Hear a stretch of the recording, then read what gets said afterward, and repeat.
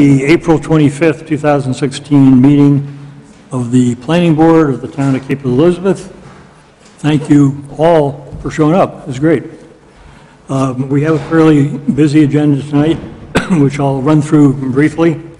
First item is approving minutes of the pri- previous meeting. There is a consent agenda item Inn by the Sea 500 building uh, replacement site plan requesting a one-year extension of the um, site plan approval previously granted.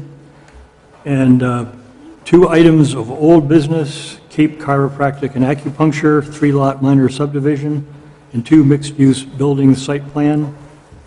Uh, Following that will be the Verizon Wireless Water Tank Antennas site plan. Excuse me. Um, uh, Item of new business, the 535 Shore Road site plan, uh, seeking site plan review for a uh, space at 535 Shore Road. And finally, there will be an opportunity for public comment on anything which has not uh, been subject to public comment before. Uh, We'll proceed first to the approval of the minutes of the previous meeting. The board has received copies. Are there any corrections, additions, what have you? If not, I'll entertain a motion to approve. Joe, thank you. Motion to approve the minutes. Second, Henry, thank you. All in favor? Opposed? Motion passes unanimously. Uh, We'll move next to the consent agenda, the um, Inn by the Sea 500 building, um, excuse me. Inn by the Sea is requesting a one-year extension of the site plan approved on June 16, 2015 for replacement of the 500 building located at 40 Bowery Beach Road. Uh, The planning board is authorized under section 19-9-4B4 of the zoning ordinance to grant one year, one one-year extension for site plan approvals. Uh, Would the inn like to be heard from? Yeah, I'll make it short and sweet. Eric Doobie from Casco Bay Engineering, rep- re- representing uh, Inn by the Sea. Um, Basically, what happens is um, we have a short construction window, and um, from October to May, based on um, uh, basically um, uh, the period of, um, of when we have uh, visitors. So we're requesting an extension. We didn't, we're looking at doing modular construction, so um, we're in line now um, to have that move forward. So we're looking forward to doing it this October. Any questions from the board? The applicant? I'll entertain a motion to approve. Jonathan, thank you. Second? Um, Motion for the board to consider be it ordered that based on the request submitted and project previously approved, the planning board extends the quote 500 building site plan approval granted to the Inn by the Sea LLC and located at 40 Bowery Beach to June 16, 2007. Second. Okay, we have a motion that has been seconded. Any further discussion? All in favor? Opposed? Motion carries unanimously. Thank you.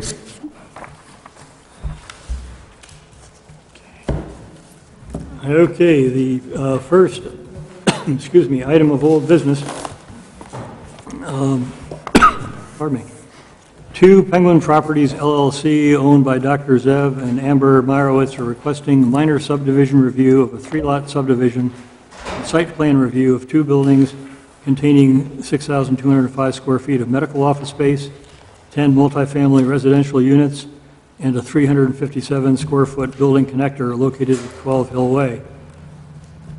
The application will be reviewed for compliance with Section 16-2-3, minor subdivision review, Section 19-9, site plan review, and Section 19-6-4, town center design standards.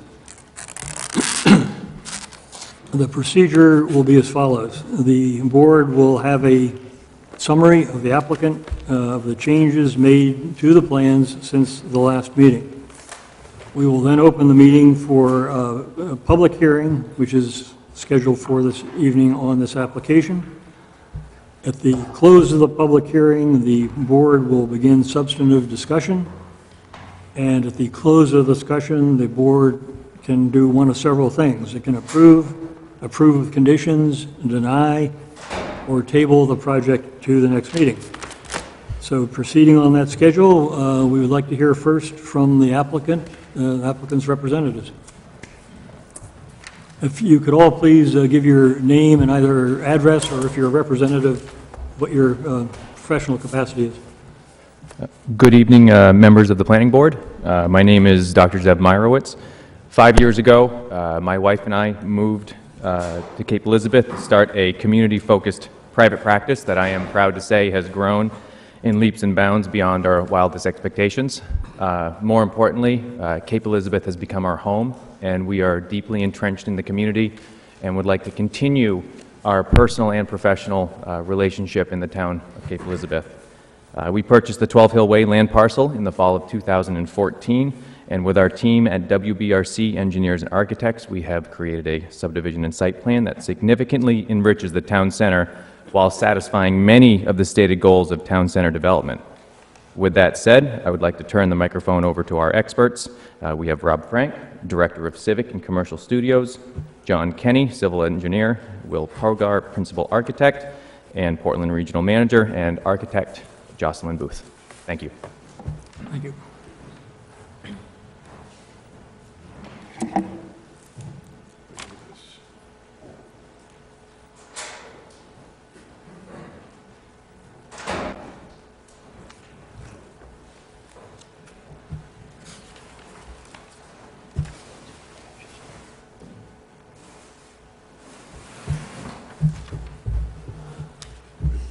Good evening. My name is Robert Frank. I'm a professional engineer with WBRC Architects Engineers, uh, Portland and Bangor. Um, We are going to just basically recap the uh, information provided to you last time, identifying any changes. Uh, I will go through uh, some real quick intro items, then I'll turn it over to John Kenny and Jocelyn, who will uh, fill in a little bit more of the details. And then uh, we did come prepared with the site plans that you were provided with. In fact, as we had done last time, here's a hard copy of this. uh, Thank you. of the drive, so you can share that around. So uh, for folks that may not have been here last time, project site, uh, the project is uh, literally the center of Cape Elizabeth, not only in the town center district, but as you can see from the perimeter of the town, uh, in the geographic center of town. This is a- zooming into the project site at 12 Hill Way, uh, this is Hill Way over here, uh, Ocean House Road. Project continues to be a three-lot land subdivision as presented at the last meeting, comprising of uh, 1.3 acre, .43, and a .29 acre parcel. There is no change to the building footprint from the last presentation. All buildings are uh, below the 5,000 square foot threshold. Um, The use of the building is mixed use, um, as is consistent with the purpose of the district, which is to encourage an identifiable town center that includes a village feeling, mixed retail and residential uses, uh, and an inviting or environmental, environment inviting to pedestrians. Uh, The building footprint number one, below uh, 5,000 square feet, will comprise six uh, residential units, one of which is the owner's unit uh, on the upper levels, and a lower level, which is a medical clinic, also an approved use uh, also operated by the applicant and the owners. There's a small connector between the two footprints, and then building footprint two, also under 5,000 square feet, will house four uh, units on the upper level, as well as medical clinic space below. That is not a change from the last meeting. Uh, I'll probably invite John up to um, talk about this maybe in more detail as we get into the grading. The, the most notable change, I think, after the site walk with you folks, and after meeting with the tree warden, we did uh, slide the uh, sidewalk that was previously located up in this location further down to avoid some ledge outcrop and to work its way into the site in a more meaningful fashion. We also Actually, I'll leave it here. We also provided a curb along Hillway as part of the improvements that are occurring in Hillway. From a grading standpoint, uh, John will get into more detail later. I suspect as you talk about stormwater, we have uh, reworked this area to include the rain garden that we talked about with the uh, review with the town engineer. And we've also redone the grading over here to accommodate the relocated uh, sidewalk. As stated previously, all the areas in blue are uh, porous pavement. And again, the change on this plan, the notable change is the rain garden down here. From a utility standpoint, uh, we've identified the utilities serving the farmhouse. There really is no change uh, other than that on this plan. Orange representing sewer, blue representing water, and the purple representing power.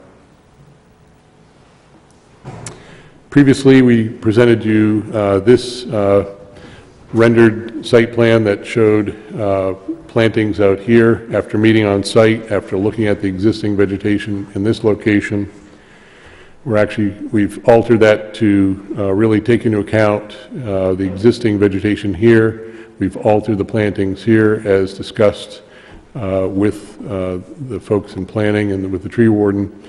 And we've also modified this area. And in fact, as late as today, um, talking about this as uh, more of a a front yard slash um, a yard uh, ornamental presentation versus a screen. So what currently is shown, we have some evergreens on this corner of the building to minimize the scale and the bulk here. We also have some additional plantings over in here that would sort of infill that area uh, that is flanked by either side by existing vegetation. Uh, These were prepared earlier today. Again, we were anticipating coming back uh, before you with a final planting plan after there's been some discussion. Uh, These are simply two options that show something that uh, organizes around some apple trees or more uh, fruit tree plantings and some ornamentals that would make this more of a feature and uh, uh, also minimizing some of the screen, if you will, the planting here, making it more of a specimen planting. And These are really just two options that look at how that might change. So we will seek some guidance from you as you go through that portion of the review. Um, This map, which was presented uh, previously, is really intended to show uh, the bulk and the the scale and the size of the building footprint, and how within other structures located within the town center, that it is uh, neither the smallest nor the largest structure in the district. Um, I would invite, uh, John, anything we missed on the, I guess, the the layout plan, we identified, I'll go back, actually, I'll st- stop right here. We did identify, there's a, one parking space here for the farmhouse, plus uh, they'll share three over here. That provides one uh, excess parking space on the, uh, the entire development that's in addition, uh, or more than required. Again, trying to meet the standard of minimizing excess pavement. We've kept it to the ordinance requirement and have used the uh, uh, one consolidated parking, all using the porous pavement. So I guess I would invite uh, Jocelyn Booth, who's an architect with the firm, to describe the uh, building and how that works with the town center standards. Thanks.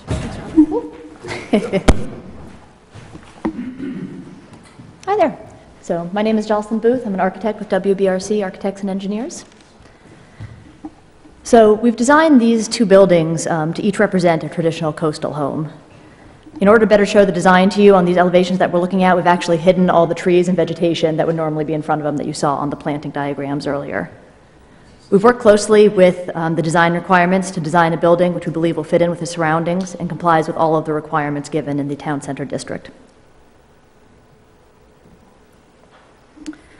Um, So the design requirements clearly list guidelines for items such as minimum roof pitch, uh, maximum building height, exterior materials, just to list a few. Um, As you'll be able to see from this presentation, as well as the full packet of submitted materials, uh, the design criteria have all been met. One item to note is that uh, due to the grading on this site, the building has been designed with two-thirds of the project as a two-story building, and only one-third of the building is actually designed as a three-story building. um, and uses scale-reducing elements, which we'll talk about on the next couple slides, to bring that down um, and modulate the building height. Uh, So this is a view showing the approach on the site from Hill Way, from the town center. Again, the trees have been ghosted in to better show the building. The materials that we're using use the typical language of coastal New England uh, vernacular. We have traditional, traditional New England shingle siding with five-inch exposure and woven corners. The colors are in the neutral range in the gray to green family. We have a white trim and detailing. Uh, One of the changes since the last meeting is we've uh, removed the stone base that was a wainscoting as part of a um, cost reduction effort. Other architectural features that we have are um, an architectural grade roof. We have double-hung windows with mullions, very traditional, and craftsman-style columns and doors.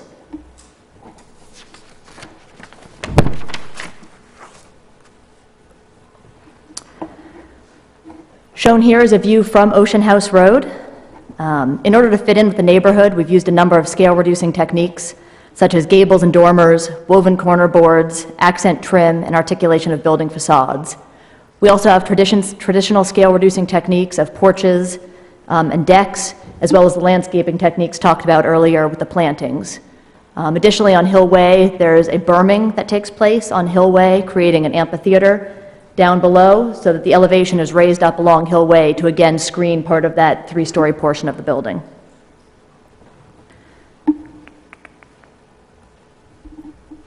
Uh, Actually, sorry, I'm going to go back for one second. Um, Also shown here is the um, the walkway that we were talking about previously. Um, This is a garden pathway, and the intent is to provide access from Ocean House Road to the site. Um, The idea is to have a decorative feature, such as a fence and landscaping, and some of the sketches that Rob showed a minute ago, talking about the different options with that, which are being worked through. This perspective is a view of the entry on Hill Way as you approach the town center.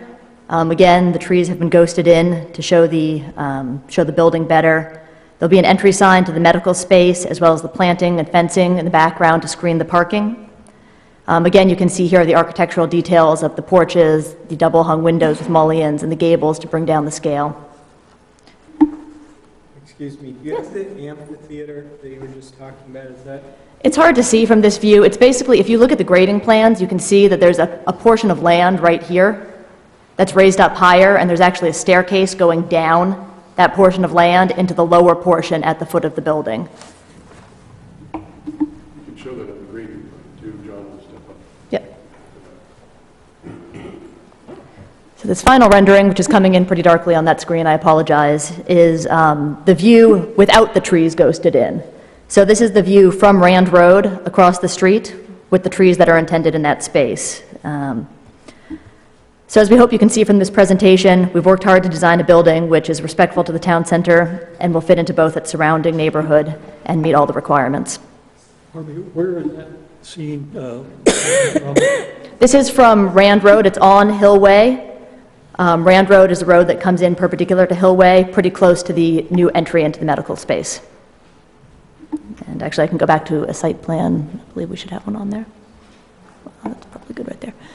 So it's standing from that road right there. Yes. The exterior material, Mm-hmm. um, wood or composite? What, what what will it be? We're looking at both, and it's going to be based on price. We'd like to be approved for both options, um, and I have a sample here we can look at if need be.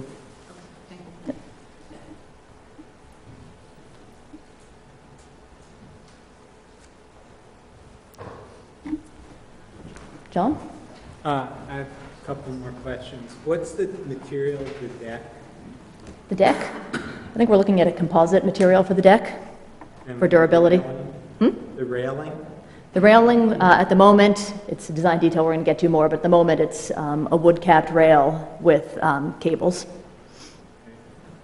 And the um, uh, architectural columns under that, are those like round tapered columns? They're square tapered craftsman-style columns. Any other questions for the architect? Okay, we continue. Great.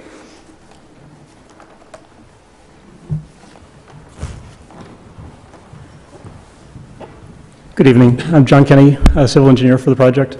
Um, I just had a a couple quick comments. Um, We just, um, we have a review letter from the town engineer. Um, We we agree with all the the minor comments that they provided, and we'll be addressing all of those in the final set of of uh, of uh, drawings for the next, um, for the next meeting.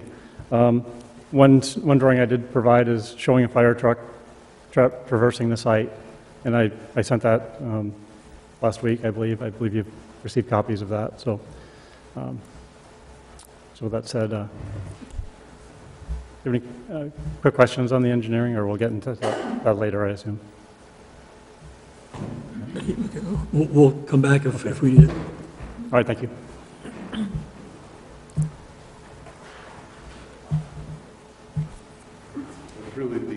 Uh, the end of our brief uh, formal presentation. Again, we've brought the full set of submittal documents as PDF to put on the wall to go through any uh, questions you may have as you go through the substantive review. And uh, again, if- unless there are any other questions, we'll yield to the other uh, proponents and the opponents.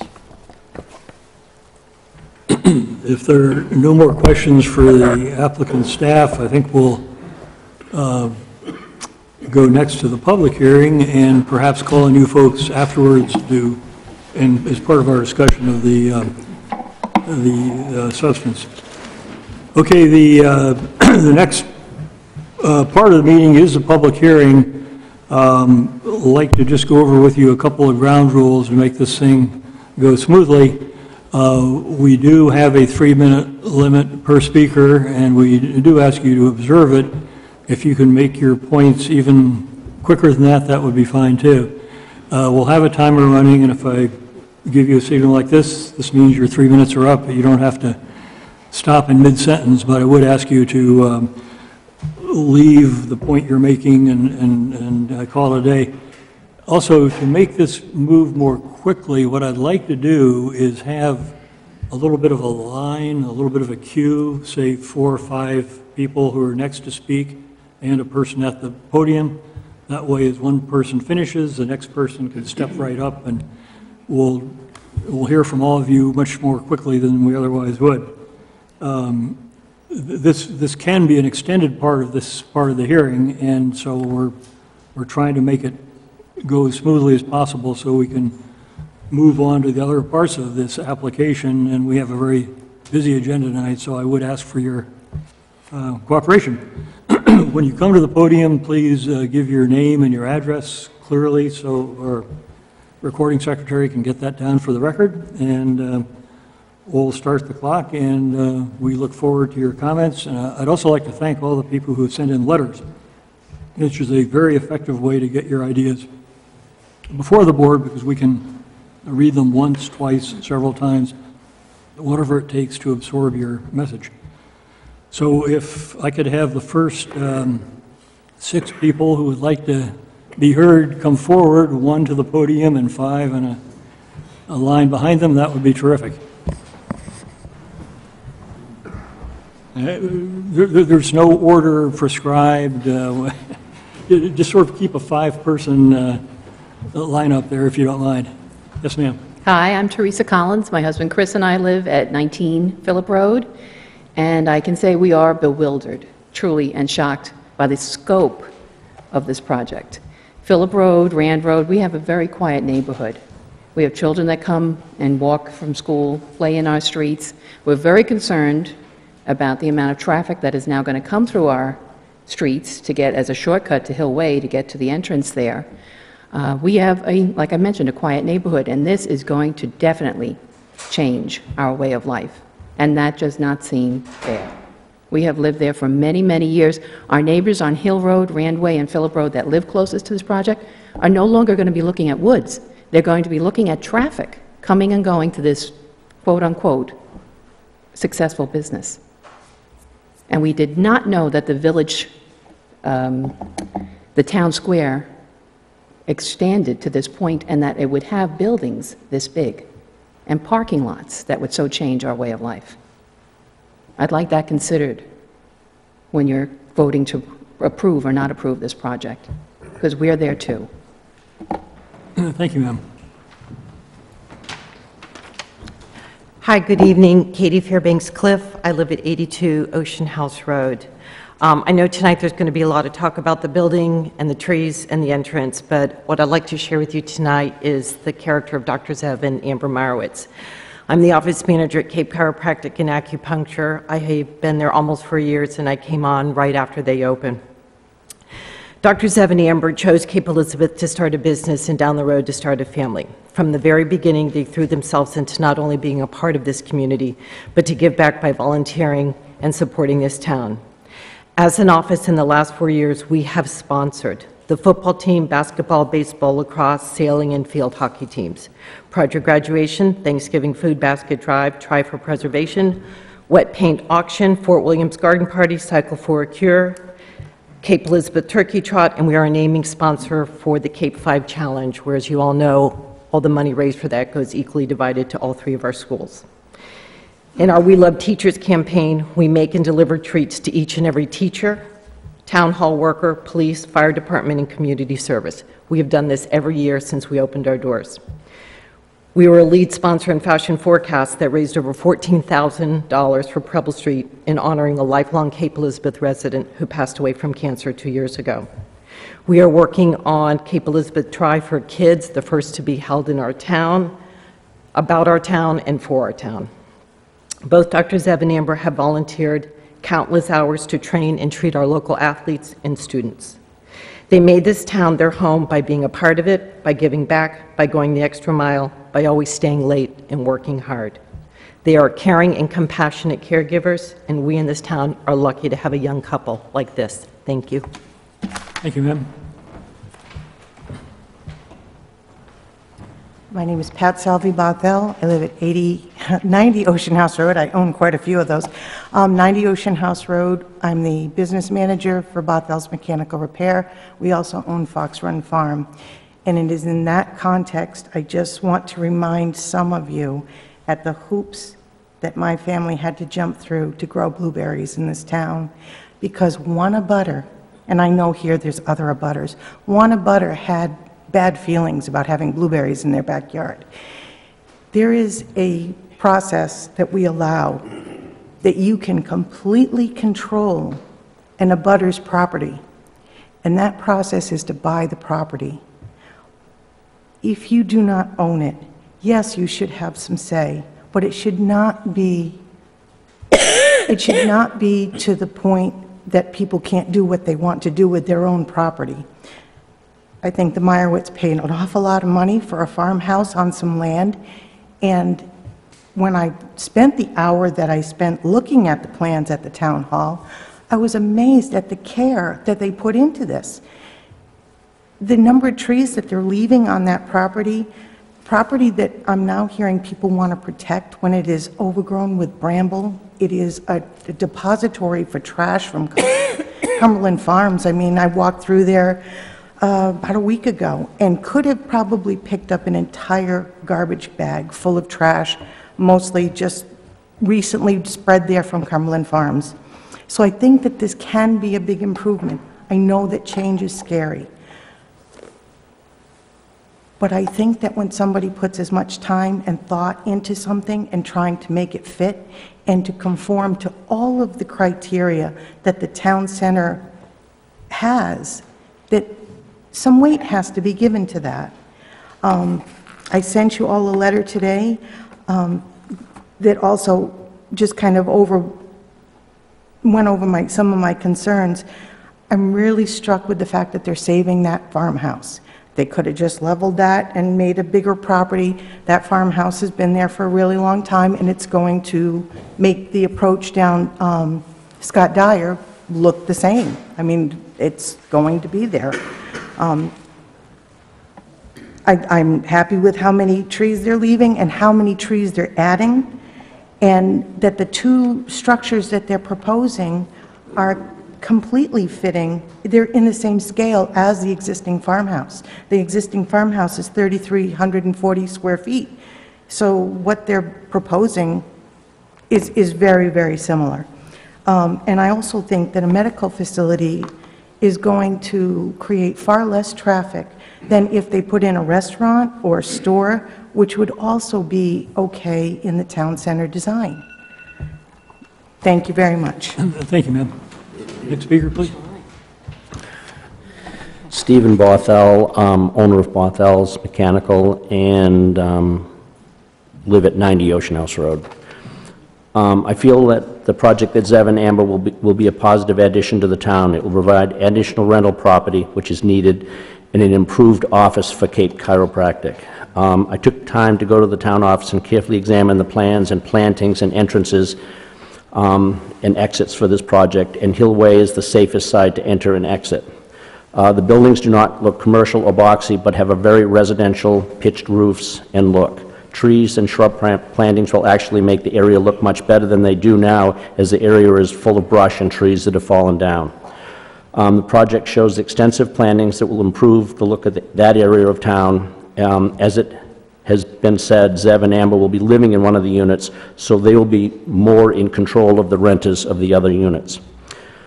Um, Knowing this, knowing about his business and having renters myself, the traffic will not be, really be a big issue. Most of the time, people that live in rental units come and go maybe two or three times a day during the weekdays, going to work and coming home. So the renters will not have a very big impact. Um, As far as their business, I can't picture that being that many extra cars running up and down Hill Way. Um, One of the concerns someone had was um, lighting. Um, My feeling is that knowing Zev and Amber, um, they'll be good neighbors to the people on- in the Hillway area and be willing to work with them as far as lighting and any other concerns they might have. Um, I've seen a lot of change in my years here. Um, When my parents built their house in 1950, the population in this town was around 3,800 people. Um, When my great-grandparents moved here, there were around 1,500 people. Um, It's almost 10,000 now. I mean, there is going to be change. It can't be avoided. Um, We have nursing homes that we didn't have when I first started, when I first grew up here. We have dental offices, supermarkets, drugstores, and those all make this town more desirable to the people that come to live here. Um, Also, in the 70s, we've lost three fuel stations and automotive repair shops in the central town, period. So, I mean, there is going to be change. Um, In the 70s, there were zero condominiums, now there's probably close to 10. Um, I don't see this as a negative impact to this town. It looks, from the the pictures and everything that they've got, um, it's very carefully thought out. Thank you. Thank you. Good evening. My name is Steve Bates. I'm a Cape native, and for the last 18 years, I've lived at 4 Rand Road. I have seen a lot of changes over the years in the town, some good, some not. My comments here tonight, uh, unfortunately, are in the not category as specifically relates to the proposed development at 12 Hill Way. Here are some things that are wrong with the proposal. No development, let me repeat, no development, however otherwise conforming and legal, should be allowed to overwhelm a long-standing abutting residential neighborhood, which incidentally pre-existed the Hill property being in the town center zone. So again, this small neighborhood pre-existed Hill Way being eligible for this development. This isn't an issue of resistance to change, but rather resistance to inappropriateness of dropping a monolithic building or two in too small an area with inability to totally buffer its negative effects from peaceful homeowners. Development approval should proceed only when applicant interests are in balance with neighboring and greater town interests, which currently they are not. The entire orientation of the project, oversized in height and sprawl, multi-use purpose, and traffic implications of this development are out of sync with well-documented town sentiment. A smaller scale footprint in height should face Route 77 with entrance and egress there. It should be coordinated with the development of the former Cumberland Farms property, whose new owner, I understand, is evidently amenable to uh, discussing options. The Hillway development proposal should be tabled until a new comprehensive plan is in place, or, at the very minimum, until a new townwide survey of, uh, on town center preferences uh, is conducted. Uh, I had a question for the engineers. I had a concern when I hear rain garden and I think of mosquitoes. Uh, My other comment, Thank you, sir. thank you.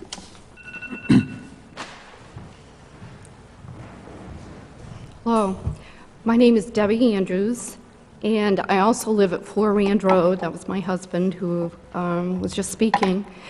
And we don't always agree, but on this matter, we do. Um, First off, I just want to um, appreciate the testimony on the character of Amber and Zev. That's really lovely, but I can give testimony for my neighbors. We're wonderful people, probably most people in the town are, and my own family have devoted hours to uh, nonprofit organizations and given many dollars as well. Moving on.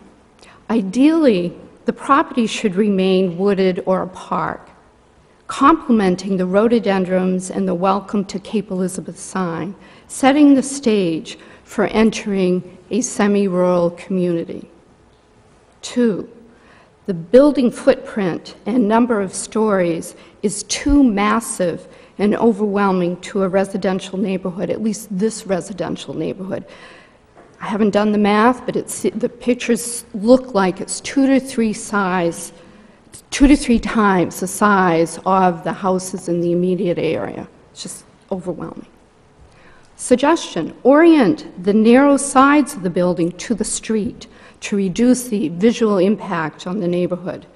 For example, the library is a relatively large building, but looks smaller in scale because the smaller width of the building faces the street.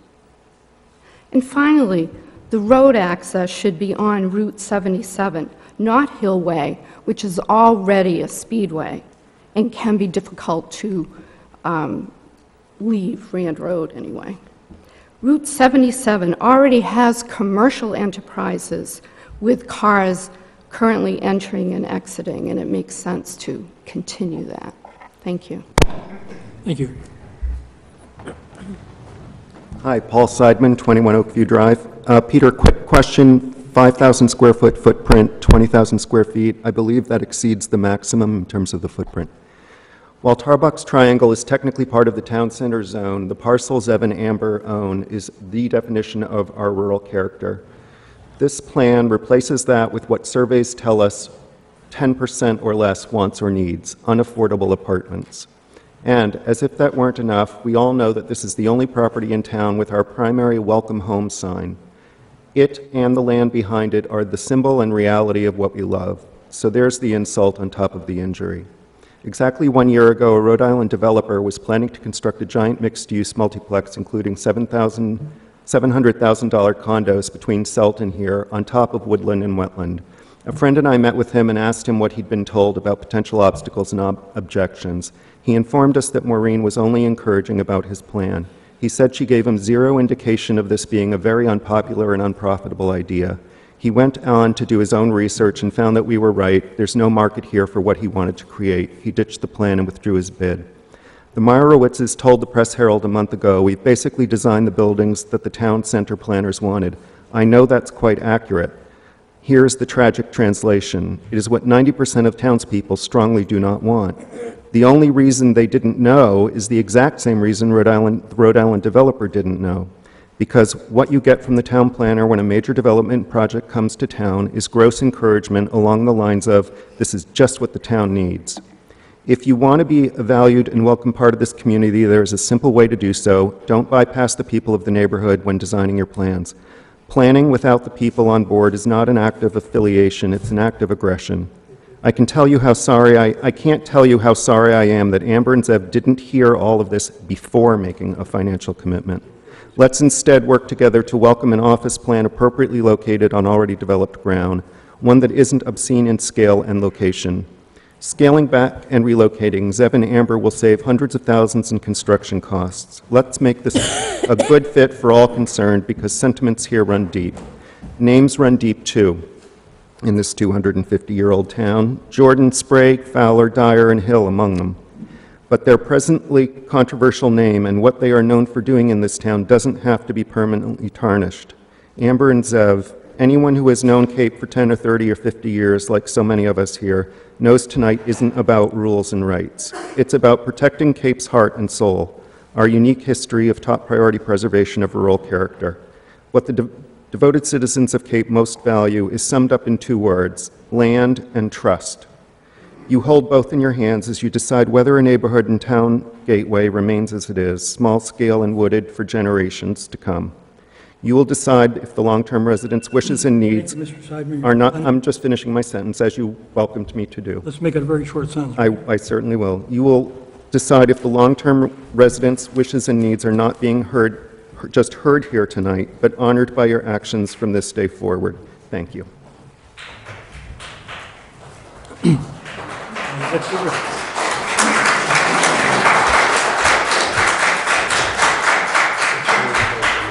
Folks, we have a long way to go tonight, and I'd really like you to keep your expressions of approval or disapproval down, please. Thank you, ma'am. Hello, my name is Jana Frank, and my husband Dean and I live at 18 Rand Road. Our major concerns are that the size and scale of this project have not been thoroughly appreciated and reviewed by the town council and the impact this will have as we drive into our town center. The current green space with the beautiful tall trees welcomes all of us and what, we love about Cape Elizabeth, a quaint village feel. Three-story, 10,000 plus square footage buildings, larger than the library and town hall buildings, with massive parking for multiple apartments and a commercial business doesn't make sense for this part of town and our neighborhood. And this is only phase one of this project. The owners want to continue development towards Scott Dyer in phase two, which has not even been talked about here. I agree with Suzanne McGinn that a statistically valid survey be completed to learn more about the opinions of Cape residents before embarking on a project of this scale.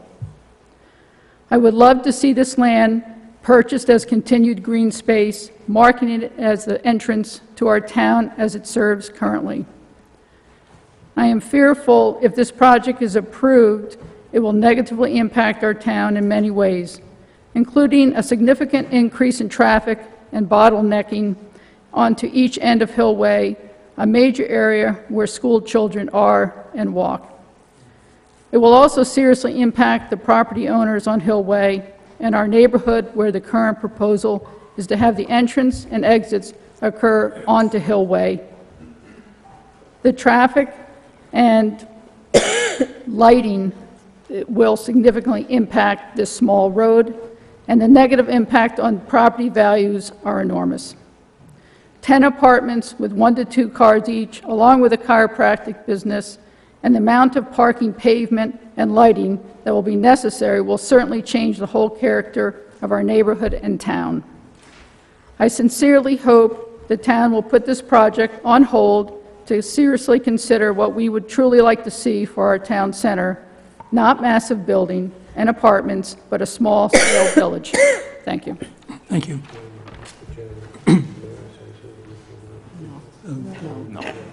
Okay, could you save it, Henry? I want to get through the public.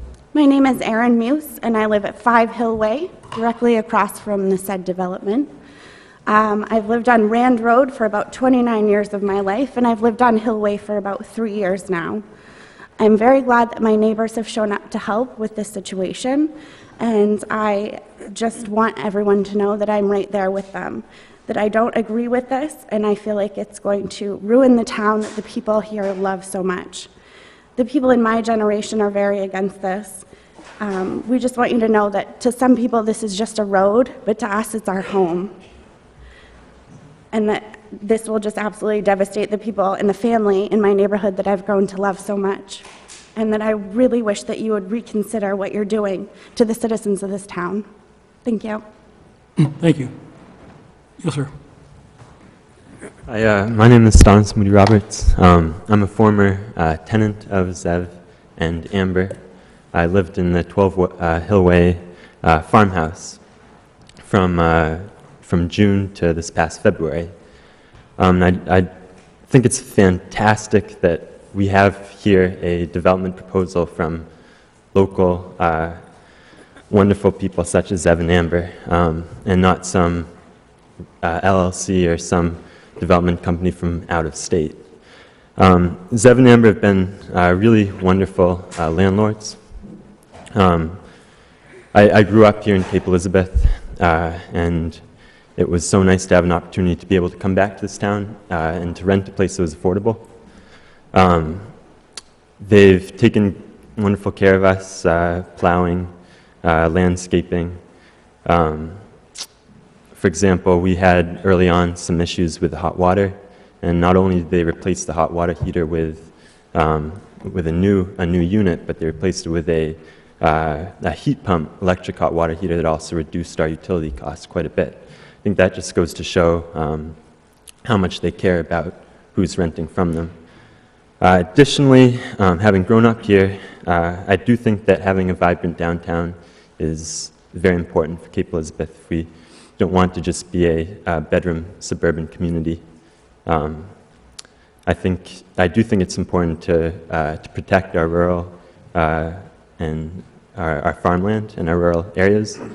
But like what was earlier mentioned by uh, someone um, before, that forest is pretty trashed out. It's not. It's not. A, it's not. It's not a woods that's really something that uh, that is worth, um, well, not worth, but it's not something that is to be uh, protected, I guess. It's, it's, it's a place that I think is, is really, would be a, a wonderful area to have, to add to the downtown. Um, and I, I do think that Zev and Amber um, are extremely uh, conscientious about wanting to build and develop a um, a building that is in keeping with the town and in keeping with the neighbors. And I, I, uh, I, I just want to um, say that I, I think it's excellent that we have local people here to develop and not someone from out of town. So thank you. Thank you. yes, sir. Uh, good evening. My name is Tom Emery. I live at uh, 12 Juniper Lane in uh, Brentwood neighborhood. I wrote a letter to the planning board, and it has several attachments at the end, which are Google Earth images going up Hillway and other images of the town center.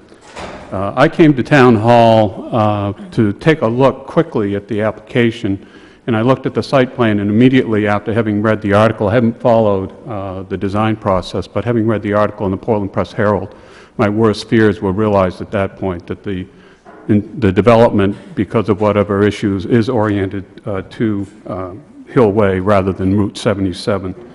Uh, I don't think that someone's business, their reputation in town, any of those issues should come to bear in, in terms of the discussion.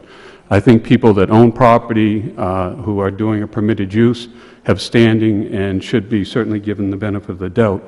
That said, we have a site plan review process, and it affords the planning board an opportunity to look at the unique aspects of, of a project, even though it complies in all ways with the town center guidelines. Um, it doesn't necessarily meet one of the most important ones. And what's lacking in the information that I've seen in the presentation is I don't see any renderings of the houses across the street. I don't see a cross-section of Hillway. Uh, and I think that interface between this development and Hill Way is unique. Um, My sense was if, if uh, nobody put the name of a street on the site plan, I would assume that Hill Way was Route 77 and vice versa.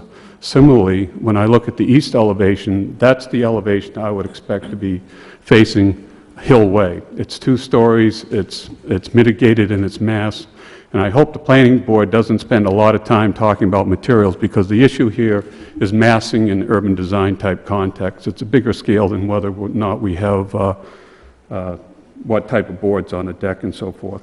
That said, I made several suggestions to the planning board. One, I'd like to see, to see it flipped. I'm not anti-development, I'm in this business, I make a living in this business. So, and, uh, but on the other hand, I think that three-story facade facing Hillway is brutal. It really is. Uh, It could be um, mitigated, It- they could use the same devices they've used on the north elevation, they could pull the eave line down, use some more dormers, break up the expansiveness of the deck. And I have some concerns as to what trees are actually going to be remain. And I, and I say that, not that I don't think your intent is to save them, it's that through the construction process and blasting, some may be disrupted. Uh, So I hope that there's plenty of, um, a close look at, at the topography and uh, what trees will remain. Uh, It was said that we're, we're at the center of the town center. That's not really the case. We're at the northerly edge of the town center. And that makes this juxtaposition or relationship to the Hillway neighborhood much more important. This could be beside Town Hall and is more appropriate in scale to Town Hall. Thank you. Thank you, sir.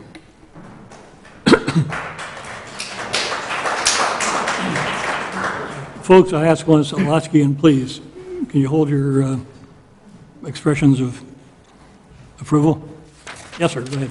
Hi, uh, my name is Mark Booten, and I live at 2 Davis Point Lane, and I'm here tonight to voice my support for the Hillway project. Um, I'd like to respectfully disagree with some of the prior comments that I've specifically addressed tonight. Um, I think it's of the utmost importance to have people, entrepreneurs, business people, people you live next to that have high morals, that are respectable people. Um, having said that, I first met Amber and Zev when they moved in across the hall um, from Du- 2 Davis Point Lane, where I live now with my family, my wife, my two young daughters. Um, from the time I met them to this current day, they've been respectful neighbors, close family friends, and in regards why we're here tonight, extremely dedicated, successful, and ethical business professionals. Putting our personal acquaintance aside, though, I would put my word, my character, and my professional reputation on the line to say that Amber and Zev are some of the hardest working, knowledgeable, and respectable business owners slash operators I've ever met. Um, and to respectfully disagree with another comment that was made tonight about the traffic. Um, like I said, I live directly above their business currently. When I first moved there, their business was non-existent. It was vacant beneath us. They moved in, and from the time that they started the build-out to today, where they have a very successful growing business, I have not had one hindrance, one hassle, one threat, one problem with traffic. I let my two young daughters, seven years old and eight years out, outside in the yard to play at their freedom, ride bikes, play in the yard, whatever they want to do. And I don't have any worry that Amber and Zev are going to be disrespectful or any of their clients or the supposed traffic are going to injure them or put them in harm's way. Um, I'd also like to take a step back and think about this from uh, a business transaction. Right now, the state of Maine is, has two, two initiatives that have come up in recent, um, one in the Portland Press Herald, one in the Maine Center for Entrepreneurial uh, Development publication. Uh, One is the Educational Opportunity Tax Credit. The state of Maine is offering tax credits to people that come to, back to work in Maine that are to help repay their student loans. The reason for that is because main businesses in this region and in the, in the community, we are facing um, difficulties finding skilled workers to do great jobs. Amber and Zev have grown this business organically. They moved to Cape Elizabeth, they started it, they funded it, and they've successfully grown it to where they need more space, more room. We should commend that. In, the state of Maine's current economy, we need growth. We need businesses like this that can operate like that. The second uh, initiative that's going on at USM, uh, the Maine Center for Graduate Professionals, they're also doing a similar thing. Um, Please take these into consideration for the state of Maine economy and for Amber and Zev. Thank you. Yes, sir. Uh, My name is uh, Stephen Friedman. I live at 31 Brentwood Road. And while not here to talk about the particulars of this development, and I know there are some concerns, I am speaking in favor of the development as someone who does support a vibrant downtown, village center, town center, whatever you want to call it. We've always been a couple clicks away from having something other than a bunch of vacant lots. And I think this is a start. You can't always start where you want to start. You start with someone who wants to be the entrepreneur. Uh, Village centers are important for both young people and old people. There's a trend to want to walk to businesses. Unfortunately, we've had some nice businesses start up and remain in town, and I think that needs to be supported. Unlike Scarborough, which will never have a downtown village because it's on Route 1 and there's been, you know, a lot of negative about doing anything, within the town, we have an opportunity to have a very rural town and yet a vibrant downtown, which I think is uh, desirable, both for uh, now and the future. And I'll leave it at that. Thank you. Yes, sir.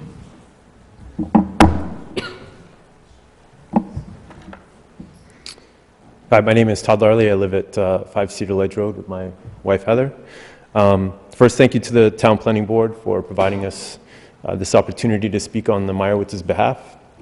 It is, uh, it is our pleasure to be here. Um, Second, Zev and Amber have meticulously planned to expand their business off the lot in Hillway. When first moving here in 2012, both of them worked very hard to get their business off the ground in Cape Elizabeth. Through that hard, hard work, the two of them have come to the point where they would like to expand their business to better serve the needs of their patients and the community. By following the codes and regulations set by the town of Cape, they are proposing a new structure, new structure in the town center. I've read, a lot, I've read a lot of articles that have been quoting plans or surveys that are out of context or stating that the Meyerowitzes are not listening to public opinion. I recently read the most recent Town Center Plan Committee findings that were unanimously passed in October of 2014, and I would like to state how this building clearly satisfies multiple criteria of the Town Center Plan. There are three stated goals. Number one, establish a primary commercial area support the town center as the primary location for new commercial development in Cape Elizabeth, and encourage a modest amount of small-scale, mixed-use development. I see this proposal as specifically satisfying that stated goal. Visual appeal is number two.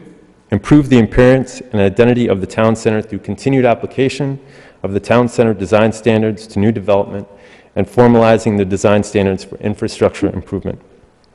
This proposed development is beautiful and really conveys a well-built, mixed-use building while retaining the characteristics of a coastal home. Number three is infrastructure financing.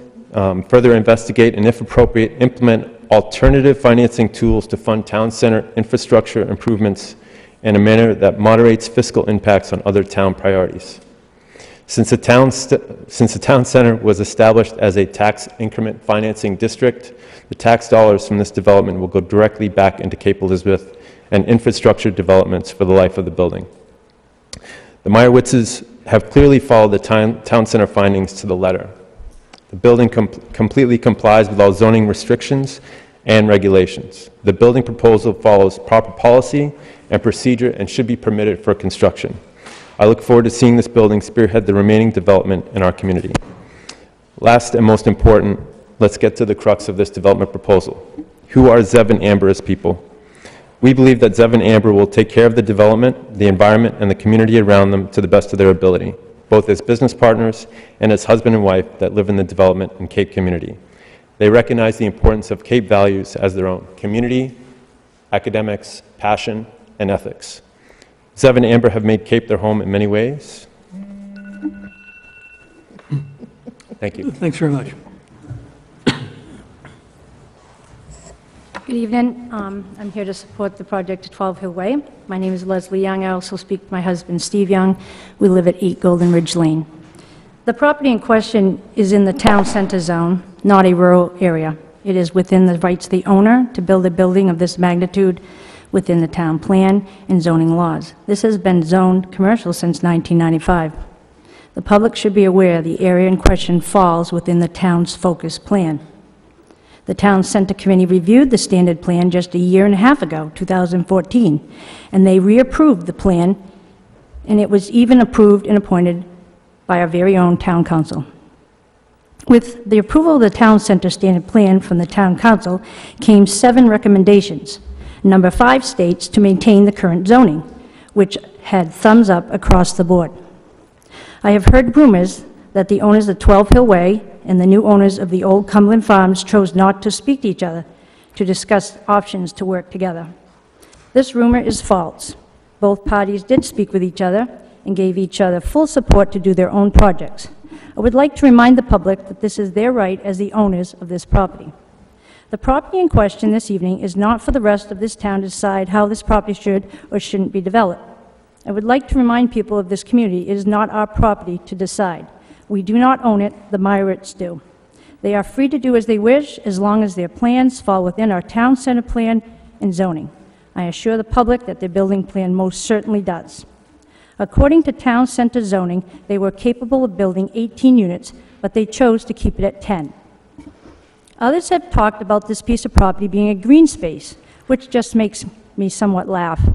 I would have thought that the town a year and a half ago would have created more controversy about the land behind my house that runs along the Great Pond Green Belt Trail. This land was approved by this very board for the development of three house lots. There will be many oak trees cut down for this project, and some of the beauty of the Greenbelt Trail will be taken away. Not a word from the public on this, and nor my husband and I, for we do not own the land.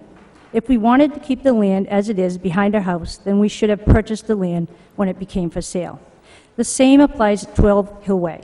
If people in this community felt this land in the town center should have remained as it is, they should have purchased it themselves.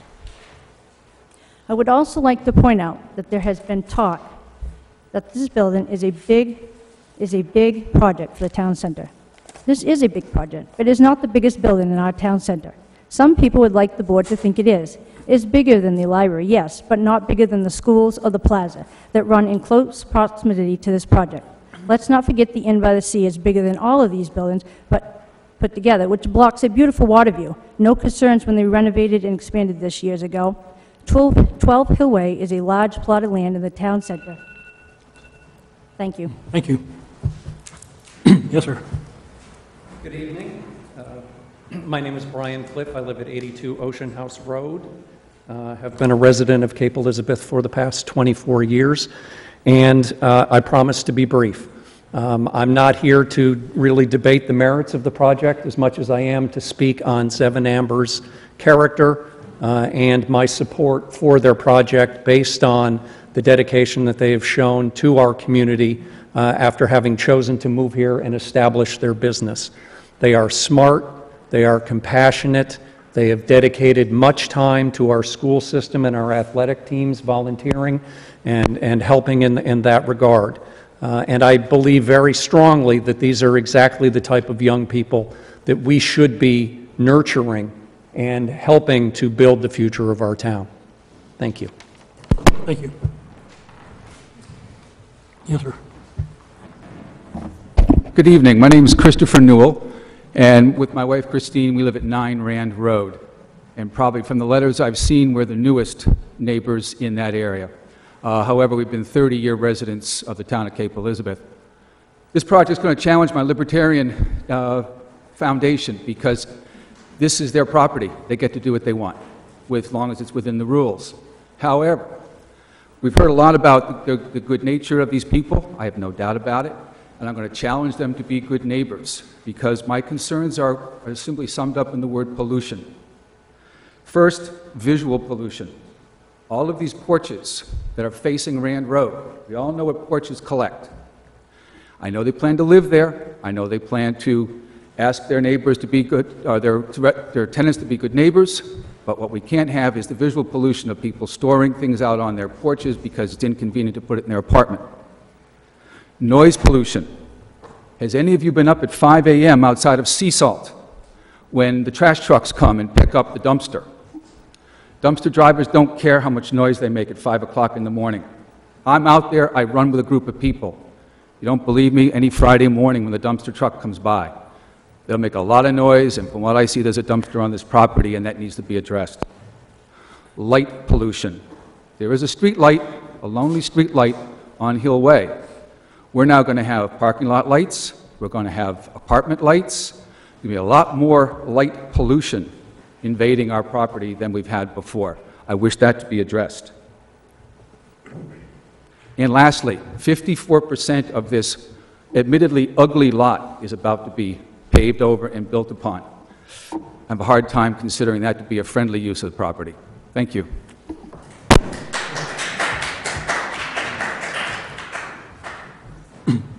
Yes, ma'am. Hello, I'm Becky Fernald. I live on 313 Mitchell Road, and um, lived in Cape Elizabeth for um, 24 years.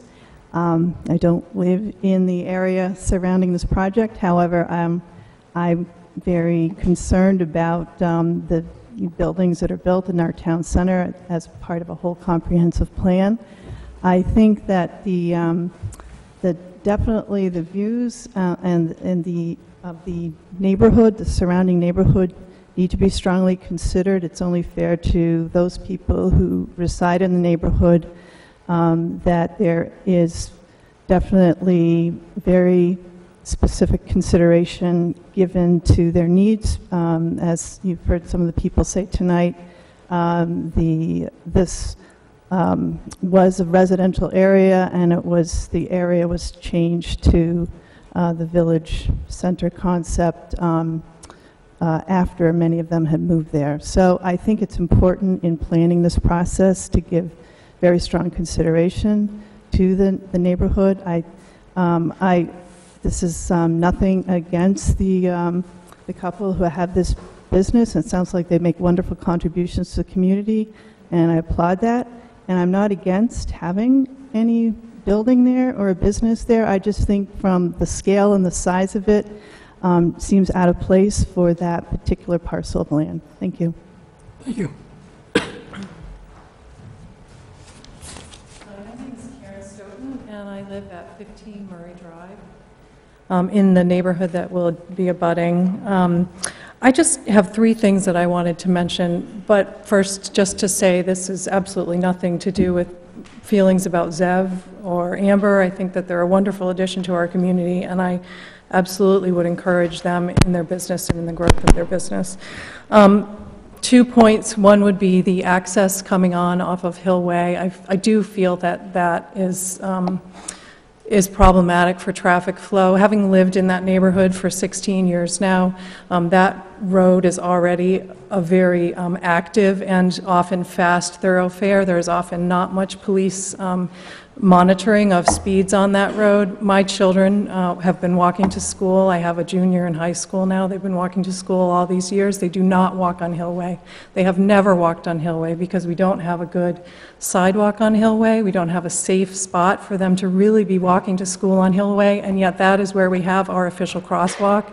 Um, they cross at the unofficial crosswalk, which is almost always guarded by someone, but I do have concerns regarding flow of traffic, regarding of safety of children.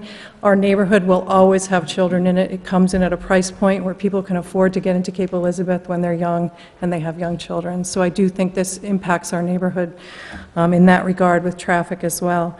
Um, The only thing that I have specifically related to the project um, would be the scale. I do feel that the scale, um, looking onto uh, that neighborhood, particularly off of Rand Road, but also off of Phillip, is very large, and I would prefer to see it oriented towards um, 77. Thank you. Thank you. Yes, sir. Hello, my name is John Volz. I'm a resident of 33 Phillip Road. I'd like to um, address, first of all, this is a really important site. It's positioned right behind the uh, welcome sign to Cape Elizabeth. It's one of the most visible parcels in the entire town center. You can see it for half a mile down uh, Ocean House Road. So it's very important that we get this right. Um, This development is going to set the tone for future development along Route 77. Unfortunately, I feel the design, site design approach is flawed. It says the proposed project is designed to preserve the existing underdeveloped woodlands as much as possible.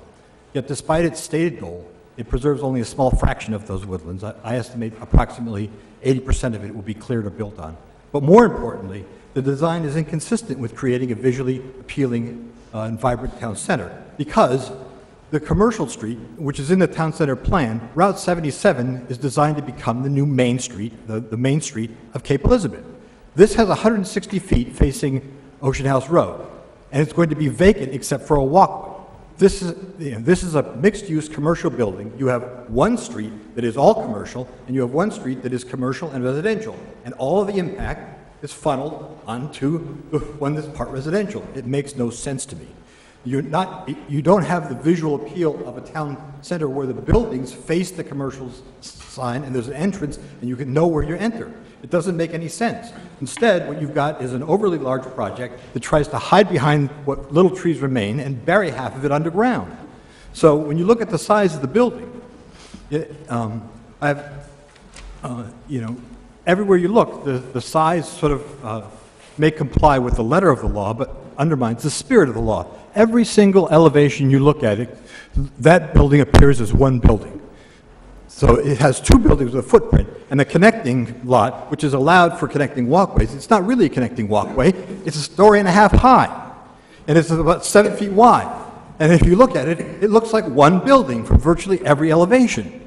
So that intent of those regulations was to create, was to limit the mass, but that's not, you know, while they're complying, they're- it doesn't, it doesn't actually meet the intent of the regulation. So I also have some subdivision comments, though, so that um, I feel like um, the easement that is left on, on Lot 2 makes Lot 2, for any future user, really difficult to develop, and it, and it impairs future development for the town center of Lot 2. And similarly, the, the positioning of Lot 1 also may impair the development of Lot 2. Um, Finally, I would like to, to, to mention some flaws in, uh, in the, in the actual plan that was submitted that I found somewhat troubling. The traffic study does not appear to be valid. It was done in, from what I saw, it was done in midwinter and then grossed up to estimate summer. The, the assumption that, you know, that, that assumption seems false. Thank you, sir. Your, your time is up. Thank you for your It- comments. It's very difficult to c- contain your comments to a 139-page report in three minutes. Thank you. I understand. Yes, ma'am. Good evening. My name is Amber Hayes. I live at 136 Two Lights Road. I've lived in Cape Elizabeth my entire life. Well, I've traveled around a lot.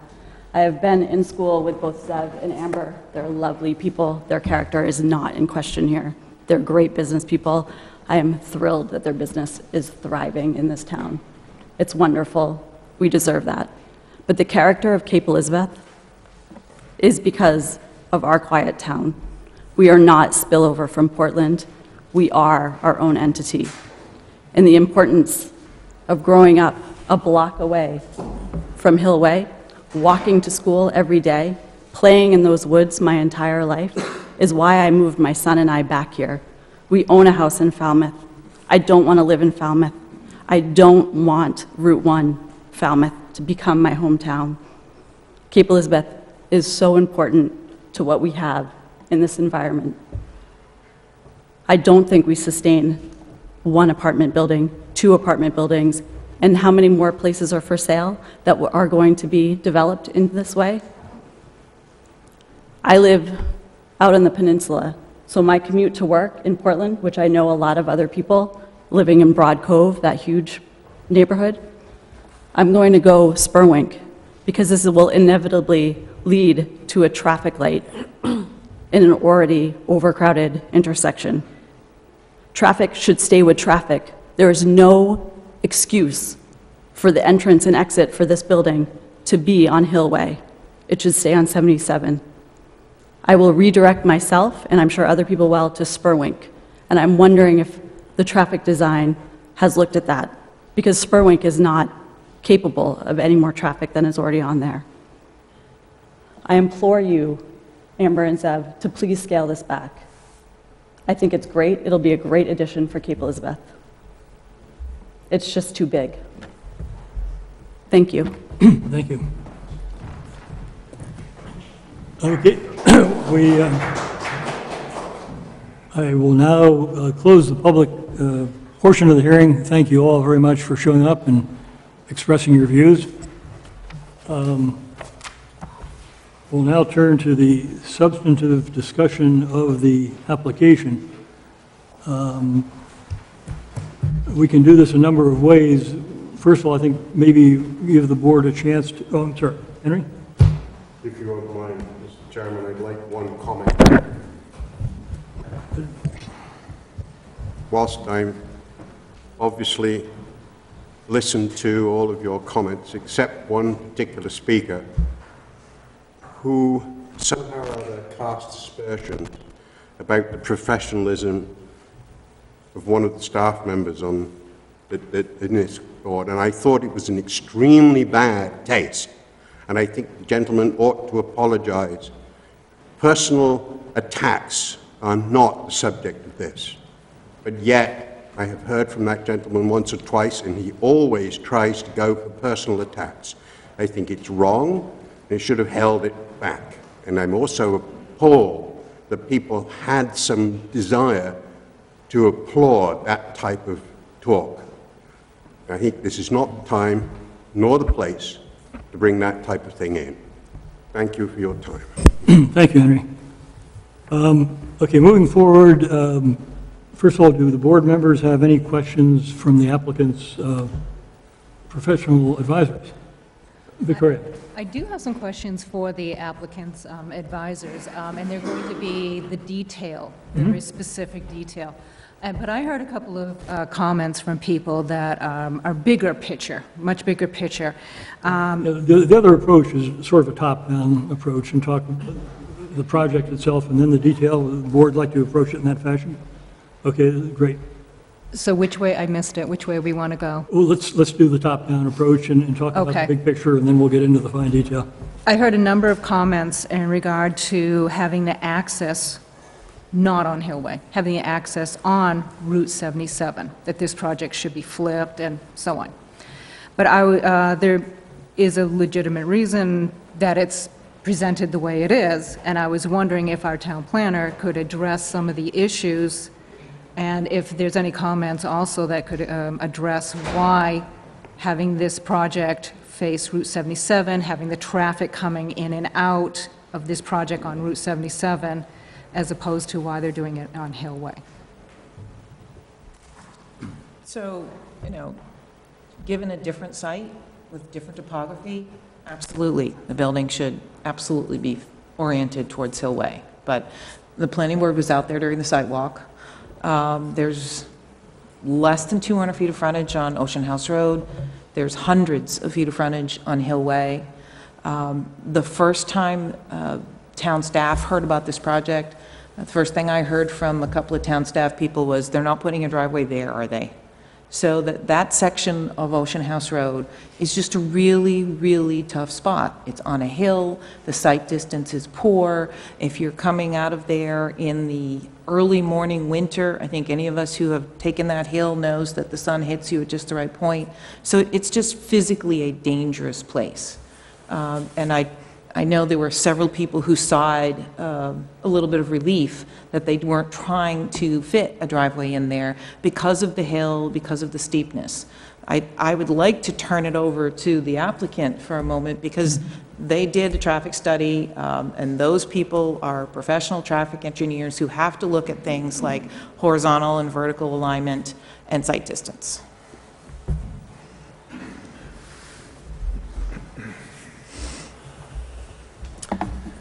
Uh, We did have a traffic um, study done by Maine Traffic Resources. Um, They, they found that the the proposed project um, did not cause any detrimental impacts on, on the flow of traffic. I'm not a traffic engineer myself, so I can't address it specifically, but um, they did submit the traffic study, performed the counts, um, and that study was reviewed by the town engineer, Steve Harding at Sebago Technics, um, and his comments are provided in the record as well. His, his takeaway was that all the assumptions that Maine Traffic Resources made were on the conserv, well on the conservative side, and they did the whole analysis and, um, and found that it really would have minimal effect on, on the traffic from Could this, you- from this project. Could you elaborate a little on the problems of entering on, from 77? Yes, um, well, my sense is that with Hillway, you have two controlled intersections at each end of Hillway, Scott Dyer Road and Route 77. So when you have traffic leaving the site, you have stacking space. It's a, it's a, it's a low mileage, a a low-speed uh, spur uh, versus going directly out onto 77, where your, you know, speeds are faster and there's no stacking or, or um, you know, so it's, it, from my perspective, again, not a traffic engineer, it makes sense to be able to come out onto Hillway, go to those controlled intersections before you get out onto 77 in either direction, from Scott Dyer or, or out to uh, 77. Did you, sorry. how, how many extra um, trips or car in and outs would be involved uh, if, if, if when this building's operational? Did you Unfortunately, look at that? I, I, I'm not prepared to speak to that. Um, Certainly at the next, you know, we could have the traffic engineer from Maine Traffic Resources at the next meeting. But When they did the traffic study, did they not? did they Oh, not it- certainly. Yeah, they did. And what impact did that have? Um, No effect on level of service at the intersections. Sorry, I didn't hear that. There's no effect, um, no detrimental effect on the level of service at the two intersections? I intersections. guess it's, it's to do with the rate in which traffic that reaches crossover points. Nothing to do with the actual traffic traveling, but the actual interaction between two cars coming in different directions. So because, and that must something to do with the randomness of the events.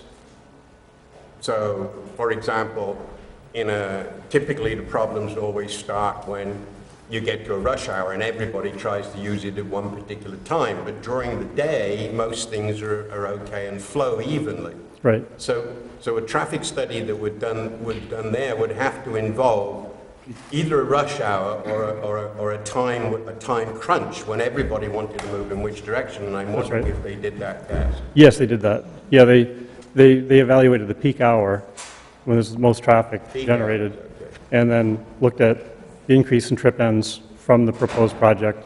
You know, they do the survey, uh, the existing counts of traffic.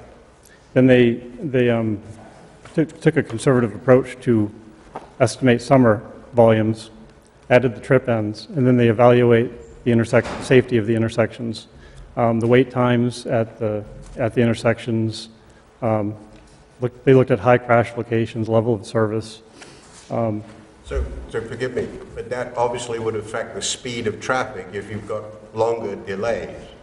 So from a, fr- from a safety point of view, the longer the delays would seem to have a slightly improved safety, other, other than cars being able to speed up along there without having to stop.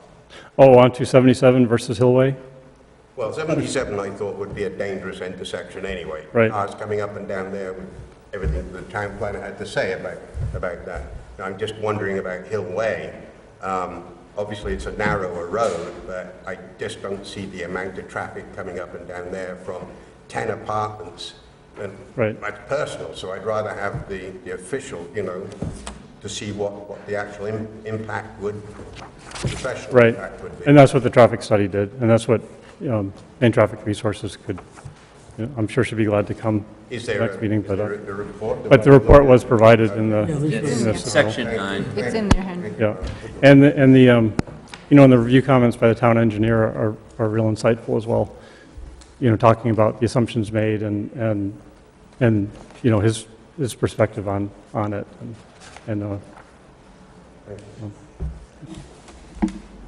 And I just, yeah, I just wanted to add as well that when we first looked at the site, we looked at several options for uh, egress and access, and, and the concern that I had, and this is before you had your site, well, this was months before, was the exiting site distance, as you would have to approach Route 77. You have, you're on a curve, you're actually on the outside of the curve, um, you've got a grade change and a slope, and we're also looking at an elevated drive that would have had to drop about 12 feet down onto 77. So you take the combination of those three, uh, just from a liability and a safety standpoint, it was really a very simple uh, decision to avoid that catastrophe on Route 77. The fact of the matter is, um, there, I've heard expressions of speed on Hillway. It's my understanding that the town is looking at Hillway as a, is a rebuild. I've seen in many instances where you have a literal fork in the road, where the road is actually brought down into more of a 90 at the intersection. I don't know if that's in the current plan, but I think it would go a long way to uh, allay the fears of, of the, uh, um, the neighborhood, uh, to prevent that uh, basically Route 77, if there's no deceleration going to Hillway, that's, that's the biggest concern. What you have from this property is two driveways that have ample room to stack for any traffic that might be on Hillway. So really, the inconvenience, if you will, would occur on the property, waiting to get on the Hillway. The traffic study didn't show that as, as an issue. And as John mentioned, and to your point, they look at the, the levels of service, of operation, during the peak period when it's likely to occur, and they stated that there was no impact. I'm also not a traffic engineer. I don't know if there are any in the audience, but again, I know that your uh, town engineer uh, concurred with the findings. And again, if you wish us to delve into that in more detail, I would only request that you have your expert witness on your end as well. This is really not a subjective thing with traffic. It's a science, and traffic engineers do this all the time. So that's all I had. Thank you. Maureen, could you perhaps um, I discuss can. what's going on with respect to the plans for And Hillway? I'm, I'm looking for the comments that the Public Works Director sent just this afternoon. I know the Planning Board received them. I know that um, we sent them to the applicant as well. Um, And, no, they're, s- they're in the stack here. So, but I guess I'll just paraphrase him. So the council established goals for the year, I believe it was December 2015, and that was before this project was submitted. So, uh, you know, I, I hear what the uh, members of the neighborhood are hearing, and um, everything you're talking about in terms of safety in Hillway was something that uh, is generally accepted, because the council, when they established their 41 goals last December, um, included a goal that says, develop a plan for the improvement of Hillway.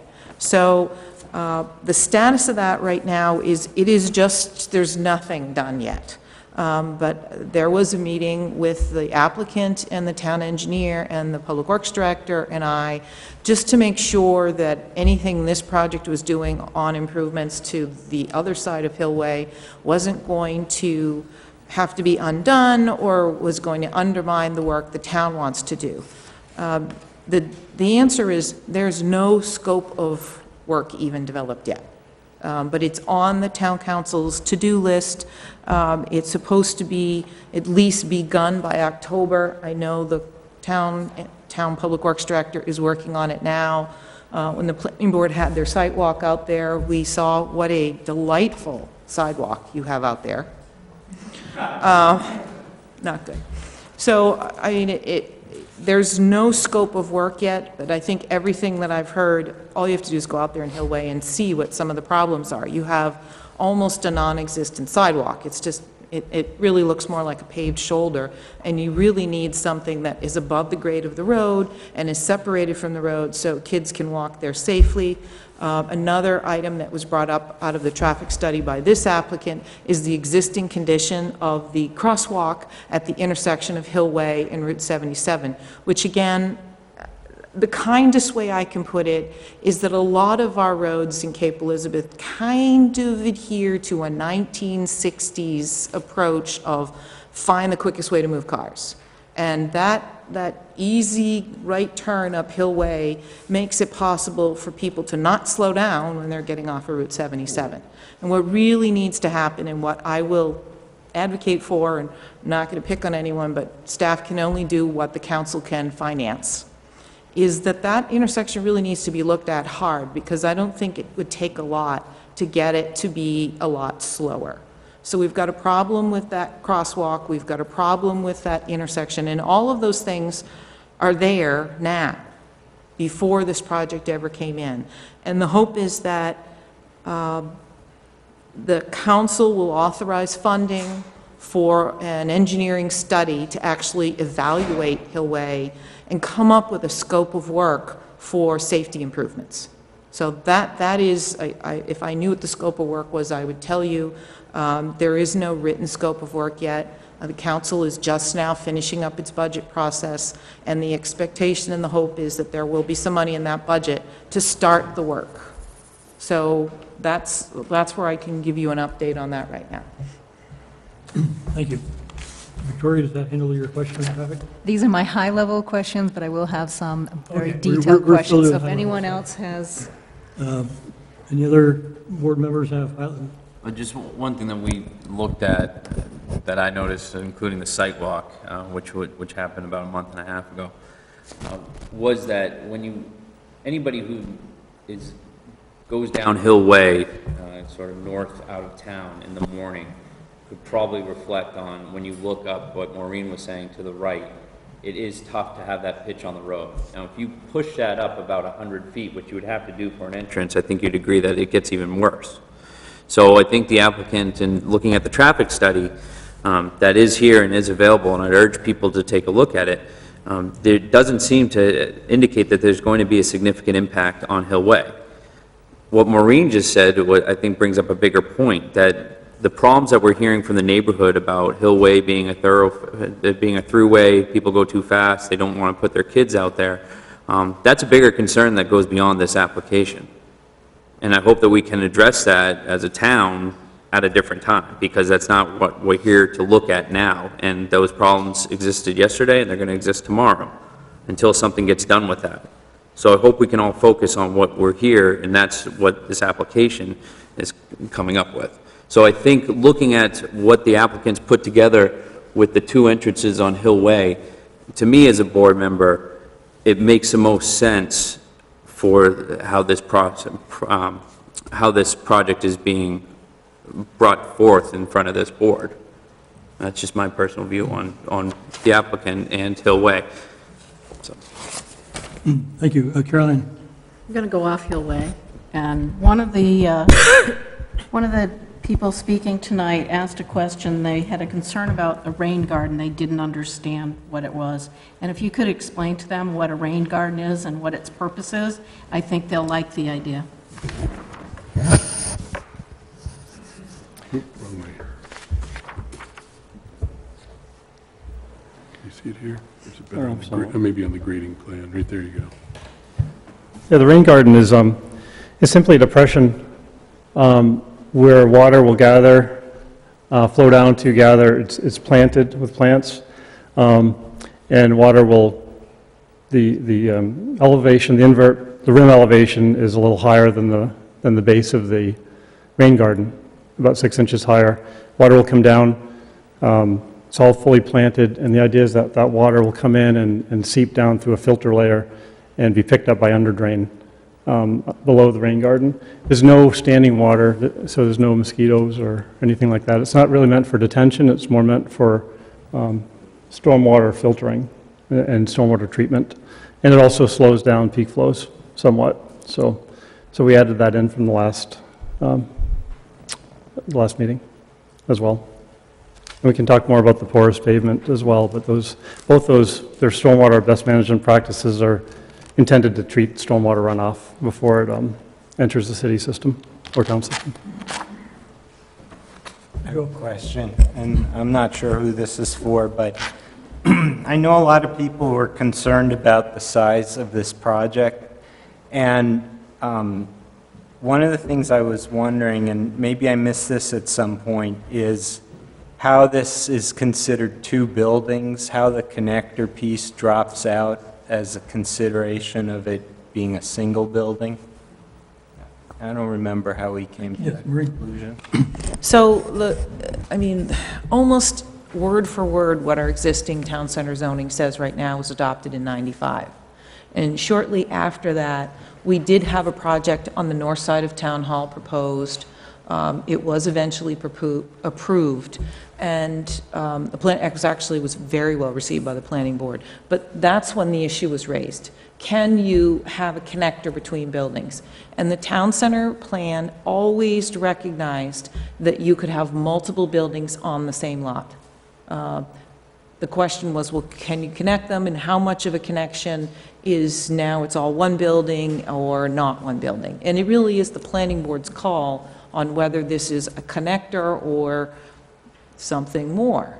Uh, But we have repeatedly seen proposals where people have been allowed to put multiple buildings on the single lot, and they've been allowed to do something with the connector that doesn't look like it's just one big building.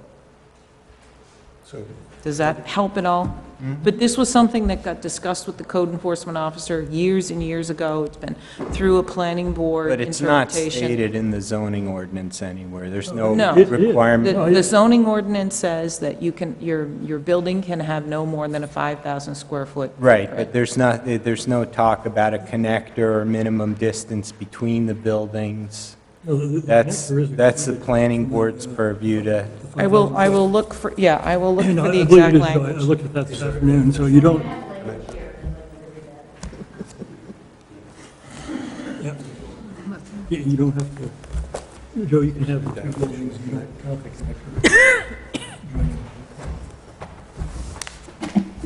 So where it lists maximum building footprint of 5,000 square feet, it says this limitation shall not prohibit the connection of a separate structure by a covered or enclosed walkway. What page is that? I don't know, because I have an excerpt. You have a stair in yours though, right? Yeah, because of the grade change, it connects the parking on one level down to the medical space down below. It's a connector down to the medical office buildings. When we're, we're talking about big, uh, big picture stuff, I just wanted to make one comment. There were a number of the folks here who spoke tonight, both in favor and against the um, application, had a lot of questions about should, what if anything should be done with this parcel, if it was going to be developed, how much of it should be developed, and, and who makes those decisions. The, um, the, the social contract, if you will, is that a person who owns land can do with it what the law permits. And we have, a, we have land use laws, zoning, subdivision, site plan, environmental laws and the like, and that really is what constrains the owner of the land and what they can do. Once they meet the recipe set forth in these requirements, they're allowed to do it, and it's, it's not our call to say, gosh, you know, just looking at this thing, it just looks like it's a little bit too big. We don't, in our system of government, have that power. And I don't think anybody in the board is indifferent to any of the concerns expressed tonight by the people in the neighborhood, nor are we indifferent to the uh, business plans of the, of the developers of the lot. It's, it's a balancing act that we, we, we try hard to live with. Uh, The, the safety issue we've covered, and that's, that's a big one for us. The visual uh, effect of this project is a big one for us, and we'll be talking about the landscaping and screening and buffering and whatnot to make this, this building sort of fit within the landscape. But it, it's not a black and white thing. You, you do have to appreciate that the, we have a system of laws that guides what we have to do. Um, So n- nobody's interests are being overlooked. They, they may or may not be satisfied by the final decision, but we, we try hard to balance everybody's interests. Okay. Uh, No, ma'am, Uh, the public comment period is passed. If we have a little time, hmm? Nobody's addressed the traffic from Scott Dyer Uh, w- w- We'll be getting, on- on the list of stuff we'll be talking about is, is the, the traffic study. Thank you. Okay, um, There there was one comment that struck me from a gentleman who suggested pollution, was talking about the balconies having stuff stored on them. And I can understand that, that it could look, it could look strange. Um, And I wondered if at some stage, um, the owners of the building could, could address that, but just something that it struck me as, you know, it could be viewed as a, an eyesore if people put too much stuff on the balconies. But that's my comment. yeah, I, I take Henry to be saying, would the applicant have some type of tenant regulations that would require the, the the balconies and other tenant spaces to be uh, kept in orderly fashion? Okay, Thank you, Henry. Jonathan? And just one thing further on what Peter said, it- it- it- the tough thing about being on this board sometimes is that when you get an applicant who owns a property, has done everything that they possibly can to be within the regulations, have listened to public comments, have listened to planning board comments, have uh, gone on site walks with the planning board and really bent over backwards um, to do what they are looking to do, and then have people who come up and obviously disagree with it, which rightfully they have a right to do. It's tough to balance those sorts of things. Um, That said, is, uh, my personal view of this is this has been property that's been zoned as town center since 95. It went on sale um, by the previous owners who had been in this town for a very long time. Friends of mine, I grew up playing basketball in that driveway of that, what's called the farmhouse now. But when property shifts and property goes to somebody else, you, to me, it's, it's something that you balance the community, but you also have to respect private property rights too. I think that what we've heard is glowing reviews of uh, the applicants from a personal standpoint, but looking at what they've done and what they're offering this town, um, I, I think what they've done and what they're applying to do is something that I can support because they've not just been good, they've considered everything when it comes to this town and what's in the regulations that they're allowed to be zoned for. And I can understand if you're in abutter that it could be a tough pill to swallow. However, that's, um, it's something that, to me, as a neighbor, you have to respect. This is probably a segue into one of the other uh, more detailed points, pardon me, but I was hoping the applicants might give a little more detailed discussion of the uh, landscaping and planting plan. When you see the, as a lot of you folks have seen the elevations and the plans, and when they're just starkly presented, it looks like this gigantic, god-awful mass of building. And I believe, at least as I understand the plans, uh, between the retained existing trees and and foliage and the very extensive amount of additional planting uh, that's intended for the property, that the, the visual impact from Hill Way, which I think is what has some of you folks upset, is actually perhaps not uh, quite as bad as you think, and it- it- you may end up with a fairly attractive um, frontal look at the, the, the part of the building where the uh, the chiropractic uh, practice will be conducted. Could you walk us through, uh, in a little more detail, the, you know, identifying the types of plants and how big they are and so forth and so on? I know this is Sure. detailed. Let me zoom back out a moment here. Um, In your, in your packet, there's a planting plan uh, that's keyed to the uh, schedule that is also included on that planting plan. Um, I think what you'll find is that in meeting with the tree warden and looking at the ordinance requirements, uh, following the site walk, looking at the topography, looking at the existing vegetation, what we've attempted to do, uh, at least around the perimeter of the project, is meet the requirements for the, uh, the plantings within the right-of-way that are a requirement of the subdivision.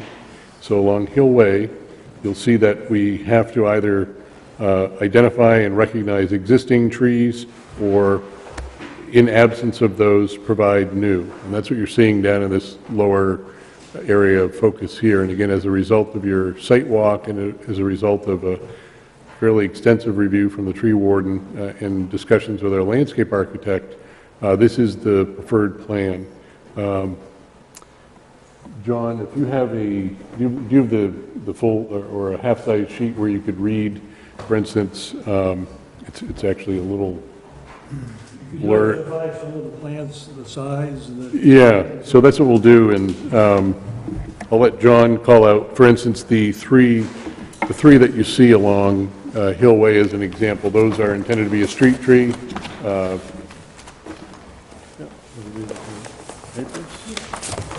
While, while they're looking for those plans, if I could add something? Sure. The board is aware of this, and I don't know if the public's aware of this, but the, the planning board has been working for months on um, probably the most boring set of amendments we've ever worked on. They're called technical amendments. Um, They're, they're numbingly boring. But one of the things that we've been working on is there is a list of approved street trees, and we've been able to have, um, we just have an incredibly talented tree warden right now Um, Some of you might have seen his picture on the cover of the Press Herald last December. He's the expert on winter moths right now. Um, He is a licensed forester. He's, you know, spending a lot of time doing work with our trees. And because we were working on this ordinance amendment, we were updating our list of trees, because some of the trees on there really just don't fit well in a new development. He came, met with the planning board, he's looking at climate change issues, he's trying to, he's inventorying all the town trees in the community. And as part of that work, he came to the planning board and said, I really want to look hard at this tree list. I want the town to start thinking uh, a little more longer term about the kind of trees we should be planting that would be more disease resistant, more able to sustain climate changes. And um, it was a very, I think, I speak for the board, it was a very interesting um, session. And while I was listening to him uh, go over this, it occurred to me that um, here was a wonderful resource to actually look at a development plan. So this is the only plan he's ever reviewed, and prepared a five-page memo of comments, which we then provided the applicant and said, do something with these comments. So this plan has actually gotten a much more thorough review, not just of the new types of trees, but of ways to better preserve the existing trees. So we work hard to get people to try to preserve the trees through construction, but now we have this whole extra layer of review by our tree warden, and there's some techniques you guys have added to these plans that we've never seen before to better protect the trees we're trying to preserve. And, you know, let's say the worst happens and a tree is identified on the plan as to be preserved and it dies during construction. Um, The town has the authority to require the applicant to replace that tree. So while we do want to preserve mature trees, um, if, if the worst happens, it's not like, oh, well, tried. Um, A a remediation plan has to then come in to try to fill in those gaps that were, that were left open because the trees didn't survive. But this is a pretty hefty review. This is never, I've never been involved in a five-page memo from the tree warden before, so. And I would just like to say that our landscape architect, Paul Brody, um, he was very respectful of the tree warden's review. Um, There really, it it it was, he followed the, uh, the guidance provided by the uh, zoning documents. However, uh, what you have before you now is uh, not only meeting with that, but it also takes into account a little more diversity uh, per the input from the tree warden. The locusts, which are the three, uh, they're Shademaster locusts that are on Hillway, by example, those are balled and burlap, two and a half to three inch caliper plantings the day they're put in the ground. So that's, that's the, the street plantings. Um, Over on Ocean House Road, uh, there are um, proposals to preserve as much as possible. In fact, the relocation of the side, uh, the entrance walk that was brought up at, uh, by you folks at the last meeting uh, from a ledge outcrop session, what we also found when we were out there is that we were actually able to work around the drip edge a little better from another tree. So another tree was saved over in that location as a result of that relo- relocation. Um, We narrowed the circular drive. Uh, The original plan showed, I believe, we had a uh, 20 to a 24-foot wide uh, drive around here that's been pulled back to 18 feet.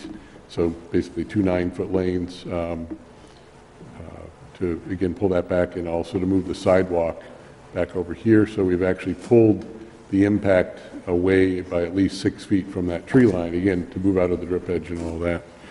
So, uh, again, there's been a, uh, an unfathomable amount of time spent from a planting standpoint just at uh, what is put not only for the um, preservation wherever uh, there's zero impact, but also to the drip edge, but also uh, care's been taken for things that people won't even see from, from Hillway. Again, this, there's about a three-foot uh, berm, if you will. Um, So in other words, if you're standing here on Hillway, at least in this point right here, uh, up through about here, this is a bit of a mound, that's the existing grades. It's about three feet higher than the center line of Hillway as you go up.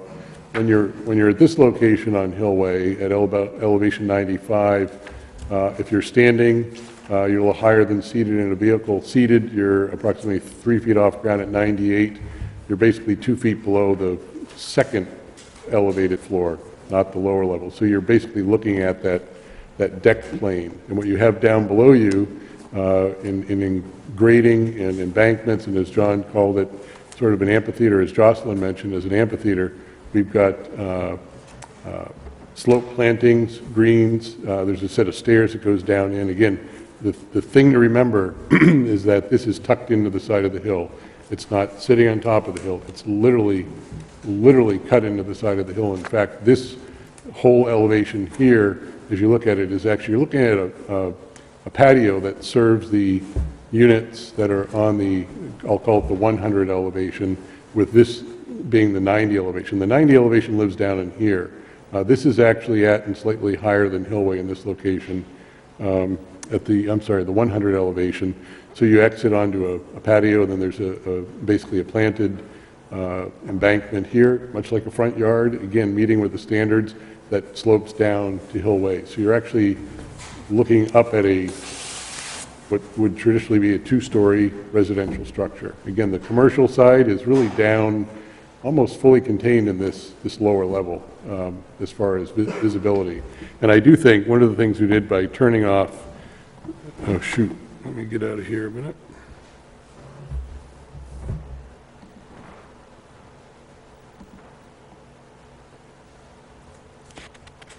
Turning off, again, we focused on the, eliminating the, the tree opacity because your focus was on the, the architectural standard of the building. And it occurred to us in talking uh, as of late that there's been a lot of concern about what would you see from, from Hillway. Uh, A lot of folks were talking about, you know, as they walked out Rand Road and entered. So what you see here, and these are the larger existing trees uh, that are being preserved in that, that mounded area that I just described. And then these, this is one, two, and then there's a third of these locusts. Now, is this a locust in the model? Not exactly, but I have to say, uh, if you Google a locust, you'll see that it's uh, somewhat similar to this in uh, profile and density when it's, when it's there. So you will see veiled looks through at the building. What you don't see here is, um, again, the reality of when you're on the site, there's about a two to one exaggeration for what, when you look at a map or in a 3D elevation. We left this at a one to one, so it's a literal one to one representation. We did not exaggerate the scale, but for anyone that's looked at uh, topography or things, it just, whenever you look at a map, it always seems too flat from, from reality. What you'll really see here is the fact that this is down, in fact, you can't see it, it's down behind the, the green here, down in that elevation 90. John, did you have anything like else to add to that? Just a point on this, on this image, that it doesn't show all the understory in there, and there's no plans to, to cut back on the understory um, on there. So I think it looks even a little bit more open than it will once, because that, that area is really, we're staying out of that area completely. And if you look Um, at, So can you go back to the planting plan one second? Yeah,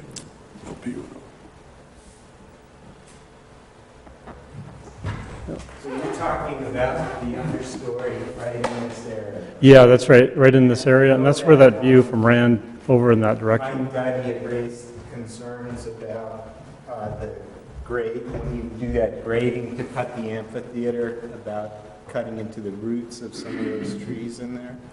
In this area, um, those were adjusted from the first presentation and even the second. You'll see is that where these grades tie in, uh, within the drip edge, you will not see uh, contours cutting to the drip edge, which is Right. sort of the, uh, we we don't like ever to get within, or more than 30% of impact inside a drip edge. In- In this case, for these, were, um, again, given the survey and the distance we were given for the drip edge, it appears to me, except for maybe uh, 15% of this lowest tree that's right at the intersection where we're, we're not even cutting a foot, that we're not in that drip edge in those locations, at least for the larger trees. And following the, the, the site visit with the tree warden, there's some big oaks up in this area, and, and that drive comes through. And one of the solutions is to put a perforated pipe um, around the, you know, where, you're- where we're filling in underneath in the drip edge. This perforated pipe planned to, to go around there to provide air circulation to the, to the Just show surface. where Rand Road is on... Um, I'll be right around in can see it. in this area. Are there any, are there any of the mature big oaks on the Hillway side of this project left? Yes. Where might Yep. they be left when you have this amphitheater? Uh, Pardon me, sir? They're all, The, the public part is Oh. over. Yeah, there's a 30 inch, just to, I guess, to answer a question from the board, the- the- those trees, there's a, if you look at sheet LP 101, you'll see noted that there's a 40 inch oak, a 30 inch, and I. uh, There's a 15. And a 15. There's a nice and hickory in there too, that, that'll be staying. And the other, one of the other comments of the tree warden, that some of the ash trees um, may not last. The help is not. Well, So we're, he suggested planting some hickories in place of where those ash trees are now. So that's, that's an example right there of one of the hickories that we're planting. In, you know, Inside the if, property. if that happens to, um, if one of those ash trees, you know, their Jonathan, you had a health is questionable. This is off topic from what we're talking about here, so if anybody has anything related to Yeah, this. Victoria? I do. Um, I would like to talk about the view from Route 77.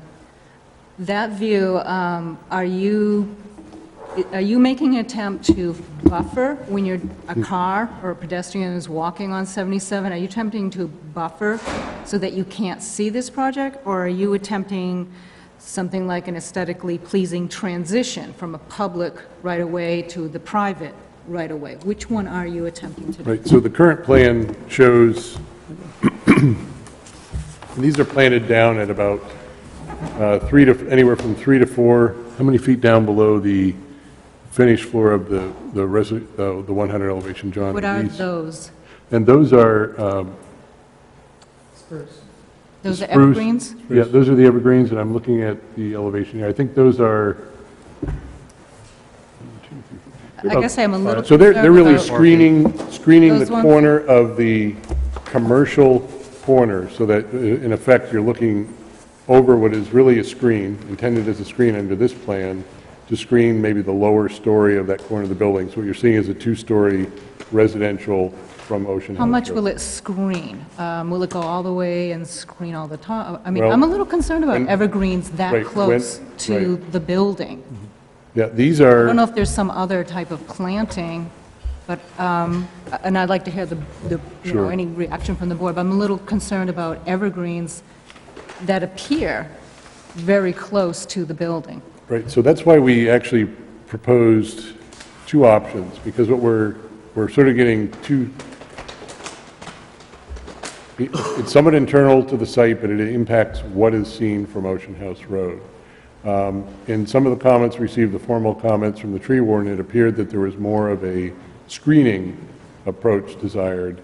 However, in some of the conversations with you folks, um, there was um, a sense that a carefully designed opening, if you will, that would be more in feeling like a manicured or a, or a residential front yard. So what we have are actually almost two, two opposing views here. You have this, which has the evergreens, which if, again, if properly maintained, like any foundation planting that's, if not cut, will be over an eve height. It, it's, it has to be properly maintained. Again, uh, these are planted almost at the lower elevation. If properly maintained, those can be kept so that they're uh, not obscuring the view of the, the residential stories, if you will. They're down below the driveway, they're down below this parking lot. And as you're looking up a hill, what you have to remember is you're looking up a fairly uh, large incline here. You're almost looking over the top of those at the structure. This rendering, again, at the one-to-one, uh, right here, whoops. It's, it doesn't show, I mean, this goes down below. So these evergreens are sort of down in a, in a zone on the other side of the driveway, down three or four feet, right around here. So what they would screen is probably, you know, this portion of the building. It would break up this corner of the building. So your focus and our thought and our, uh, the, the cues we were getting were that you would see this part. In fact, we brought the, the walk and sweeped it in through here. So what we're now hearing is maybe a little more open, maybe a little more ornamental flowering trees. We've given uh, two options that use more of a, a fruit tree. There's some apple. Uh, one is ranging in a more formal uh, setting here that sort of draws you into the walk, and this one's more of a a Baroque session where you have almost uh, two side plantings. So we're willing to go in either direction. We just would like some direction from the board because the ordinance is not, there, there there is not a buffer requirement that is. Uh, we feel that we've met the, the, the yard. This is getting internally in the site, and it's really affecting what is more of a feature. Again, that feature, if you recall, was added for the pedestrian connection on Ocean House Road to an existing sidewalk, and also to provide that visual connection that you desired at, I believe, our first or second workshop, so. So can, I think op- there's- yeah, option one is blocking, and option two? No, option one, these, one uh, is- the existing plan, if you will, is more of a buffer, more of a visual screen. It closes it in, and it Okay, it so brings it option in one pretty is more tight. buffering. So, And option Not two? option, no, the so existing. the, the current proposal is more blocking. Okay, current is. And what we have are really two options and just really different configurations, that one is a little more open, uh, and again, it brings a much broader feeling of, of a, of a front yard that's uh, uh, ornamental out to Ocean House Road. This one is, is a little uh, more, uh, I won't say refined, but subdued from that. It's, it's not quite as formal. I think Both there- options are there are is meant some to provide a framing, you know, view for the building, yeah, instead of screening. Option one, a little bit more color, a little bit more. These are the same, same plantings? plantings, just arranged in a different fashion, so it's Okay. really, but again, these are more of the colorful, the flowering, the fruit. We don't have any directly over sidewalks that leads to issues with tracking and birds and other things on the walk that we don't want to have in the, Well, One thing, maybe we can get some comment on this or questions. I think the, the concept in the village center is that the space between the front of the building and the, and the main street, 77, if you will, should be attractively landscaped, and I think there, the ornamental plantings would be very important. On the other side, on the Hillway side, I, I think the, the emphasis ought to be, and perhaps even more than you have now, is for screening. It would be for at least to, at the eye level, so you're, it's not like you're looking at a three-story building. So what we have here is the right to the T. In fact, it almost came out of your town center playbook for the, the visual that's created. It's a little hard to see here, but what you have is actually uh, the profile of um, Hillway. This is, this is taken at the face of the building. At Hillway, the grade would actually continue down, and, and this is going to be almost impossible to, to draw here in a straight line, but basically Hillway is at about this elevation at this point, and then slopes down along here till it intercepts down about the lower driveway. So you can see how much lower that is than the Hillway profile. So this part, which is fairly close to Hillway, uh, as required, has to be within 25 to 35 feet. Um, That planting scheme is much more residential. It's a, it's a patio, it has uh, the types of plantings that you envision in the town center, and it brings it right out to the street. It has a, a set of stairs. We believe that this area here meets almost, again, it's right out, out of your diagram for town center and, and what you envision bringing to the street. The other identifiable entrance for this uh, footprint here traverses here through a walk up a set of stairs as well. So this portion also, and there are many examples in town where the house is not higher than the road, it sets back a little bit and is maybe down, where you have the same thing, where you go down and, and into the structure. So really, these two situations, one is elevated, one is down, they really represent the two situations that you find not only in the town center guidelines, but also elsewhere in town with residential landscape. This area, with exception, is, because of the preservation, is as it is. The grades are left where they are. It just happens that they're slightly higher than the road, and it just happens that this is where the the 30 and the 40 and the 15-inch oak and other trees are kept. Uh, And we failed to mention right at the entrance as well, more of a screening as you come up Hill Way, but there's also um, some uh, flanking plantings here that are uh, probably in the three to five foot height range, so I wouldn't call them an understory by any means, but they're certainly taller than a ground cover, so that actually helps fill it in as well. So really, we have that, that situation, the lower entrance to the building situation here. Remember, this is our front, this is we have several fronts, but what we're trying to do is, is um, acknowledge your request not to ignore Ocean House Road, even though in our mind, it's, it's really not the back, because we've designed all sides of the building to act like the front. It also feels like sort of an entrance or, or a front yard, if you will, uh, from Ocean House Road. It's not just blocked off. So we, uh, what we're hearing is to allow more of the view of the building by eliminating uh, some of the evergreens and maybe keep one as a specimen tree like you might have where you're not trying to block the structure, where you're trying to reveal the structure. And again, more ornamentals uh, down in this area, more flowering, more colorful. And again, we would, we would come back with really, I think the selection was in concert with our landscape architect's chat with the tree warden and subsequent discussions with staff and others through input. So really, it's a matter of um, preference on, on, on how it's arranged. And we, we could come back with either, either of these, and as you'll see here, they did remove uh, the, the five, or the four or five evergreens here, and I think it kept one.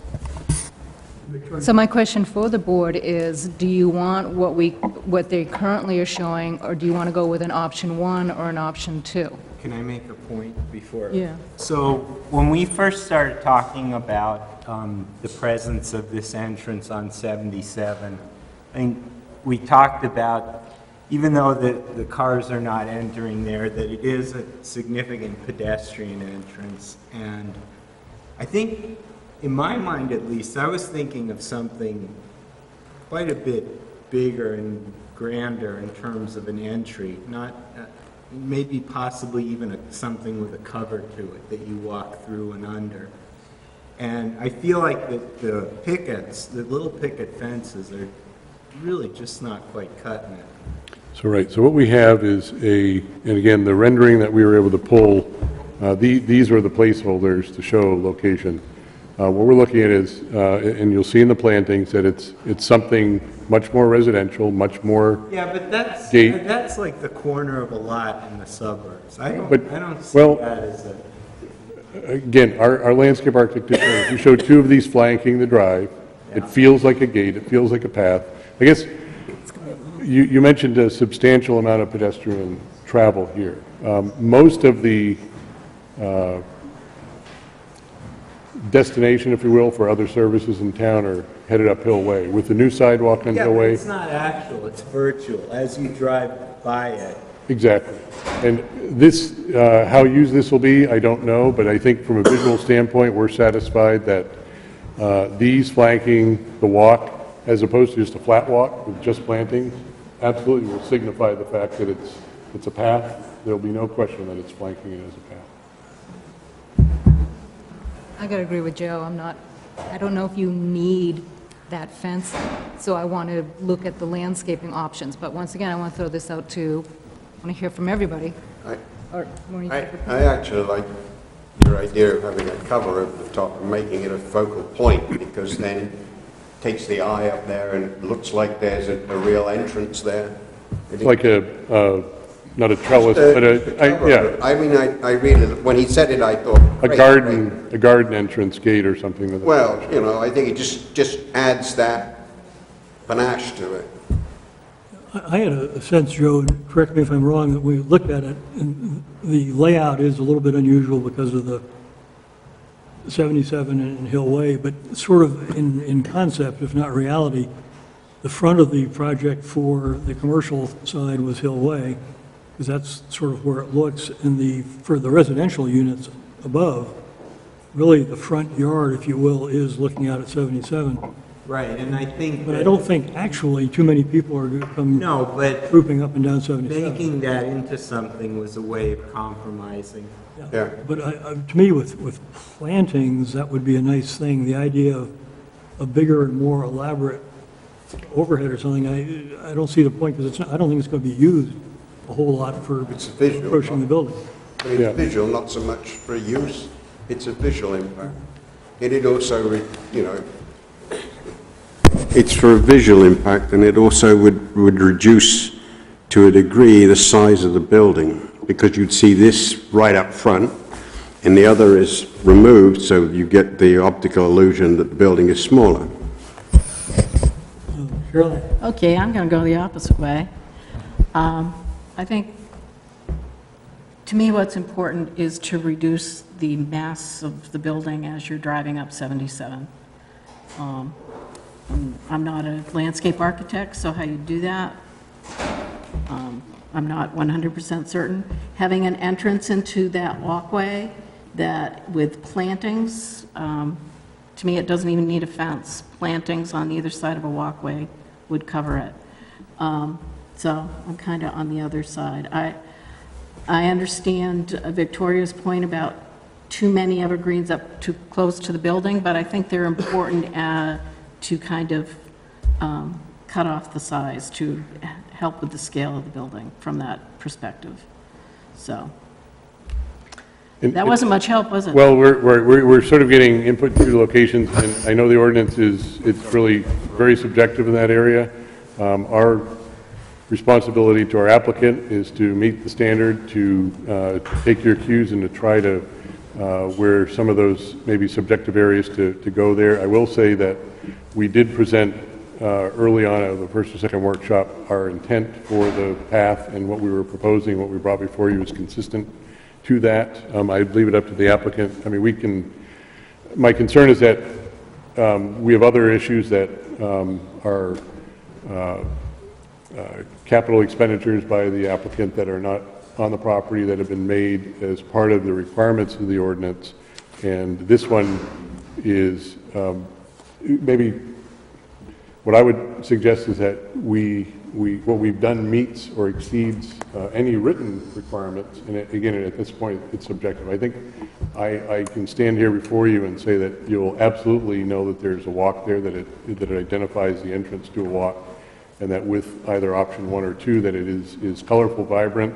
Uh, One of the elements, uh, as you mentioned, approaching is the Gateway property. I heard that mentioned earlier. We have Viburnum, we have forsythia, We've got a fairly, uh, again, to the extent that we're not planting on the town property over here, um, this, this edge here, so as you're looking up, as you're coming up and sweeping up Ocean House Road, uh, you're basically looking over a, what should be a fairly colorful uh, planted uh, area across this whole facade and looking up at, again, up at that second, third, more of the residential look, yes. So am I hearing that you are going to go with either option one or option two?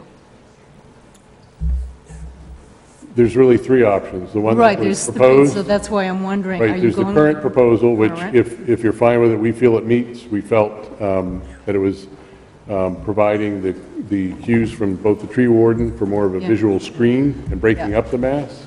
Uh, But what we're hearing today is that you want something more visual, more open, if you will, the Ocean House, which these options are providing a new uh, insertion of plant type. So are you still looking for direction We from would the love board? direction on that. Okay, and then I'm kicking it back to the board again. Does the board want to go with what's current, or option one, or option two? Thank Let let me make one, one suggestion, at least for me personally. I, th- I think that's, what's in the plans right now isn't, isn't quite it. And I think what would be really good if you come back with a plan, excuse me, that would take option one or two, or, you know, what your recommendation for meeting Carol Ann's point about breaking up the lines of the corner a bit, but more focusing on ornamental plantings, so that when you drive uh, south on 77, you're coming into Cape Elizabeth, you see this area, you think, wow, that's attractive. That really looks. Then I would, I Could I I would just- take option add to one. that, One of though? these Yeah, options but would be. the, se- the second half of the thing is, I, if you would rethink, think a little bit more about the amount of screening that is going in on Hill Way. So that if you're standing on the street in Hill Way, looking at the, at the property, how, what can you do about, you know, breaking the mass of the building with, with street side plantings? Right, uh, so. To, to further enhance the screening. So I'd like to break that up if I could into the, really the three different situations. I I presume you're not talking about the area where we are No. uh, required to bring the building right to the street. You would No. not screen that, or there would be, No, it would that's be. fine, unless the This, board... this doesn't- area as well, where we go, um, you're going down uh, four to five or six feet below fine. grade. It's really this area Yeah. here that you're looking for maybe some supplementals, again, to the Uh, point where we're not In the back. disturbing um, Where are you referring here? Does, does anyone have any questions about the plantings on Hillway? On Hillway? Well, No, well, do you? Yeah, I, I think that, and this was mentioned by one of the speakers, I think you're going to need a site section that really shows that relationship of the sidewalk. Well, actually, right through Rand Street, that would include maybe two or three houses on Rand Street, the street, yeah. And the relationship with that sidewalk and going down into the building. And What we've done here is actually a little bit better. This is actually a uh, 3D model of the property and the surrounds that shows you what you'll see when you're Well, standing. but you don't see, you Well, don't see the buildings on Rand Street. You don't have a sense of, Right, our, again, um, the concern that I understand is not what I see of the, the abutting properties. The concern is what they see of our property, which is the purpose for this. I, I guess, um, I'm a little concerned that we're modeling or rendering things, and I don't want to dismiss the need to look all around, but there, the, the time and, um, effort to put this together for this application, we believe these, uh, go, uh, far and above over what's required to demonstrate what's been done for the well, planting there's the an visual enormous amount of angst expressed over the size of this building. And I think a site section would go a long way in helping people see what's going on. I think it would benefit you. Can I, can I just ask one question about this picture here? Is this from the sidewalk? Is it from the middle of Hill Way? Is it from across the street of Hill Way? This is taken right at the intersection of Rand Road and Hill Way on the uh, Rand Road side of Hill Way. west side. On the Okay. west side. All right. This would be where you would be standing if you walk out Rand Road right before you turn to go up the hill. Okay, so I'm looking across Hill Way at the location. That's correct. All right. That doesn't show any uh, lower shrubbery type. Right. That's correct. This is Yeah. the larger trees that are protecting all that, doesn't show right? the We could absolutely provide you an update with, with the uh, corner plantings, which would infill some of this corner. Again, we really don't want to get into putting too much under there. Now we're getting to the root system that we aren't supposed to disturb. So that's, that's sort of a, Well, I, I just want to have the board, I want to wrap this up tonight. I really hate to bring them back. We're having our public hearing, so I don't know how the rest of the board feels about just trying to wrap this up tonight and just, do you want what's Well, current, option to one, option two? yet. Right, we haven't even gotten to lighting, we haven't gotten to... That's what I was Do you gonna- just want to, can the board please pipe in on which way they want to go? Very patiently waiting. Yeah, I just wanted to say, um, Maureen made reference to the new tree warden's report, and while I think it's wonderful that we now have a tree warden who is going into this extensive detail, I actually think it goes significantly beyond what our ordinances presently require. And I think this applicant has actually gone above and beyond what has happened in the town in the past to provide these various renderings, these various options, come back several times, and we have other issues to talk about tonight, but at least on the tree option, I think it would be wrong to require the applicant to come back yet another week with yet another set of drawings on this particular issue. I think we should just give them some direction and then leave it for perhaps some kind of final review um, by the town, you know, like we often leave some things unresolved. But it seems to me that what we're trying to do is, do we want screening of that three-story corner? Yes, we'd like some, but we also need to respect what the town center zone says, that you're trying to create a villagey kind of entrance look on 77. So we want both, but we don't want it, we can't have everything. So it's a balance between those two. It's not an either-or. And to me, that's the direction, and I think you're coming quite close to that with your option one. So, Um, right, one thing we could do that um, might help, and it's done on any of our uh, projects such as this, uh, publicly funded projects, uh, we were, we require that prior to planting, that all the locations are basically staked out and located on the site. If it would be uh, a pleasure of the board, we would be glad to have the review of that uh, include not only our landscape architect, that would approve of those before planting, again, not costing the applicant additional dollars to move, but saying this is where we really want it to go. We've been, uh, they've been very open to uh, the substitutions in kind and in size, if you will, with the tree warden, and I see no reason why if, if, if there's a preference to locate three or four things further this way and that way, it's no additional, it's not rework, it hasn't been done yet, that's the time to do it. That's where it can really, what I'm concerned of is that we're trying to do on paper what is probably best done right, as you saw in your sidewalk, right down on the ground where you see, you know, right here is going to fill that in, or that's going to block it. And I can tell you with the, with the planting schedule and the location here, somebody, I presume at the town level, is going to go down through these and say, were these all put on, on the site once approved? So we know you're getting these in this basic location, and we will specifically want to know where they go. So again, I would offer that out as, it, it's not a, uh, it- it's really allowing you the assurance that things are just where they want to be, within, you know, with- we're not, I I guess it's fine to move it from one end of the site to the other, we just need to know where, where's that going? But right now, this is where the, the sort of the master plan is going. If But we I can- think we can also give you a sense as to where we're leaning here. Personally, I think option one is kind of looking good, as long as it still provides some screening for that corner of the building that will probably look a little bit massive I from I the see that one as more of a keyhole, and that's what I heard is you, to have it both ways, you have a glimpse of the building, a tasteful glimpse, through what is truly a keyhole. You have a fairly open area here, but then you also have the existing plantings that exist here and here. You have a walkway through, and what are you seeing when you look through that at the building? That's really the focus, as opposed to just trying to block that up, so. Yeah. Because we have a lot of others. Yeah. Can I suggest that we agree in principle that we would like to see something along the line of option one? Great. After you've thought about our discussions this evening? Absolutely. So are we assuming they're coming back just to present? No. Or are we just going to say, we like option one and move on? Yeah, that's what I would say. Does the board, yeah, are we? Yes, Victoria. Yeah, yeah. All right, let's move on then. Uh, Well, Well, what did we unless- say? okay, Option, all right. option one, we're good on on landscaping? Yeah. Yes. Okay. I have other questions Are that I've you been people waiting to good on the, on the screening on the backside? Yes, let's give them some direction and move on. Yes. Okay. Option one.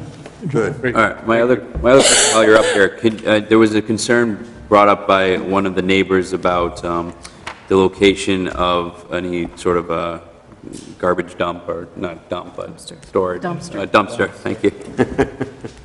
And I just was hoping you could point that out on the plan. I know where it is, but I was Right. hoping you could tell the public. So again, this plan is a little bit out of phase, um, but it does show up uh, better on this. I can then switch over to the black and white. It's shown over here, So that's a far end by the Cumber- Cumberland Farm, old Cumberland Farms. right? The old Cumberland Farms is here. It's against, uh, and again, this is um, out of our control, but vegetated and probably with the setbacks, not much could ever go there. Um, It's also in a place where the truck can uh, get in, back in, remove, and then take it out. Uh, With turnaround, it's also as far back from Hillway as we can get over here. Okay. And my other question, I was hoping you could um, address the, any exterior lighting. So, John, correct me if I'm wrong, but we're all LEDs, we're all Correct. cutoffs, down facing, uh, basically it would comply with the dark skies requirement of a publicly funded project in the state of Maine, so no upward facing lighting. Okay, and there- there was a study done just for the That's right, a public. to- a photometric plan was submitted as part of the package. But Maureen has a comment on that. You had a couple of places where you leaked over at .5-foot candles over the property line. I'm assuming that you can Cutoffs. do what you need to do to make that work? They need cutoffs at those Thank you. locations. Right. Correct. Um, I was looking at the lighting plan, and um, the town engineer made this request when we were first here, and it wasn't added to the plan. I'm assuming you're going to be adding it, but um, you took off the labels. You once had labels that said A, Oh, oh, A1, hey. A2. I would actually like to see on your isometric plan, uh, um, something like you do with your plantings. I Right, want to well- see labels, the A, the A1, the A2, That come key back them in, on. right. I wanna Those see those were green. actually not light types. um, Right, those were, Were they? those were reference to the, um, the level The basement? The or basement, the apartment first levels? floor and second floor. I still like them. So- Anything that will say is that last time you had like five of these, I mean, just Sure. like with your planting, I'd like to see a key that, so our uh, code enforcement officer can believe take out they- your isometric, and they can say, there's five of these Right. types. And then I want the manufacturer's type, so they knows exactly what it is. I also want to have on that, um, see, it would also have, so the lighting labels. So we- Um, I want the wattage, so we know exactly what the wattage should be. Um, Also, the height of each of the uh, mountings. Right, So they- on, on sheet CU 101, we took off the confusing D for basement. You have that a what all light- that was? You have a light schedule. Right. It's on the sheet in the upper left corner. It lists type A, A1, and A2. It lists the height, the wattage, the type of lighting. Can that be on your isometric? Uh, It's, well, it's on our utility plan, which is the, the guiding document for the construction. That we could transfer that over there if you wish for the final. Um, Would that be confusing? Just anytime we show it twice, it's apt to be missed if we correct it once. So we Well- like to keep it in one location. So- Yeah, the- Usually the- on the- the- if you're concerned, if you want it for ease of reviewing .5-foot candles, it's better in the isometric plan, but if you want to actually get it built correctly, it's better where they've put it. I guess we'll go with that, but as long as all of that was there, because I didn't see like mounting height and total numbers. It's all there, and the And- cut sheets are part of the submittal. And I did have a question, there are absolutely no lights on this building? Well, we're showing the site lights, just on Yes, I itself, agree. But not the, So there are absolutely no lights. When you walk up to the Right, door, like you have a porch and an overhang. you're saying there are no lights? Well, I'm not saying that. I will Okay, 'cause I ask did not s- The architects who are still designing the building and may not have Ah, come there yet on, on like an overhanging entrance, if there's Back a... porch light. A can light or porch light, I can't answer that, but those are Okay. also downward facing and not outward projecting. yeah, they're um, but still, I think the uh, code enforcement officer should know how many of lights are there on this building? Where are the lights located? Because right now, it appears there's absolutely no lights attached to this building, which We know- doesn't make sense. We know of two architects that we will meet with and identify those on the plan Okay, as I would as like to see another schedule. that, so that the code enforcement officer, once again, will Great. have that right there, right in front of him, and, because I know there's going to be lightings underneath. Well, that's right, there's a covered Yeah. walk that has to be lit, so it's, it's Right, lit from a okay. can light. Again, those are sort of in the building at that point, but your, your point well taken, we'll, we'll identify those. Okay, on the building. Yeah, I, I'm not so concerned that that's going to uh, go into the street, and that's going to bother the neighbors. Maybe you could talk to, there is cons- always concerned about noise, parking, and lighting. Can you talk to what it means for the foot candles to be under a certain, you know, .5, and, and what effect a .5 candle, footlight candle would have if you're across the street in your home? Is that going to be right into your, um, you know, living room? Right, so there's, there's a couple issues. There's direct line of sight Mm-hmm. in glare. These are all horizontally mounted with cutoffs that only direct downward. They have no horizontal projection.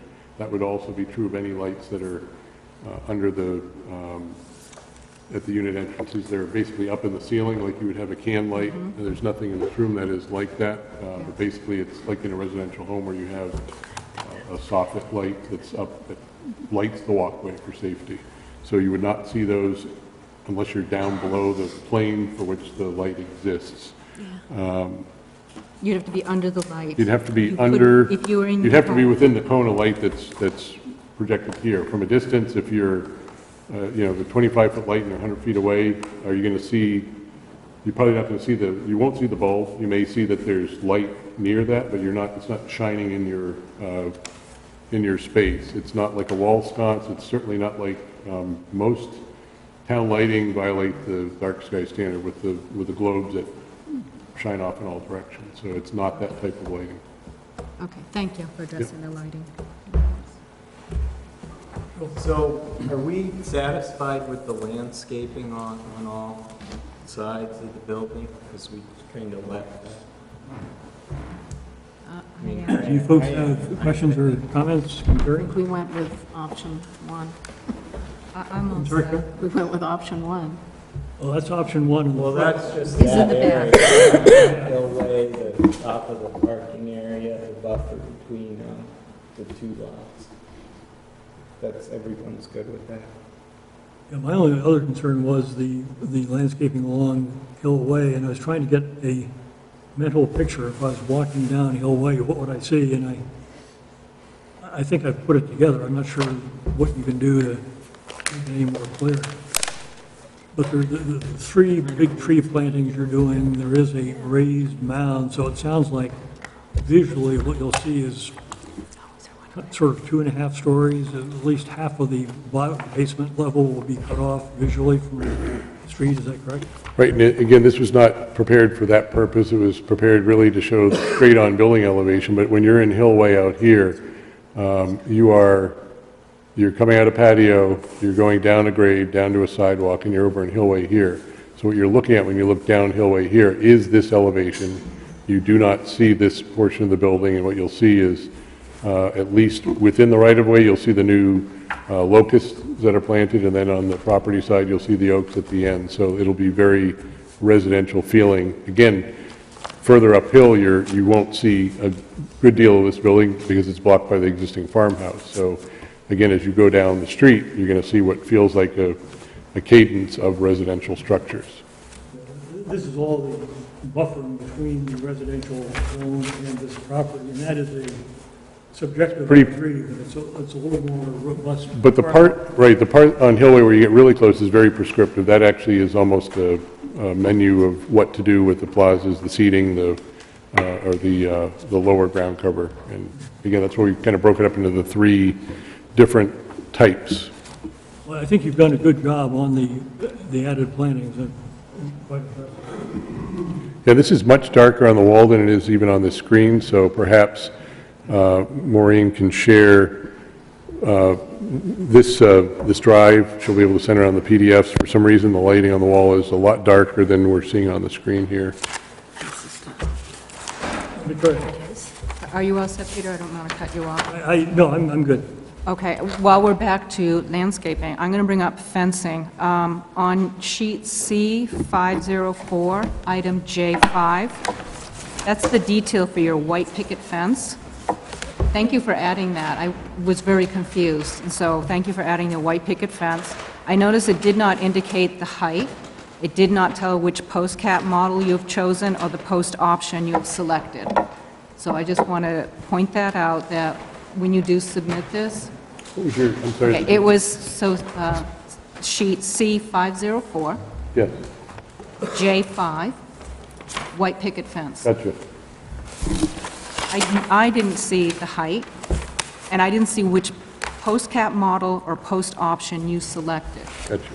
So on the right hand, there's a table on the detail that shows uh, an, uh, a D elevation.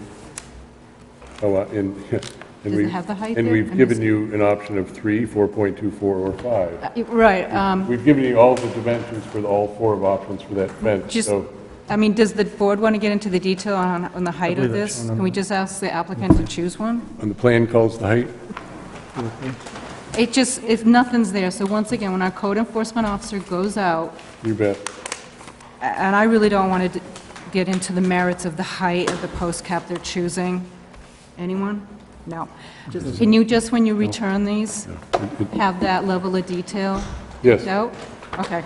Um, And back to the fencing, could you show um, the fencing that's going to be in the back, once again, on the Route 77 side, where that fencing is going to be? Well, Do you have? Yes, I I can show you on the plan, and then again, it's, this you is... just do a big thi- This picture? is the field, and obviously would flank either side, then there's additional plantings, and those are But shown. the, um, not the white picket fence, fencing the, um, The dumpster enclosure? Oh, the dumpster enclosure? no, not the dumpster enclosure, Between the the, walkway and the dumpster enclosure, is there fencing that runs along that property line? right. Can you show that? Sorry. Up here. Um, What I would um, propose out to the board is, once again, we're talking, Free um, sort of like when we were looking at the library. fencing there? What This fencing is, is it's going to Screening buffer That's all. the uh, Cumberland Farms. I'm not sure. And it sort of reminds me of how, when we looked at the library, we ended up not putting a fence between the dentist's office and our library. We just went with plantings. And I want to ask the board, do you want that fence, that screening, for what purpose? And if you could just bring that up. Right, so in your application, the, the the PVC fence that we have... it's- PVC fence. PVC is the product, it's not a, PVC slat in a chain link fence. Uh, It's, it's a, the material is PVC. Um, It's the same screening fence that we have at the dumpster is also the Right. one that we have along that Right. narrow strip. Again, Right, if you could just bring that up. Could you bring up the site plan? sure. I think so. I have faith.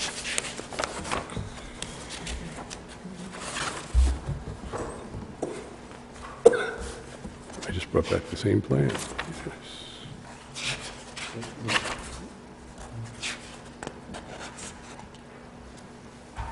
Okay, I mean, is it, What page? yeah, right there. okay, Whoop. Or there, no, back, that one. Okay, that one shows the fence a little closer. So clearer. there's a PVC, s- it's called the PVC screen fence along here.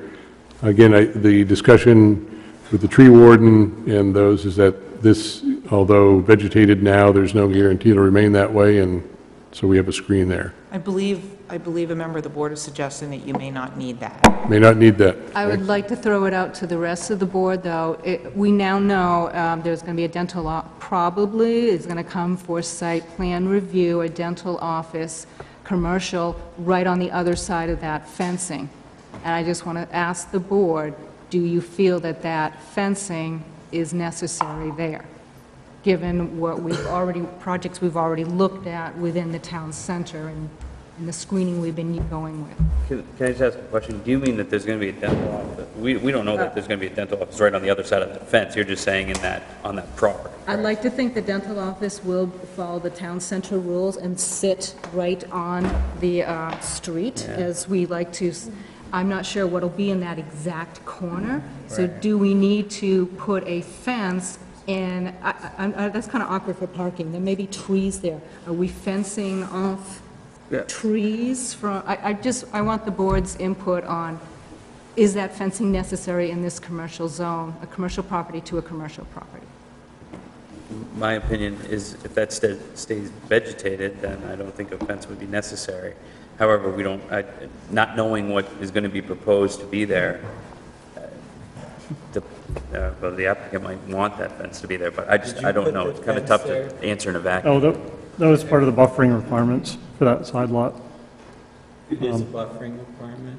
Well, believe no, that's I mean, this all. doesn't say We you we need can a omit, fence. we can omit the fence. That was added um, based on what were signals we thought we were getting to provide a stronger screen there. And again, we've heard less of that tonight, and it's more about opening and being inviting. And the fence would not create an open or inviting situation, it would block it. Maureen? I mean, the- the applicant is proposing plantings along that entire area. Yeah. So Right. it's, it's not like it's going to be totally stripped. So I just, uh, for the Would you like us board, I'd to- like to hear back from I would say the it's board. not not necessary because it is commercial with commercial, it's landscaped Yeah. plantings, I, I can, I can see pulling I mean, this, the, uh, this one shows all the plantings along that edge. views That are from the, uh, I, I support Victoria's uh, opinion. Victoria, you're saying no fence, or not, I'm, not. I'm, sug- uh, I'm just questioning why um, a fence, a very heavy buffering, um, to two commercial lots where I don't believe whoever comes in there is going to site their building in that awkward corner. I don't even think they'll be parking there. Because once again, it's an ang, it's a triangle. I mean, how many? Are we the single So- body that that fence is not necessary? I- I'm not sure why we're buffering. I would, I would say the fence is not necessary. The fence Okay, is history. We will eliminate the Does the fence. rest of the board agree? We will leave the fence around the dumpster as required for the standard. We'll spend the money somewhere else. Maybe we'll put it on an art. Put elsewhere. Okay. Yes, well, Okay. Other items of interest to the board, yes, Victoria? Yes, I do. Um, Your entry sign, um, yeah, you, um, could you please describe uh, the new project signs? I don't know the dimensions, the details, will it be lit? Um, Will the townhouses have their own separate sign? I I couldn't find that level of detail on your um, uh, plans. did you, sh- Uh, we show the location of the the project sign um, with the details to be determined, I believe, Jocelyn. Right now, we only show a business sign, um, and it's, for lack of a better, it just says sign to show the Yeah. representation of where it would be. You probably should come back. So you need to see a It's in our site plan review. We need to know the sign's dimensions and some details. We'll show you the graphics of what might be on the sign. We can probably at least take a first stab at what would be there for the business and... I'm sure the graphics will be fine. It- Unfortunately, all the, we just need to know the size and the details, and... Sure. Will this sign be lit? Because if it's going to be lit, that'll have to go back into your isometric. And Um, will there be a sign for the townhouses? Will there be a separate sign? Because that's not on your plans at all. So uh, if it was an oversight or not an oversight, I just want to just clarify it right Mhm. now. Will there be a sign for the townhouses? We don't, we don't have, you know, just a They'll bring business it sign. Just that one project They'll bring it at this back next point. month. Yep, we'll Not provide this month. details on the Moving sign. on, moving on. So just, yeah, when you submit the plans, your sign just needs that. Yep, the lighting, manner, and the size. If you're going to light it. I- Yep. But yeah, the dimensions and the details, yes. And lighting of the sign is a concern. Do I, we have to go into your isometric. We need to know. I- Sorry. Henry has a I have just one question, going back to lighting. Um, The orientation of the apartments, are they facing Hill Way or are they facing 77, the living room? Because I guess living rooms have lights at night, and that would be much greater source of of light than the light shining down. So I'm just, I couldn't find the orientation of the apartments to which way they were actually facing. Maybe it's in there and I just didn't see it. If if I could help. Sure, I- oh, sorry. Unless they put in a floodlight and aim it straight outside, there's no way any of that living room light is going to exceed .5 co- foot candles at the property line. So as long as it doesn't exceed point- .5 foot candles, they're meeting the standard. Then I guess you've answered the question, thank you. You're welcome. Victoria? This is probably my last one. So in our um, findings of facts, um, is it true that the applicant is requesting a waiver to the sidewalk along Scott Dyer Road, and should this be noted in our findings of fact? And I'm asking Maureen. Um, And I thought I had put it in there, and, and again, this is when you step back a step to subdivision review. And in the subdivision ordinance, it explicitly says that you can require a sidewalk on one side of the road. And there's already a sidewalk on the other side of Scott Dyer Road. So you can choose to explicitly say you're waiving it, or you can just approve it without explicitly saying you're waiving, waiving it, because there's only a requirement for one side of the road. Okay. There's already a sidewalk on one side of the road on Scott Dyer Road. Okay, that answers my question. I don't- I don't need to add it to findings of facts unless somebody else wants to add it. Number three, right? Oh, is it number three? Right, the, the, what would hap, the, the reality is that you're proving, you're asked, you're being asked to prove three lots. And the, is it lot three is the lot that has, it's on the corner of Hill Way and Scott Dyer Road in the town center. So anything that someone wants, unless, there's really nothing someone can do there without coming to you for site plan review. They have to comply with the town center design standards, and at that point, you would require the sidewalk. Victoria, you all set? All done. Jonathan, Joe? Good? Um, are we gonna look at the building at some point? Sure. Well, I mean... In what way? Now or never. It's- it's- Okay. No, let's, let's look at Sometimes the bill. I, I think what's gonna happen So- tonight is we're gonna give these folks a list of stuff to come back with for the next meeting, at which point the definitive, All right, so I guess my first question for the architects, where are you, are you still in, working on this, or is this con- a finished design? could you, uh, sir, could you? Yeah, step come on to the up. podium? Hi, I'm, I'm Will Pogar, and I'm, excuse me, principal at WBRC in Portland, and to address your question, Joseph, we are in schematic design phase, probably midway through the schematic. Uh, We're trying to work through some of the, excuse me again, work through uh, some of the details in terms of structure and so on and so forth. But uh, really, the building plans and building elevations are fairly well fixed, if that's a question that you have. All right, well, looking at the town center design standards, I just went through them. Um, question of scale. Can you bring up the west elevation?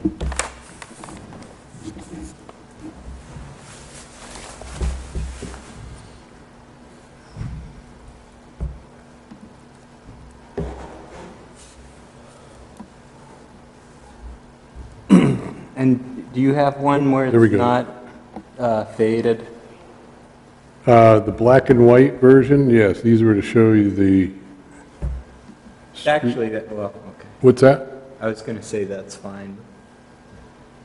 Okay, I'll put her back. So I think the elevation on the right's working pretty well. Um, It seems like uh, one of the public speakers point, referred to this as kind of brutal.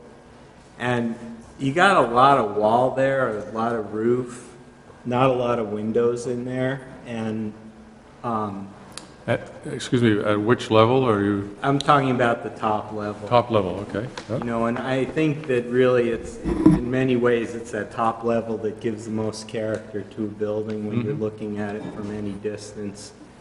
And, um, you know, you mentioned that like the lib, this building's roughly the size of the library.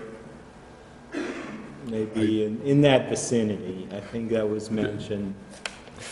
Well, the And- lib, the library is here, Yeah. and we are here So by that would- comparison. Okay. So we're That, that piece is quite a bit roughly smaller. the size.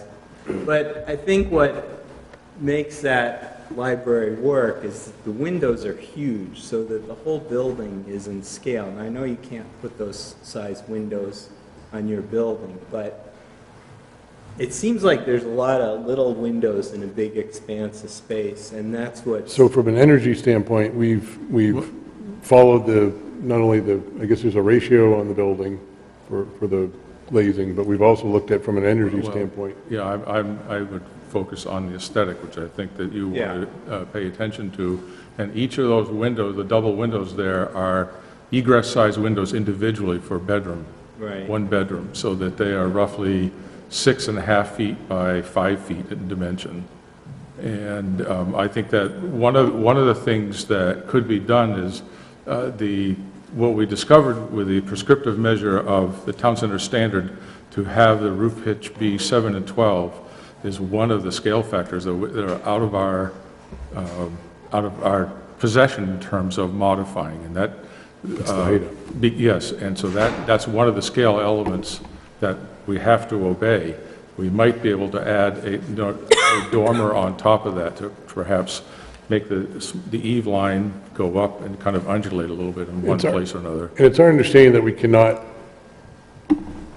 uh, receive permission to, say, do a 512 pitch, that it has to be, the, the, the the s- standard is very clear that it's 712.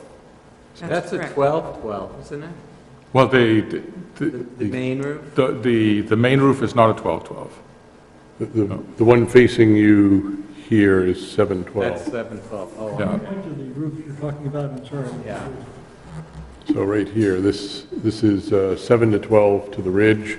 And again, another uh, scale-reducing feature is the fact that this wasn't taken out as a gable, it was brought down. And, and I just, just to be clear, I think these other elevations, the ones facing 77 and this sky, are fine in terms of addressing the surrounding neighborhood. I think it's mostly this three-story piece that's just, it needs some work to either break up the scale or just make it a little friendlier. Okay? Uh, It's my understanding, though, from, if you're standing on Hill Way, that the three-story is going to be kind of cut off at the basement level, correct? It's going to be down below street It level? is. In fact, I, I wish that we had thought about this before, and I think when we come back, I'd like to suggest that we add a, a dashed line if we could, so that you could understand the grade. Um, it was carried out before, Robert, when you get a chance, I'd like to. Well, yeah, I wish, um, there's no way to annotate this to show the line on Hill Way that basically goes from here to an intersect down here. So Further down even. It's for even further down, so at this point, the Hill Way grade is at about half to top window height, so what you're really looking at uh, is this part of the building down to about here. You're looking at uh, you know, uh, The the other thing I would say is that the- those decks are an important scale-reducing factor. They project out in front of the building so that this, looking on in 2D, it doesn't really show you what, how that will render in real life or true scale. So those, it- it'll go, step back in, and then go up, and each of the stories in the residential are exactly what you would find on any house in the adjoining subdivision or most places around Cape Elizabeth. They're only standard residential height. Um, I think, you know, we, I, I, I will discuss this, and we'll see if we- there's something we can do. Again, budget-wise, we have to, Sure. to, to, I wouldn't say protect the owner, but we have to obey what the owner is able to We- afford, so. Right, we have to meet egress requirements, we have to meet or beat the energy code, which these allow us to do. Every time we put a window in a wall, we basically create a space where heat will escape, What, what, triple glazed or Um, not. Would, I'm trying to think of some devices that we could use, you know, uh, shutters or something that would, that might add um, something to the building. Break it up. In the way, well, in the way of ornament to the building that would uh, break it up. Well, Perhaps Change, as- it- change in siding color on the third, on the No, I don't. upper half I'm not sure that's- residential. So I guess, um, how do we, how can we proceed so that at the next meeting, we're not looking at seven or eight? Is there a way to work with Maureen and look at, again, this is the subjective part, that's very hard to get direction Joe, from you you had folks? some Well- suggestions for these folks, if they could, uh, No, I don't think you're far. I think you just need to apply. I mean, that's why I asked how far along you are, because I think this looks like you're still working through some ideas and. Are you talking like gables along that roof line up there? to break It's cost. What type of- Couple of skylights. I was, No, not. no, no, like, You're, you're asking the applicant to try Yeah. without having any specific instruction. I think And that- the applicant is saying, we'll look at it. I think they want to come back next week, next month with what they consider to be the final. What you'll, right, what we'll bring back, we'll have more detail on the window trim and some other things that may make it look more finished. If, I guess what you're looking for is, it's not finished. Um, It's a Yeah. schematic design, but in, in what I've seen as a non-architect is the more they do, the, the more detail it, it does present better. There's just more there to see, to your point, so. But again, from a, a basic configuration, um, we like the look and the feel, the applicant likes the look and the feel, the anticipated energy performance, meeting the code, it's really just a matter now, I think, of embellishing. Um, I don't know if that's, if, if, uh, And again, one thing, I measured, the windows in the, on the bottom, I think are five or six feet tall, and the, the residential windows are all four feet, which is. I- if They shouldn't be. If they are, then, then we will certainly adjust that. To my, I guess I didn't check that to, to be true, to be uh, honest with you, but um, they would be, I think it would look a little better if they were like four, six, four. I Well, know four, got you that know, two five feet, you know, uh, Can't go below, but. right, I, I quite agree. And that's, that's is a requirement that they would have for egress out of those windows. So if they are at four feet now, then they have to be adjusted downward toward the floor line. And We'll double check that, Joseph, and see. is there an opportunity by which we could share this information and receive input prior to the next? No, formally, it has to be done in this I setting. I mean, uh, as staff, I'm happy to look at progress stuff and try to provide advice, but in the end, Has to I happen have here. no vote. Understand. So it's, it's clearly the decision of the planning board. Yeah. But I- I And think- we don't want to design it. We will, we'll respect your design, absolutely. We- Just reacting to it. We, we would like the design to be pleasing, but we also, as you know, need to obey the limitations of the owner's uh, financial parameters, and, but we'll, we uh, certainly will give some more thought to it if you're willing to do that. We- Joe, you all set on building issues? Any comments from inside? Elaine? I just had one more question on page, uh, plan number CD 101. Could you sneak up on the microphone? Okay, I'll try here. There's a note on page CD 101, note 2. It says, that talks about clearing limits. and they can't, they, it says they can't extend beyond what's shown without approval of the project landscape architect, and I would think any clearing that's not shown on the plan would also require approval of the town. If you're talking about clearing areas of the property that are currently vegetated, all of that needs to be shown. You see what, pa- I'm, uh, you see the, what a note I'm talking Yeah. about? Similar to the notes that we're making about changing the uh, s- plant specifications. I think you just need to add, and I, I'm sure this is just a construction document, and it's written in construction document language, but for site plan approval purposes, we need to note on this document that the town approval is, would be Sure. required. We'll revise it, yes, that's correct. This is obviously set up for a formal agreement between owner, contractor, and Right. with us as a third party. So, um, And that resulted out of the, our conversations with the tree warden to, to show, to reinforce the fact that we're not going to do any clearing in the areas that are shown not to have clearing. we just need to So it change wasn't to say that, it wasn't like to allow additional clearing, it was to say, hey, hey, if it doesn't say clearing, we're not going to be in there, um, to reinforce that point. So typically, that note isn't on the plans at all. It's For the, just- for the planning know. document, we will remove But- without the written approval and just stop it at will not go beyond that shown on this plan. Does that sound? That would And then, work, and then it's an If approved if site it were, plan. we would have to seek your approval and then grant Right. the contractor approval. So in a way, this is still valid, but it's just not procedurally satisfying your language for the final approval, I understand. And I have one question about parking. There's a note in our memo from the, the town that says there is no shared parking.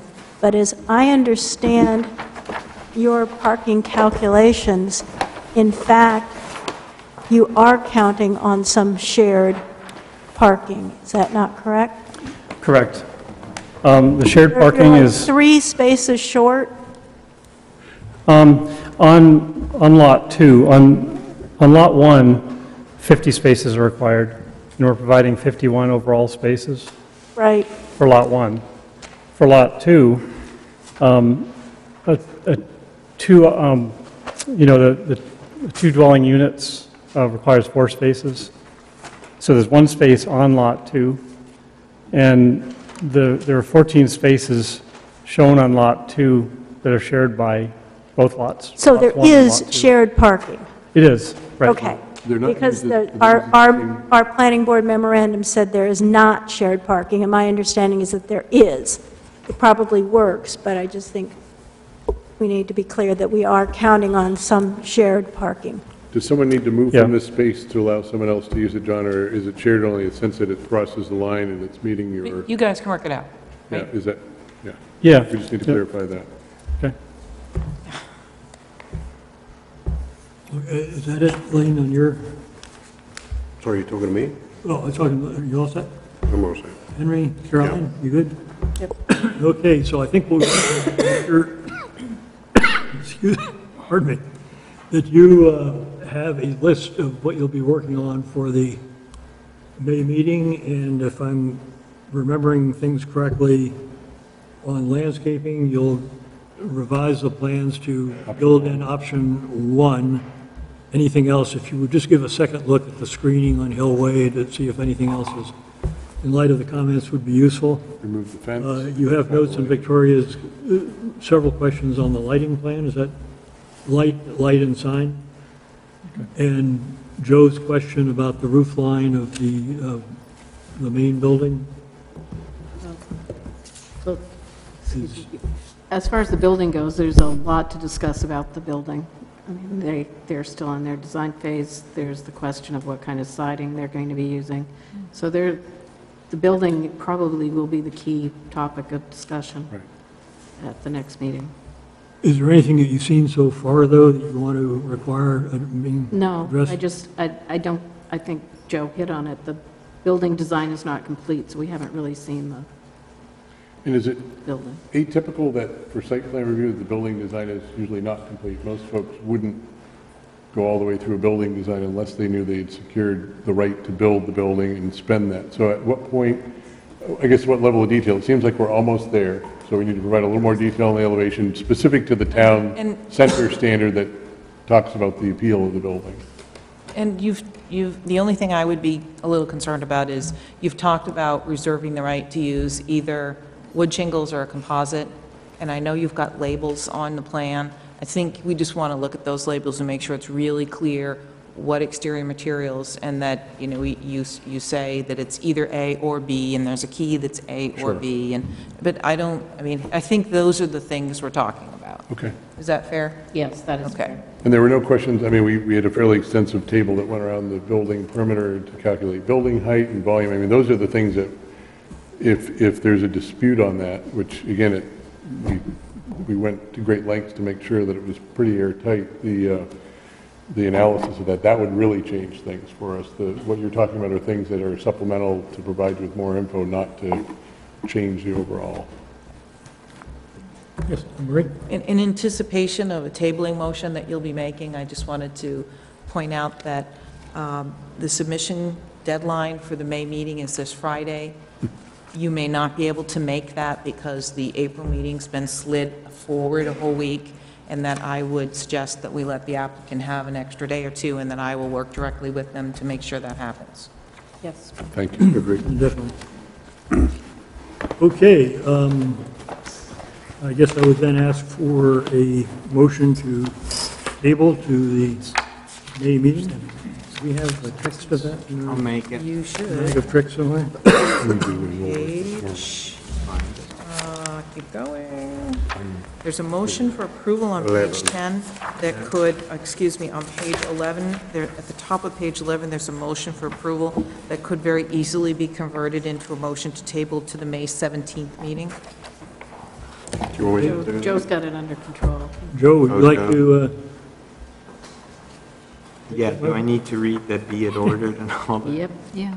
I think it's just the Just, to... just the motion at the very top. Be it ordered that, be it ordered that based on the plans and materials submitted and the facts presented, the application of Two Penguin Properties LLC for minor subdivision review of a three-lot subdivision and site plan review of two buildings containing 6,205 square feet of medical office space, 10 multifamily residential units, and a 357-square-foot building connector located at 12 Hill Way be tabled until the meeting at May 7th. May May 17th. 17th, 2016. Second. Okay, we have a motion made and seconded. Any further discussion? All in favor? Opposed? Motion carries unanimously. Thank you. And I will leave the uh, USB drive in Thank you your very much. machine so I don't disconnect it improperly.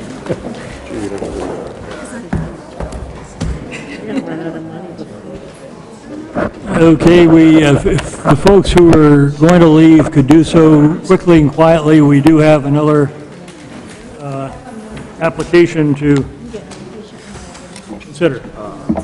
Um, let's see, it's right here.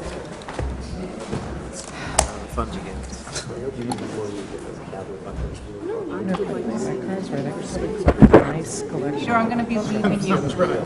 I'm leaving you. I'm going This one's like password protected. Really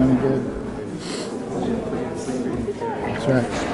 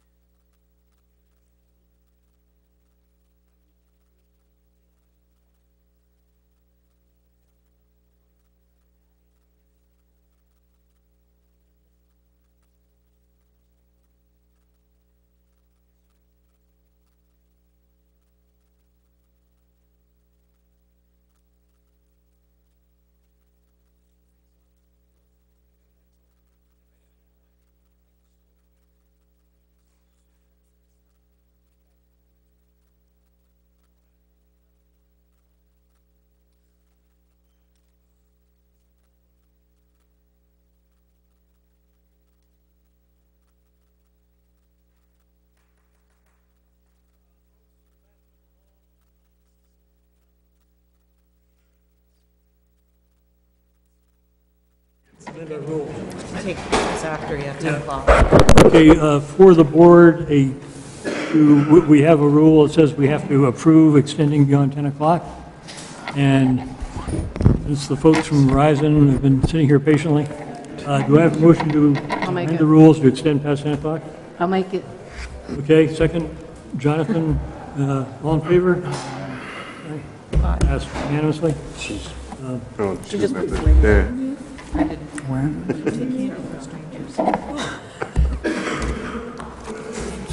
Okay, uh, uh, thank the folks from Verizon for your patience. Uh, It's been a long night, I realize.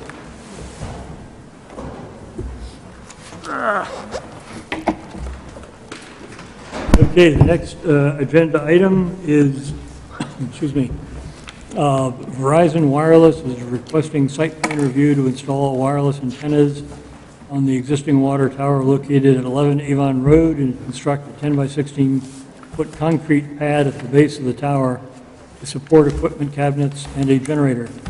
Um, The application will be reviewed for compliance with Section 19-9 Site Plan Regulations. The procedure on this hearing will be as follows. We'll ask the applicant to summarize changes to last month's um, project submission. We will then uh, have a, allow a period for public comment. The um, planning board rules permit the uh, board to limit public comment at this point to a total of 15 minutes with a maximum of three minutes per speaker. And we will, um, we will use that, that guideline, so we'll have 15 minutes for public comment.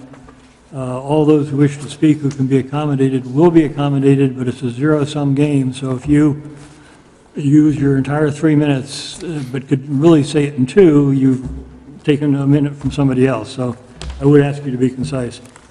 Uh, At the close of the public comment, we'll begin discussion, and at the end of the discussion, we have the option to approve, approve the conditions, table, or deny the application.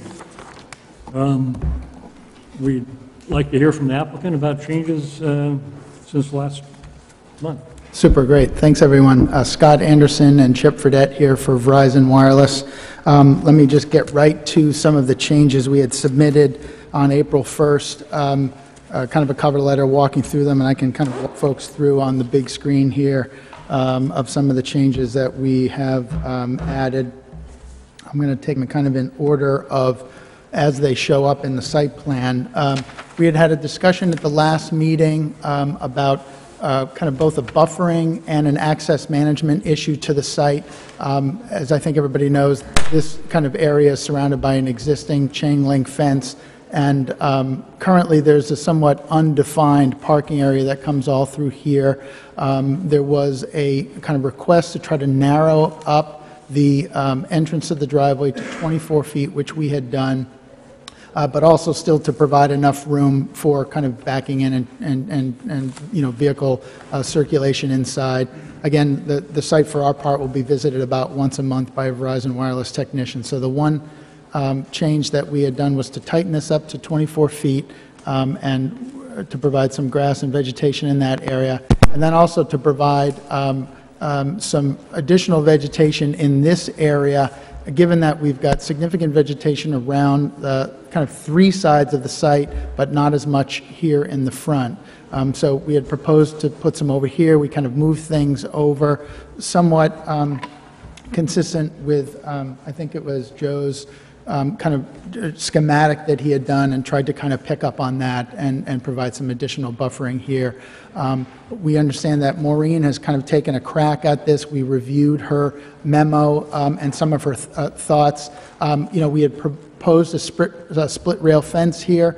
Um, If a kind of a a mulch area would be preferable, we're fine with that. Um, I, I took a quick look, well, not a quick look because we had some time. I took an extensive look at her um, um, kind of modification, which we're comfortable with. I'm, I'm getting the sense from her two things. One, um, some interest in putting some buffering over here and a slight realignment of where we've uh, proposed to put the trees, maybe fewer over here and more in this immediate area, which um, works for us, and we're willing to work with the board on that. um, and also some concerns that Maureen had in checking with others about the types of trees that we're proposing, uh, preference uh, for kind of local hemlock as opposed to the eastern red cedar and some of the fruit trees that we had suggested. Those are also um, changes that we're completely comfortable with, um, taking some direction from the board. The um, two other, uh, and these will be extraordinarily difficult for you to see, but um, in the hard copies that you've had, we've made changes to two of the notes on the plan, one dealing with co-location and one dealing with lead remediation. With regard to co-location, there was a concern um, by, I think it was Elaine and maybe some of the other board members, to make it clear that not only are we going to comply with the FCC's rules and requirements regarding co-location, which is kind of part of our FCC license, but specifically that we will, of course, be complying with the town's co-location provision in your ordinance. So we modified uh, Note 6 on C1 um, to make it clear that um, we are subject both to our FCC obligations and the town's obligations for co-location. We also added um, a kind of a, a sentence there. Obviously, anybody that comes on the site after us has to reach an agreement with the Portland Water District, and we just wanted to clarify that as well. Um, The second note change we made had to do with the lead remediation. That's note seven on sheet C1. And there's really two things that we did with that.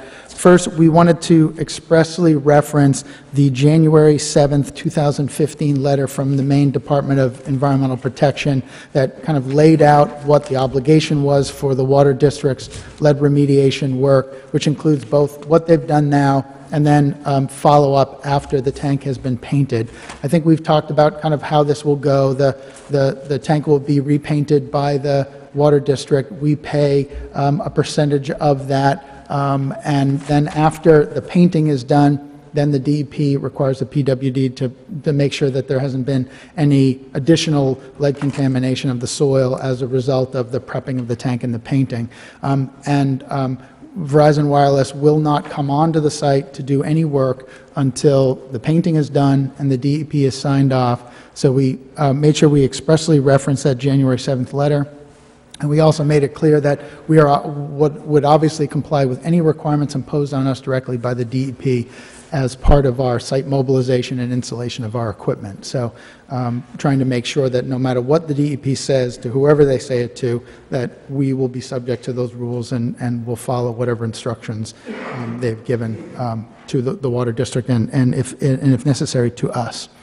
Um, The next change um, is, um, I think, best seen on C2. So the original proposal had three side uh, of of wood stockade fencing that we were proposing, and we were proposing to piggyback on the existing chain link fence of the water district. Um, There was um, a kind of question and and a request by some of the planning board um, to kind of further attenuate the sound as much as, as possible. So what we've done is we've added a fourth section of fencing there, so there will be wood stockade fencing that will surround the equipment uh, uh, enclosure completely, and then we have proposed to put the sound attenuating fabric, which goes on the inside of the fence, which will further reduce the sound, um, even at the closest property line, which is right here. So based on our kind of discussions with our sound guy after we explained to him the changes that we were proposing here, um, even if the board were to decide that the emergency generator running in emergency mode, which means it could, excuse me, it could be happening during evening hours, we will be below 45 dBA at the property line, even with the, with the emergency generator running um, in the middle of the night. Um, um, We we still think that the that the way your ordinance is structured, that if the town of Cape Elizabeth loses power, you know, I'm not sure what percentage of homes have backup generators, but we expect those all come on. We do have a battery backup. One of those boxes is the battery backup. It's good for six to eight hours, so it's not until six to eight hours have gone that our emergency generator would even come on. But um, with the additional fence and the sound attenuation, it, it sort of takes the legal question of whether the emergency generator is subject to your sound standards somewhat off the table. Um, um, Also, kind of not shown on the plan, um, we were asked to provide specific um, amounts for the town to calculate a performance guarantee, um, and there were two items that we submitted estimates for. One was for the planting and improvements And the second was for removal of the antennas and the equipment area in the event that the site was abandoned. Uh, We would expect that uh, a condition of any approval would require us to essentially take everything down and disassemble it following some period of non-use, and then the performance guarantee is there, and in the event that we don't show up and do it, so that you can do it. So we provided estimates from our engineers, both on the cost of the planting and the cost of uh, removal. Um, in the event that we are doing a modification to the planting plan per Maureen's kind of mock-up, uh, we would uh, propose to make sure that the amount that we've given for the planting costs would be adjusted. It, it may not need to be, but we would propose that, you know, that be kind of redone um, before a building permit was issued and before anything constructed, to make sure that any change in the planting plan would still be covered by the performance guarantee. Um, Finally, we did, and I'm sorry, I don't have uh, plots for these, uh, uh, for the big screen, but a question had come up from some members of the public about what the coverage uh, change would be expected from the site. So I I believe it's the last tab of the submittal on April 1st. We asked our RF engineers to do a kind of before and after, which which shows the kind of what we would consider to be inadequate coverage at this point in time in this kind of corner of Cape Elizabeth, and what the expected footprint would be of the antennas at this elevation, um, were they installed and and turned on, uh, to kind of address those coverage um, um, uh, improvements that, that we're, we're searching with here. And I think we talked about how, it- whether or not that was part of the planning board process, it was a question that many people had asked, so we wanted to make sure that you had that information.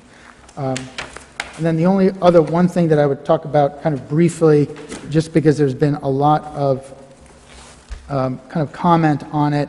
Um, We have this issue of concealment, which I think the board did talk about as kind of their threshold issue last week.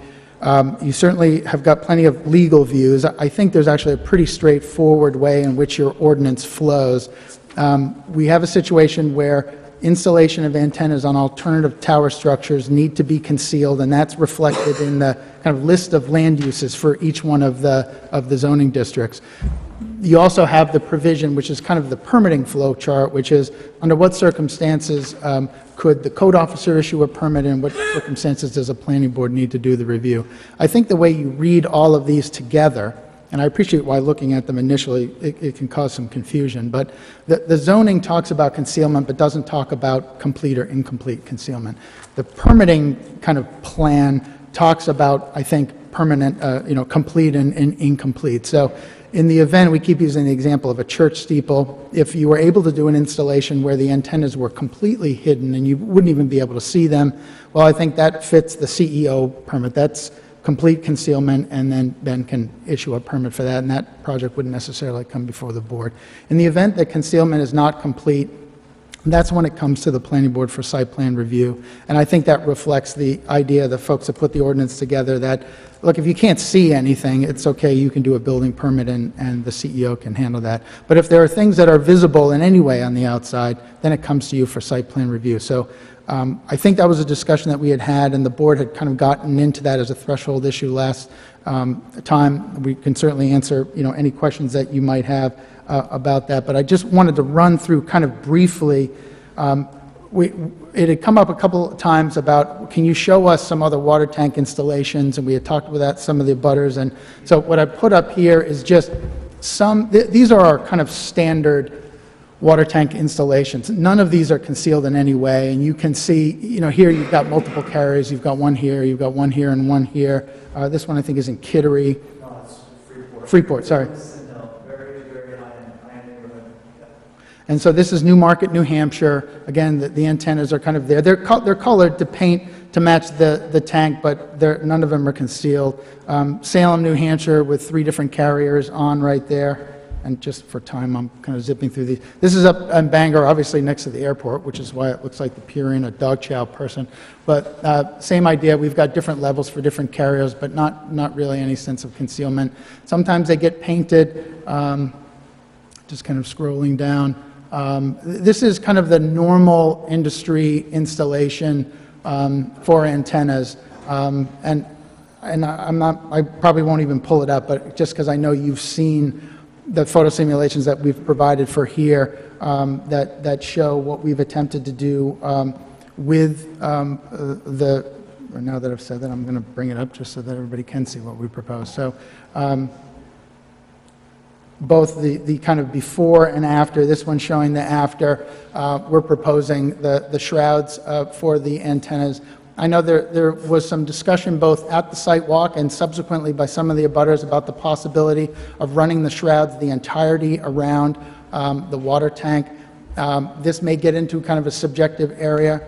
Our goal has always been to do the best that we can to conceal the presence of the antennas such that if a year from now, if this site were to be built, someone who never, had no idea what we had been doing here all this time, came and looked up at this tank, they would see a, a water tank with some things attached, but wouldn't necessarily see it as a cell phone facility, which is, we think, what the kind of purposes of the concealment, to cover the antennas. Most people know what cell phone antennas are, so um, that's been our goal, is to do that uh, as required by the zoning ordinance. Um, I think what we've indicated before is we think that this is the best option because it conceals the antennas, we think completely for purposes of the antennas, um, but doesn't add any unnecessary mass to the top of the tank. Um, Running the shroud the entirety around uh, would require a lot of additional material that would just be covering the existing railing system. Um, And as a result, we think that this is actually the, the best, most visually, minimally intrusive way to kind of shield what this is um, and conceal the antennas, but also kind of minimize visual impacts as much as possible.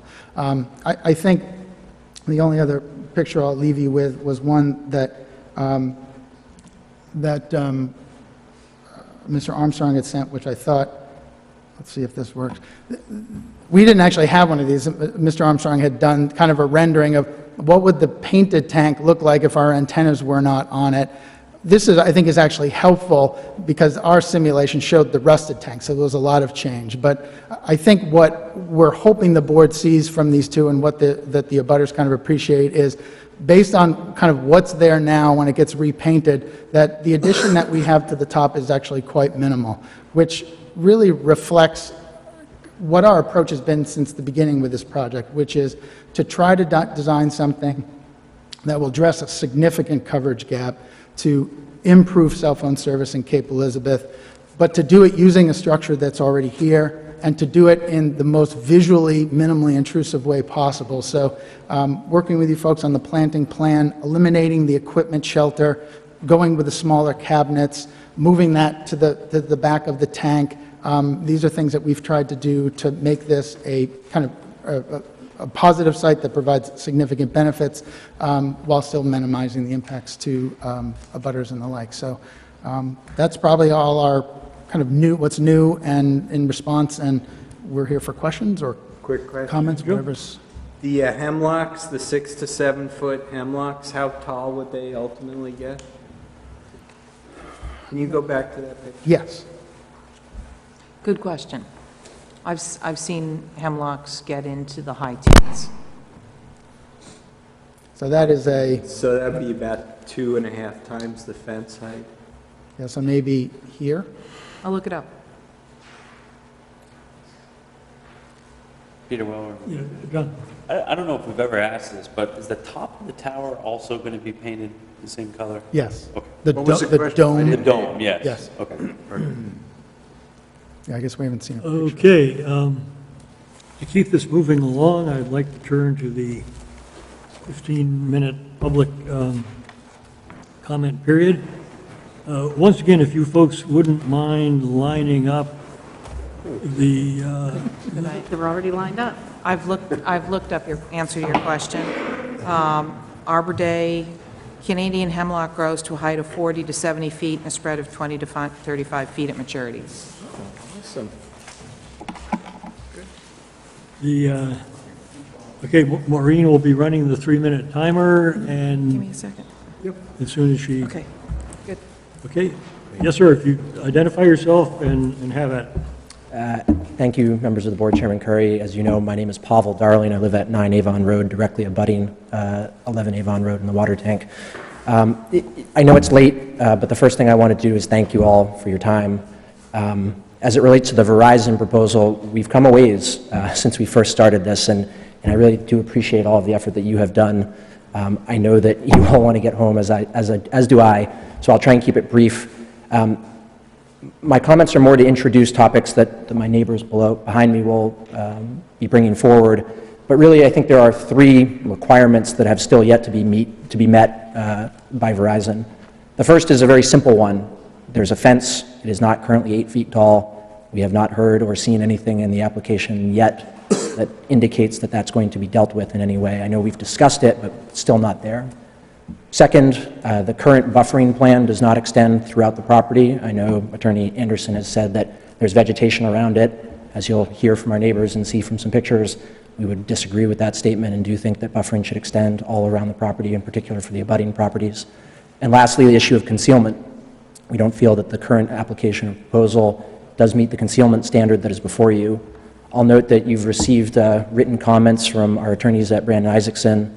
Uh, Our attorney Nat is here if you have any questions as it relates to the legal issues. I am not an attorney.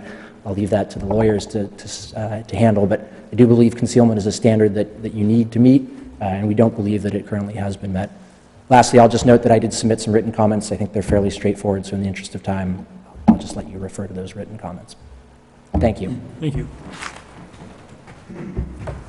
Good evening, everyone. My name is Todd Forsyth. I live at 13 Trundy Road. Uh, I am going to try to bring this up if I can. Uh, This works much better if I have some photos. Uh, So I have two specific concerns that I'm going to speak with this evening, and uh, both were uh, raised by Pavel a minute ago there. Uh, Concern one is the visual buffering on the non-Avon roadsides, the back side, where uh, there are three, four abutters uh, to the piece of property. Uh, The proposed site does not meet the town ordinance uh, requirements, uh, specifically the uh, zoning ordinance, unless existing vegetation provides a buffer strip. A vegetated buffer shall be provided along property lines, along roadways, or visible to existing abutted or nearby buildings within a quarter mile, to be landscaped as follows, blah, blah, blah. So I want to show you um, in in the memos that that Verizon has, continues to show, and the- the maps that they show, actually earlier you saw this visual, which from the appearance would appear that there's a lush green forest surrounding uh, the property behind, when in fact, what the property really does look like, if you look at from my home and my neighbor's home, so this is, this is a visual from my neighbor's house. You can see that this is six to seven months of the year where there is no growth or very little vegetation. Uh, There is a canopy, obviously, in the summertime, but there is no undergrowth. So the visual that we have is at eye level, um, and from my home would be very similar. This is from my, my backyard, so this is my property looking across. Uh, So there is no vegetation, so there is not a vegetation buffer, right? So you can, uh, so Verizon is required to comply with the buffering requirements clearly, clearly outlined in the tower, uh, uh, in the town ordinance. And while they may, and and actually, it's interesting because we've now heard that uh, hemlock is, uh, is a possibility as vegetation, and- and hemlock is actually shade tolerant, uh, grows to 10, 15 feet, uh, is, grows very quickly, and is actually used in Maine as a visual barrier uh, for these types of, of issues. So um, something, the second concern that I have is actually the height of the fence. So as Pavel raised earlier, uh, the, the the fence, and I'll just throw a couple of these, this is an actually, you can see here, the fence is uh, under, se- under seven feet, all the way around the, at the tower. It- There's no place that it actually hits seven feet. The, the height of this board is actually, or the the piece of wood that I'm using is cut to eight feet. So this has been raised a number of times and nowhere has uh, Verizon addressed it.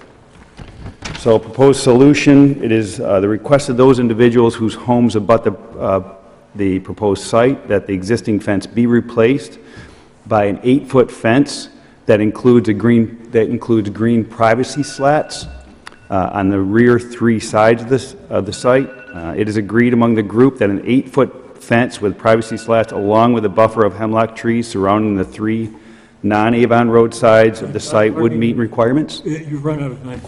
Thank you.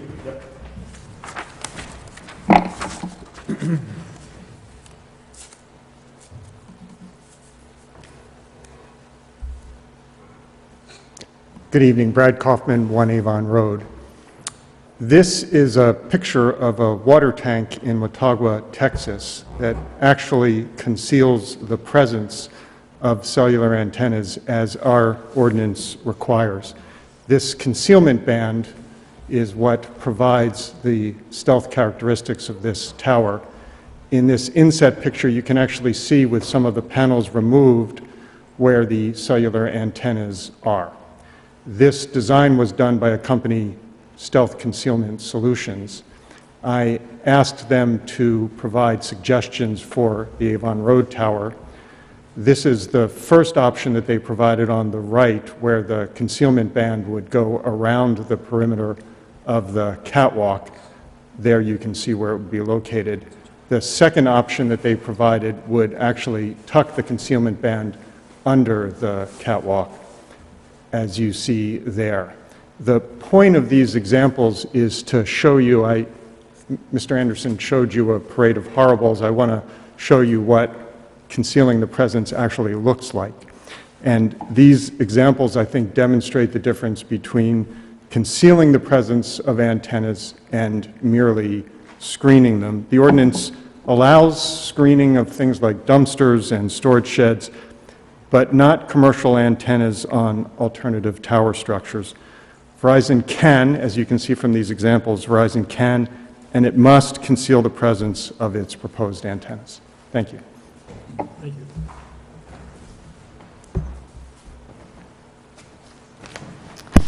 Priscilla Armstrong, 18 Avon Road.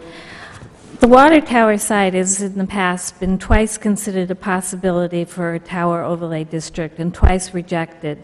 Although the neighbors on Trundy and Avon Road thought this question had been put to rest in 2014, 2004, sorry, we also took comfort in the wording of the town zoning ordinance language for alternative tower sites because the language specifically required that the presence of any antenna are required to be concealed, not camouflaged. In fact, those two words were debated back and forth um, when the ordinances were being drawn up, and concealed won out. I was going to talk about the buffering um, because what was on the plan would not work. Hemlock wood, my woods are full of it. If if you went that way, I'm sure, and they and Maureen is right, they grow to 25 to 35 feet at maturity. No, a spread of, and so they they would work anyhow. But my real point is that while I feel that Verizon has made some changes to their original proposal and that some of the changes have resulted in a better plan, these changes really, I feel, have resulted because of extreme involvement and research for better ways to do this by the neighbors, and not because Verizon really wanted to provide the building that would have the least negative impact on the neighborhood. I regret that Verizon chose to sue the town when the Zoning Board of Appeals turned down their application instead of working with the town. But regardless of how this came out as a result of the lawsuit, Verizon did have to go through site approval and with you, the planning board, and it does have to meet the town ordinances regarding concealment and buffering. Please consider carefully and ask yourself if Verizon has fully met them. If you don't feel that they have, please don't issue a permit. Thank you. Thank you. Yes, sir? Jim Carter, 28 Broad Cove Road, Cape Elizabeth. Um, You've heard a number of reasonable requests, I think. Um, I have two stories for you, one hypothetical and one actual. The first hypothetical is that I, we moved here not long ago. I have a dog, I'm elderly, um, I use the greenbelt trails in the Broad Cove area. If I fall and break my ankle or something worse, I cannot call 911. I will lie there until somebody happens to hear me call for help. Uh, Actual number two. Uh, about a week ago, uh, my wife and I were awakened in the early hours of the morning by um, our carbon dioxide, carbon monoxide alarm. Okay, it did wake us up. I went to turn on the light. Uh, the lights were out. We had no power. I threw open the windows, grabbed a coat, ran outside in my sock feet, wondering how I was going to call 911 because we have no service. I had invested, I knew this, I had invested in a uh, power, in a, a signal amplifier uh, from my home, and it covers my home and yard, and so I can use the cell phone. When the power's out, that's out. And so it turned out that the carbon monoxide issue was resolved because I drove in my stocking feet over to find the fire chief who was over at the accident, uh, and he called his people, and they came over and they helped us with it. Right? If it, instead of being a carbon monoxide problem, it had been a heart attack or a stroke, I would not. I would be dead now without the cell phone service. So while we're dealing with all of these niceties, uh, which are important in terms of aesthetics, um, there's a possibility that someone will lose their life because there's no cell phone service. Thank you. Thank you, sir. Okay, this will be the last uh, speaker. Uh, Good evening, Tony Armstrong, 32 Lawson Road. I first want to just briefly address a sort of a side issue. I got a sense at the last meeting that there was some concern that if a cell phone company doesn't come in here and help the water district pay to paint this tank, that you're going to be looking at this ugly rust, rust bucket, as was properly said last week, forever. And I just want to make it clear that the record's very clear that the water district had plans to take this tank down. They told us this in 2013. I've done a FOIA request. There's documentation in the water district files showing they've got studies to this effect. They've explained timelines to other people about what they were going to do. So, bottom, and given the fact that you've got this major contamination issue with the DEP looking over their shoulder, I can assure you, it's very unlikely that if the cell phone companies are not allowed to come into this situation, it is very unlikely that tank will continue to sit there the way it is. Either it's coming down, or it's going to get, as Mr. Anderson properly showed you, it's going to be painted and look like that. So that, I want to deal with that issue. The other issue I want to focus on is concealment. You know, as an attorney, I understand, and I'm going to openly simplify this, the analysis of legislation, when there's not uh, a clear understanding where things are at, usually starts out with plain meaning of the language. Everybody has spoken to the plain meaning here. Everybody's agreed that this, this, uh, the uh, proposal has failed to conceal the presence of, uh, uh, uh, of an antenna. Mr. Anderson basically said that uh, la- at the last meeting. Uh, So then you start to look, as I have, uh, at the legislative history of this endeavor. Uh, We had the Telecommunications Committee Task Force in the late 90s, followed up by the Planning Board, followed up by the Council. And if you look at the email I sent you this week, and I hope you do, you'll see that in each event, something was done to make this language that ultimately ended up in the ordinance very specific that concealment and conceal was to be used over the term uh, camouflage. Uh, Secondly, that uh, uh, in situations where uh, camouflage was being used, uh, the, the effort would be to put the antennas in or within the tower, including the alternative tower structure. And there's a letter from the town attorney to the planning staff saying that the language should be tightened up.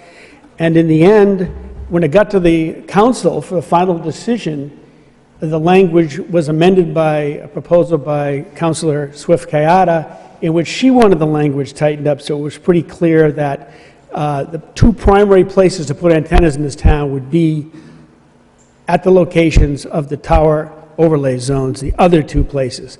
And I'll segue into the final point here, which is that not once, but twice, and maybe even a third time, the tower overlay zone was rejected on the Avon Road site because it is such a tight site and so close to residences.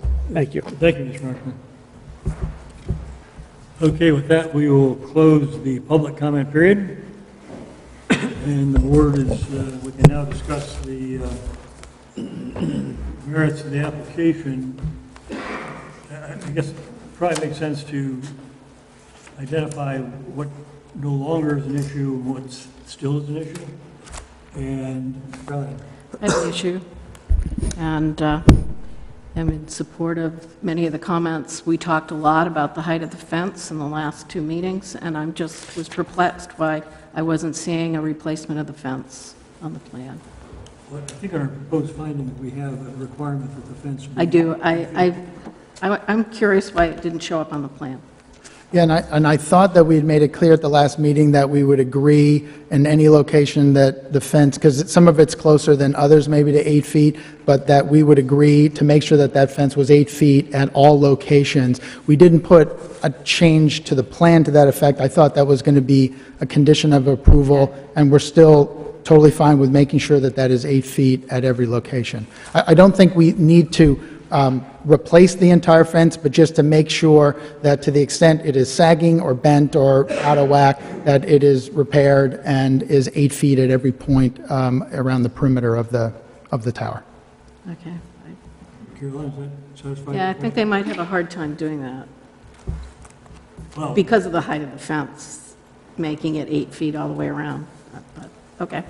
One way or another, they would have to...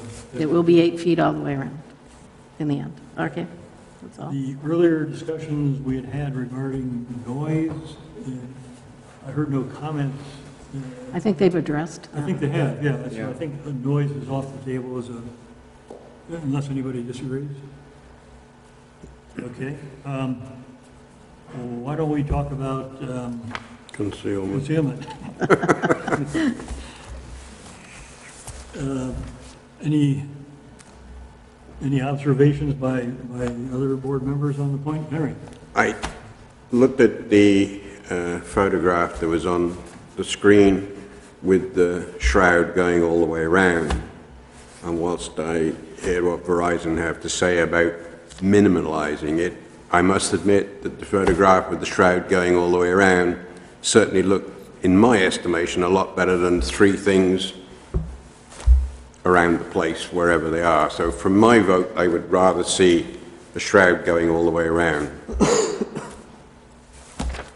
Caroline? I know you're going to find this shocking. I agree with Henry. Wow, gee, that's the first time, right?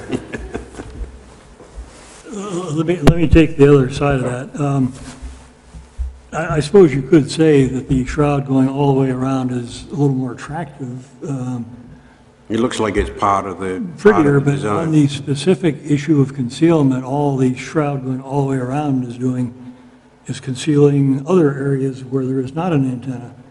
Uh, I- I'm, I'm not sure I find one more attractive than the other, but I think in, in each case, the, the shroud is concealing the antenna structure. And in each case, when you look at this thing, whether it's three separate boxes or a thing, a collar going all the way around, uh, but you see the, the, the wires going up, you, you know the antennas there, you just don't, you don't happen to know where they are. I don't know whether you'd actually know there are antennas there unless you'd been to one of these meetings and seen what the shrouds are. Well, you normally don't have shrouds around a, a tower, I don't, think, anyway, that's Wow. my own, my own feeling that, uh, there are two different ways to do it. I, I find the, the, the selection they've made of a shroud on the antenna itself, covering it completely, to satisfy the requirement. Acknowledging fully there are other ways to do it, and you may find the other way more attractive. Views down here. Uh, My view with regards to that is the, the the smaller um, does satisfy, and this is just my opinion, the concealment aspect. Um, I think of it as if you add a larger structure to something, there's a larger structure up there. And that's what a shroud that would go 360 degrees around the uh, water tower uh, would show. I, I feel that if you, if, when you're driving on Wells Road and you look at the horizon, you can see the water tower. I think if it had a 360-degree shroud around it, it would be, stick out much more than it would if it had just the small three um, shrouds on it. So my opinion is that um, the shroud would add a little too much, that all of a sudden, uh, the whole aspect of concealing these three antennas would make the entire thing um, stand out a little bit more, and therefore we lost the whole aspect of concealment.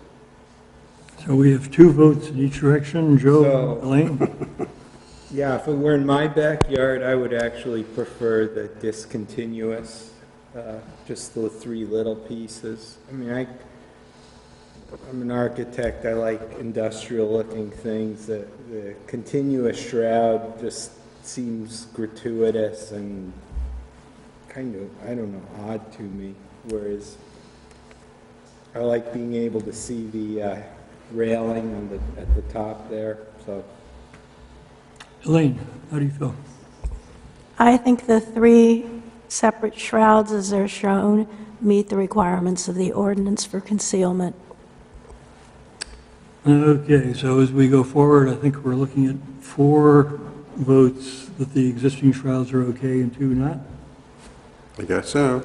Okay, um, we got the eight feet, we got the shrouds. um, Buffering, the, a number of the commenters believe that the, uh, the plantings to achieve buffering should be not only where they are on Avon Road, but down the sides and the back facing Trundy. Do we have any observations on that one? This is on the buffering? Pardon me?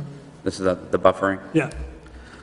Um, When, uh, are we talking about the actual front portion of it, or the I think buffering around the every- back? I think everything else. Well, photos we saw, you didn't seem to be able to see the top. So I'm not sure what it's, the additional buffering would be changing. I mean, the view of that is gonna remain as it is, the view of the, well, your photo sh- didn't show the top. Your photo's just this part. That's there. There's no reason to buffer it. Okay, this has to be a conversation by the board. I'm sorry, sir, we can't, can't invite you to talk further. Uh, I have one question about the buffering. Um, It isn't Verizon's site, so I assume that the W, the water department or the water owners of the property wouldn't mind you doing all these changes to the site. I mean, it's all very well to put trees in there, but as you don't own the site, I assume somehow you have permission to actually do this. Well, there's some provisions in the lease that allow, that kind of require the Portland Water District to allow for kind of reasonable conditions imposed by the board. So the planting that we've proposed in the front, I don't think there's any question that, that that will be fine with them and that they'll see that as kind of part of the process of working with the town. I mean, I think our concern with going around the entirety of the site is not only, I mean, we want to keep the fence in roughly the place it's in right now, which topographically on the back, you may have remembered from the site walk, is kind of right on the edge of where the slope starts to go. So um, there's the issue about, are we putting hemlock trees that are 15 feet to block the bottom of the tank?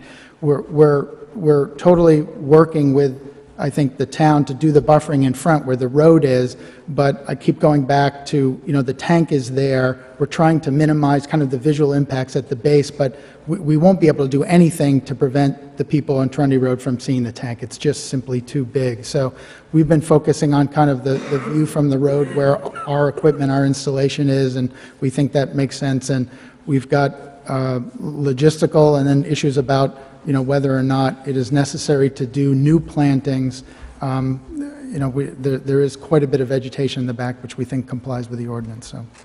Yeah, my own observation is that the, um, the folks down in Trundy, and I I appreciate your not caring to have this monstrosity in your backyard, pardon me, but you're about, if I read the topo map correctly, you're about 15 feet or more below the grade of where the water tank tower sits. So you are looking up the slope, if you want, if, to see the tower, looking straight ahead, you're looking sort of the hillside. And to put plantings back there, you'd have to cut down existing trees, which is something we don't like to do, trees which are shielding your view for, you know, a significant part of the year. Um, And there's still no way you're going to obscure, if, if you put in some kind of hemlocks there, you're still going to see the top two-thirds of the tower. There, there's really no way you can, you can shield that tower from your view. Um, So I, my own reaction was, as much as you may not care for that thing, the existing forestation that is there is uh, adequate buffering, and to, change it and put in evergreens back there, you would have to eliminate a lot of the existing trees, which is, seems counterproductive. Um, Jonathan? Yeah, I, I mean, from the site walk, which I'm grateful that a lot of the people in the neighborhood came out for, um, we had a hard time getting around the perimeter of that barbed wire fence because it was some thick brush that was back there. And from what I saw also, I, I think uh, Mr. Anderson was correct that there was sort of slope down, which would make it harder to bring in buffering. And as Peter just pointed out, I think you'd probably take away more buffering just to put buffering in. I know that doesn't make sense, but there's already something natural in there that I think it would be counterproductive to actually go back there with machinery, put in, um, put in new trees to create some sort of buffering. And also from what I saw too, is that there was a- quite a bit of distance between um, the property lines and that barbed wire fence that, I, I don't know, I, I think almost adding buffering would be unnecessary because there is such a distance. And there was one particular picture that I saw, um, not from this meeting, but a- another meeting, that it was from someone's backyard, but it almost had looked like somebody had cut down trees in their own yard um, which I found, kind of thought was a little bit, well, if you want to keep, I mean, everyone has a right to do what they want in their own property, but if you already have buffering on your property, it doesn't really make sense to cut down trees and then complain that you can see the neighbor a little bit too much. But that was just one thing that I observed from that, so that's my opinion on it. Do we have some comments down here? Elaine? I think the, the buffering, I, I like the, um, Maureen's new proposal here alo- along the road, but I think the perimeter buffering otherwise is adequate in the existing forest. Are we going to talk about the front? Okay, so we, I think we have s- Yeah, I agree. something of a consensus that the, the buffering in the front will be according to the new, Can I talk about that? sure, if you will. So, the- what happened here is a member of the planning board asked me to do something, because if you were not happy with what the applicant had brought forward for a landscaping plan, your only option was to table this application. So this was an effort to illustrate, badly, of course, um, an alternative plan, so that if you were of a mind to move towards approval, you would have an alternative that you could refer to and a proposed condition of approval that goes with it. So the applicant has seen this, I think they, rec- they said they were okay with it. Um, It's, it's slightly, the tr- cherry trees have been removed. I spoke with the landscape architect, he said they would never survive in that location. Um, He suggested hemlocks rather than the eastern red cedar, um, and that's why you have that proposal before you. Okay, so I think we've, we've dealt with the fence, we've dealt with the buffering, we've Peter. dealt with concealment, I'm sorry, That's John. the one thing on that issue. I did notice that in the new proposal, um, with the differences, the changes that you made to the, the front portion of it, it seemed that if you're at the driveway and you're facing the gate, that you added more trees to the left, but then took away trees that you were going to put in on the right of that driveway. I don't know if Well, the, the intent here was um, not just buffering, but access management. Because what's happened over the years is, you know, landscapers will go in there and mow, and they mow, and they mow, and so you have this big, open, undefined gravel area.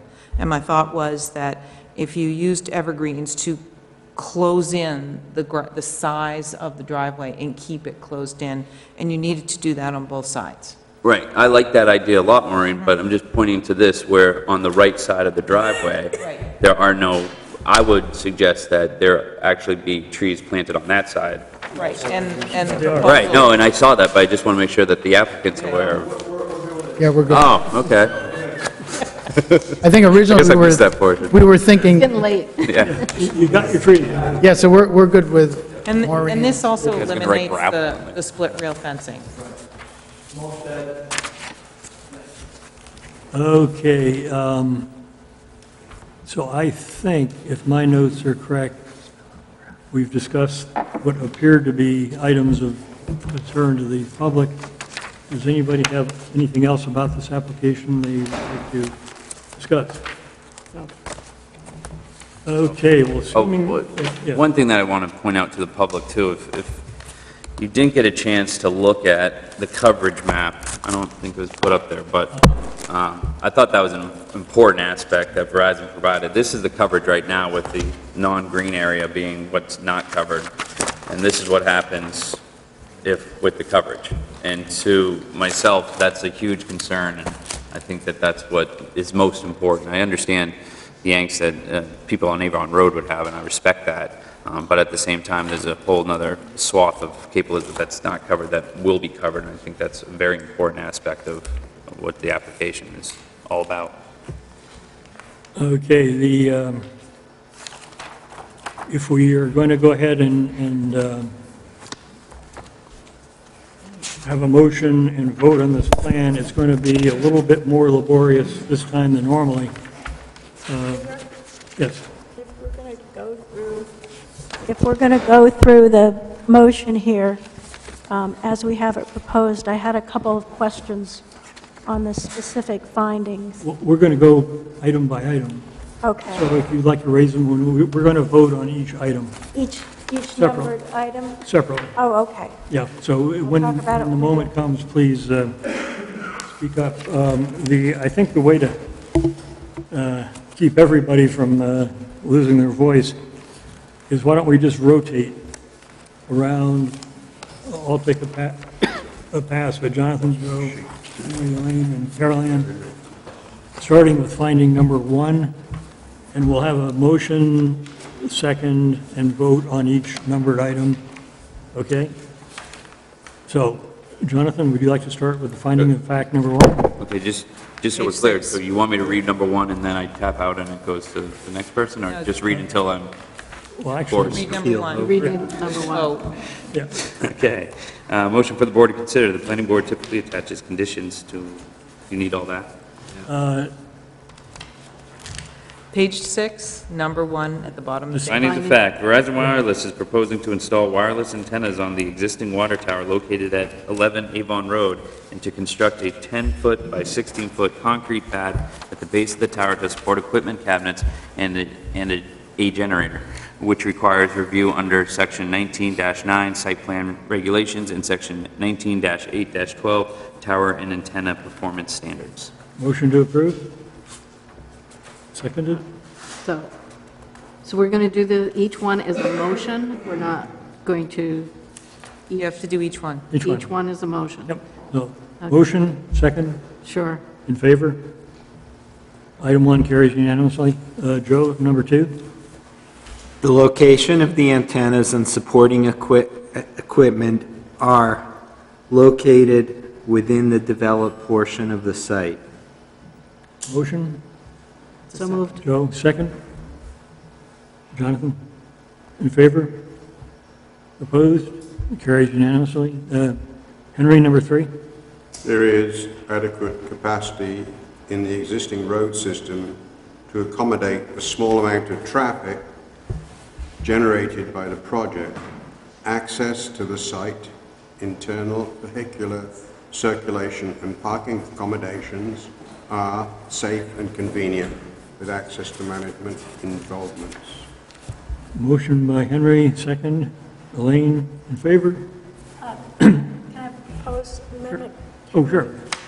Specifically reference the access management improvements um, as reviewed by the planning board tonight, because I think that's what we're talking about, is it not? Do you want to add, as reviewed by the Yes, indeed. planning board tonight? Yes. Agreed.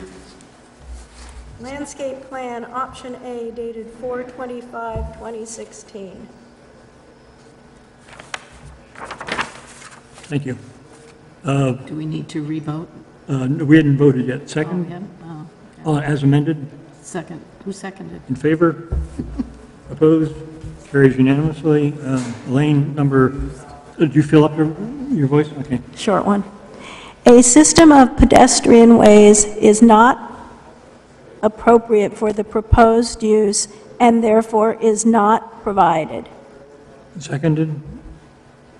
Anybody? Henry, thank you. Uh, All in favor? Opposed? Carries unanimously. Number five, uh, Caroline? Adequate provision for stormwater has been provided by minimizing the increase in impervious surface and preserving the surrounding vegetation to retain stormwater on the site. Second? Elaine, thank you. In favor? Opposed? Carries unanimously. Number six, uh, back to you, Jonathan. Erosion control on the site is adequate by minimizing disturbed soils and complying with Maine's erosion and sedimentation control law when soils are disturbed. Second. Thank you, Joe. In favor? Opposed? It Carries unanimously. Number seven, Joe? The proposed project does not require a water supply. Second. In favor? Opposed? It Carries unanimously. Thank you. Eight, uh, Henry? The proposed project does not require sanitary waste disposal. Second. In favor? Opposed? Carries unanimously. Thank you. Um, Number nine, Elaine? The project has been provided with adequate electrical and telecommunication service. Second. In favor? Opposed? Carries unanimously. Thank you. Number 10, uh, Caroline? The project includes provisions to prevent discharge of materials harmful to human health or the environment. The owner, Portland Water District, has an agreement with the Maine Department of Environmental Protection for remediation of lead on the site. Second? Thank you, Joe. In favor? Opposed? Carries unanimously. Number 11? And the project will not generate, or, Generate. yeah, Generate. that-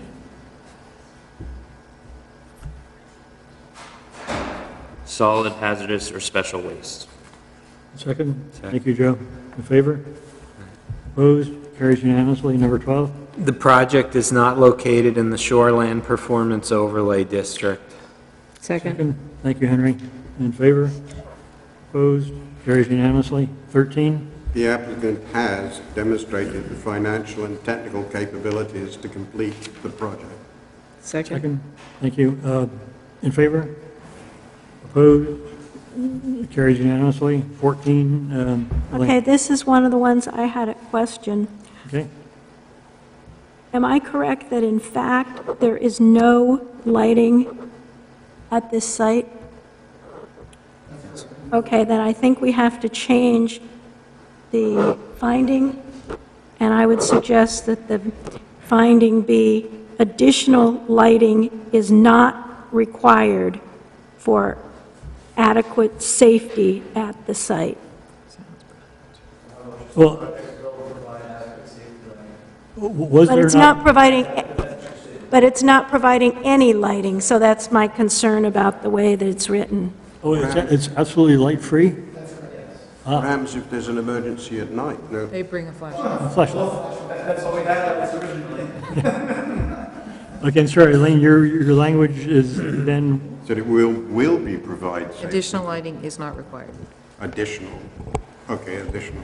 Just additional lighting is not required to provide adequate safety at the project.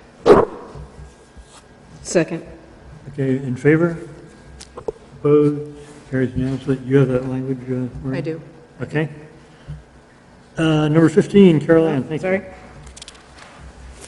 The project does comply with the noise standard. The operation of a generator at night during power outage is, Nope, you don't need that. Don't need that. what? You could just stop I can just stop right there, with noise standard. after the first sentence? Yes, Okay. thank you. Sorry about that. Second? In favor? Opposed? Carries unanimously. Thank you. Uh, Jonathan, back to you for number 16. No outside storage of materials is proposed. Second. Thank you. In favor? Opposed? Carries unanimously. Uh, Number 17? The use of shrouds and color coordinating cabling conceals the antennas. It is necessary to paint the water tower in order for color coordinated equipment to be concealed. Second. In favor? Opposed? Carries unanimously. Uh, Henry, number 18, please. Sorry. 18. M- Mine, sorry. The applicant has demonstrated by adding note dash five to Plan C1 that it will obstruct co-location by other provi, will not. Will not, yeah, it needs the Will not in not obstruct. Uh, Note, I think you are No, it correct. says note five. yeah, here. but it- But I think it's actually it's note actually six. note Okay, six. so let's reread it. The applicant has not, has demonstrated by adding note five to plan that it will not obstruct co-location by other providers. Note six, Henry. No, Note number six, six. that it will six. not obstruct co-location by other providers, not with not on that. Okay. Seconded? In Second. Favor? Opposed? Carries unanimously. Number 19, uh, Elaine? The proposed antennas will blend into the surrounding environment through the use of color and um, concealing architectural treatment. Thank you. Second. Some- Isn't the word um, camouflage in the ordinance? Do you really want to argue with her? Hmm? Do you really want to argue? Uh, Elaine, can I argue with you? Sure. The word camouflaging, I believe, is in the ordinance. There is sort of a strange uh, anomaly in the, the various provisions in the ordinance where the word conceal is certainly used, but I believe camouflaging is used back in section 19 something or other, isn't it? So, Yeah, I- This is from the, the tower and antenna performance standards. Right. So if you had a brand-new tower, you would still apply these standards, and it wouldn't necessarily be concealed. It would be camouflaged. But if you were in the district standards, then it's concealed. um, it somehow occurred to me that we, we have to have a finding with respect to the word camouflage. Could we add, Okay, towers and tents shall be designed to blend into the environment through the use of color and You- camouflage. But you, don't you already have a conceal? Yes, number 17. You have a finding on concealing on number Yeah. 17. that's- Yeah, yeah, no, so this one, I think we, we want to say camouflaging okay. because the um, uh, 19812 to whatever, B. How about color and camouflaging architectural treatment that conceals the antennas? I- I'd like to use the word camouflaging because it's No, I'm I'm required. leaving it in there. Oh, leaving it in? Yeah, Okay, I'm sorry. leaving in Camouflaging, camouflaging architectural treatment, Which and then we- adding at the end, which, that conceals, or which, I'm not sure, uh, the antennas. I'd go with which. Which conceals the antennas, thank you. yeah. Uh, I'm fine with that. Anybody else have, Oh, I'll second that. okay, Uh, in favor? I'm not, I abstain from that one. No, you- Okay. you can vote against it. I don't want to vote against it, I'm just abstaining. Okay, you're, that's your. Okay. The exist, existing vegetation and proposed plantings will provide a buffer and minimize visual impact? Second. In favor? Opposed? Carries unanimously, thank you. Oh, now we've got no lighting. Uh, number 21, no right, no lighting is proposed. We already said that. Redundant. Two different sets of standards. Oh, two different I things. like my motion. Jonathan just had a Okay, great. I'll second your Did you motion. rest your motion or not? W- We have a second, we uh, vote in favor? Opposed? Carries unanimously, 22. The new antenna and ground supporting pad and equipment are designed in conformance with structural standards. Seconded, Second. in favor? Opposed? Carries unanimously. The facility is surrounded by an existing fence, which is less than eight foot in height, but in existence prior to this application, that does not provide adequate security. And should be increased to eight feet. That's in the conditions. That's, we've got a condition on Okay. that. Okay, uh, second on that? Second. In favor? Opposed? Carries unanimously. Uh, Number 20-something or other, 24. 24. No advertising is proposed on the site. Seconded. In favor? Opposed? Carries unanimously. 25, Caroline? Uh, Based on the license issued by the Federal Communications Commission, the equipment will not interfere with his existing telecommunications within the service area? Did I answer that right? Second? The second, uh, in favor? Opposed? Carries unanimously. Uh, Jonathan, back to you for 26. The applicant has agreed to remove equipment after no more than 12 months of cessation of use. Second. In favor? Opposed?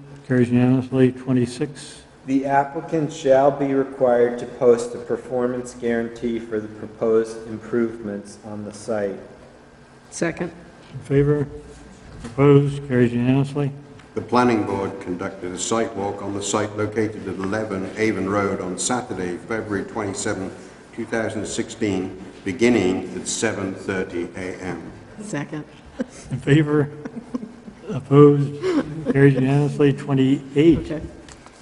The application substantially complies with Section 19-9 Site Plan Regulations and Section 19-8-12 Tower and Antenna Performance Standards. Second? Favor? Carries unanimously. Okay. Keep going. Who get there? Keep going. Keep going? You want me to keep going? Okay. Yeah. Therefore, be it ordered that based on the plans and materials submitted and the facts presented, the application of Verizon Wireless is requesting site plan review to install wireless antennas in the existing water tower located at 11 Avon Road, and to construct a 10 by 16 concrete pad at the base of the tower to support equipment cabinets and a generator to be approved, subject to the following conditions: that the plans be revised to label the height of the existing SCADA, SCADA antennas as eight feet high, based on information provided by the Portland Water District. That the tower be painted and that all lead remediation be completed to the satisfaction of the DEP as described in their letter dated January 7, 2015, to Roger Parity at the Portland Water District prior to installation of any antennas or supporting equipment or cabling that antennas and support equipment, including but not limited to any generator, not produce any noise that cumulatively exceeds 45 decibels between 10 PM and 7 AM, nor 55 decibels between 7 AM and 10 PM of noise at the property line of the site. Four, that the antennas and cabling be concealed. Five, that the base of the tower, including any supporting equipment, structure, or cabinetry, be enclosed within a minimum height eight-foot fence with locking gate, and that supporting equipment be further concealed with a wooden stockade fence of a height of eight feet or lesser height if cabinetry is less than eight feet high. Carolyn, before you continue reading, should we add in the, uh, the uh, installation of the ba- baffling uh, blanket inside the fence? If you want to, yes. May I ask that you, uh, Um, And a baffling blanket be included inside the generator enclosure. How's that? Good. Part of number five. Six, six, that a note be added to the plans that the installation shall be done in accordance with the current standards of the Electronics Industry Association, structural standards for steel antenna towers and antenna supporting structures. Seven, that a performance guarantee and the amount to cover proposed improvements on the site and the cost of removal of equipment after 12-month cessation of use. Eight, that there be no issuance of a building permit or alteration of the site until the plan, plans have been revised to the satis, to satisfy the above conditions and submitted to the town planner. Lee? Can I propose, I guess, a a modification to item number four, that the antennas and cabling be concealed, because that's what we're asking, being asked to decide. And I would say at the end that the antenna, antennas and cabling be concealed in accordance with the plans presented. I could go for that. Yep. You know, Do you want me to reread it, or are we good? I heard you propose an amendment, and I heard Carol Ann accept it. Okay. Any other comments on the uh, language as read on the, uh, the approval provision? And a motion as read by Carol and as amended by Elaine with Carol's agreement. Uh, Call for a vote. All in Second. favor? I haven't heard a second. One second. Seconded. Uh, All in favor? Opposed? Carries unanimously. I think we're, I think we're good.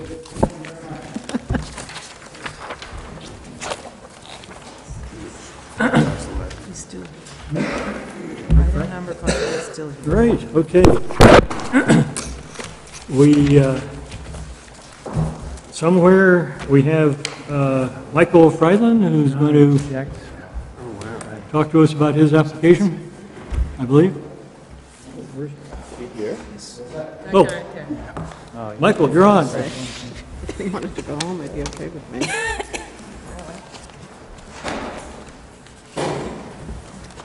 I'm gonna grab the memory stick out of here. Hopefully. Let me, uh, aha, okay, uh, let me, hang on, just, uh, Michael, just for the record, let me uh, So based- based on, read this in. Uh, Michael Friedland is requesting site plan review of the change of use of the developed property we got an hour. located at 535 Shore Road. The building includes retail on the first floor and a multifamily unit on the second floor. The building predates site plan review. The applicant would like to operate an office on the first floor, which is a change of use triggering site plan review because no site plan has been approved for the site.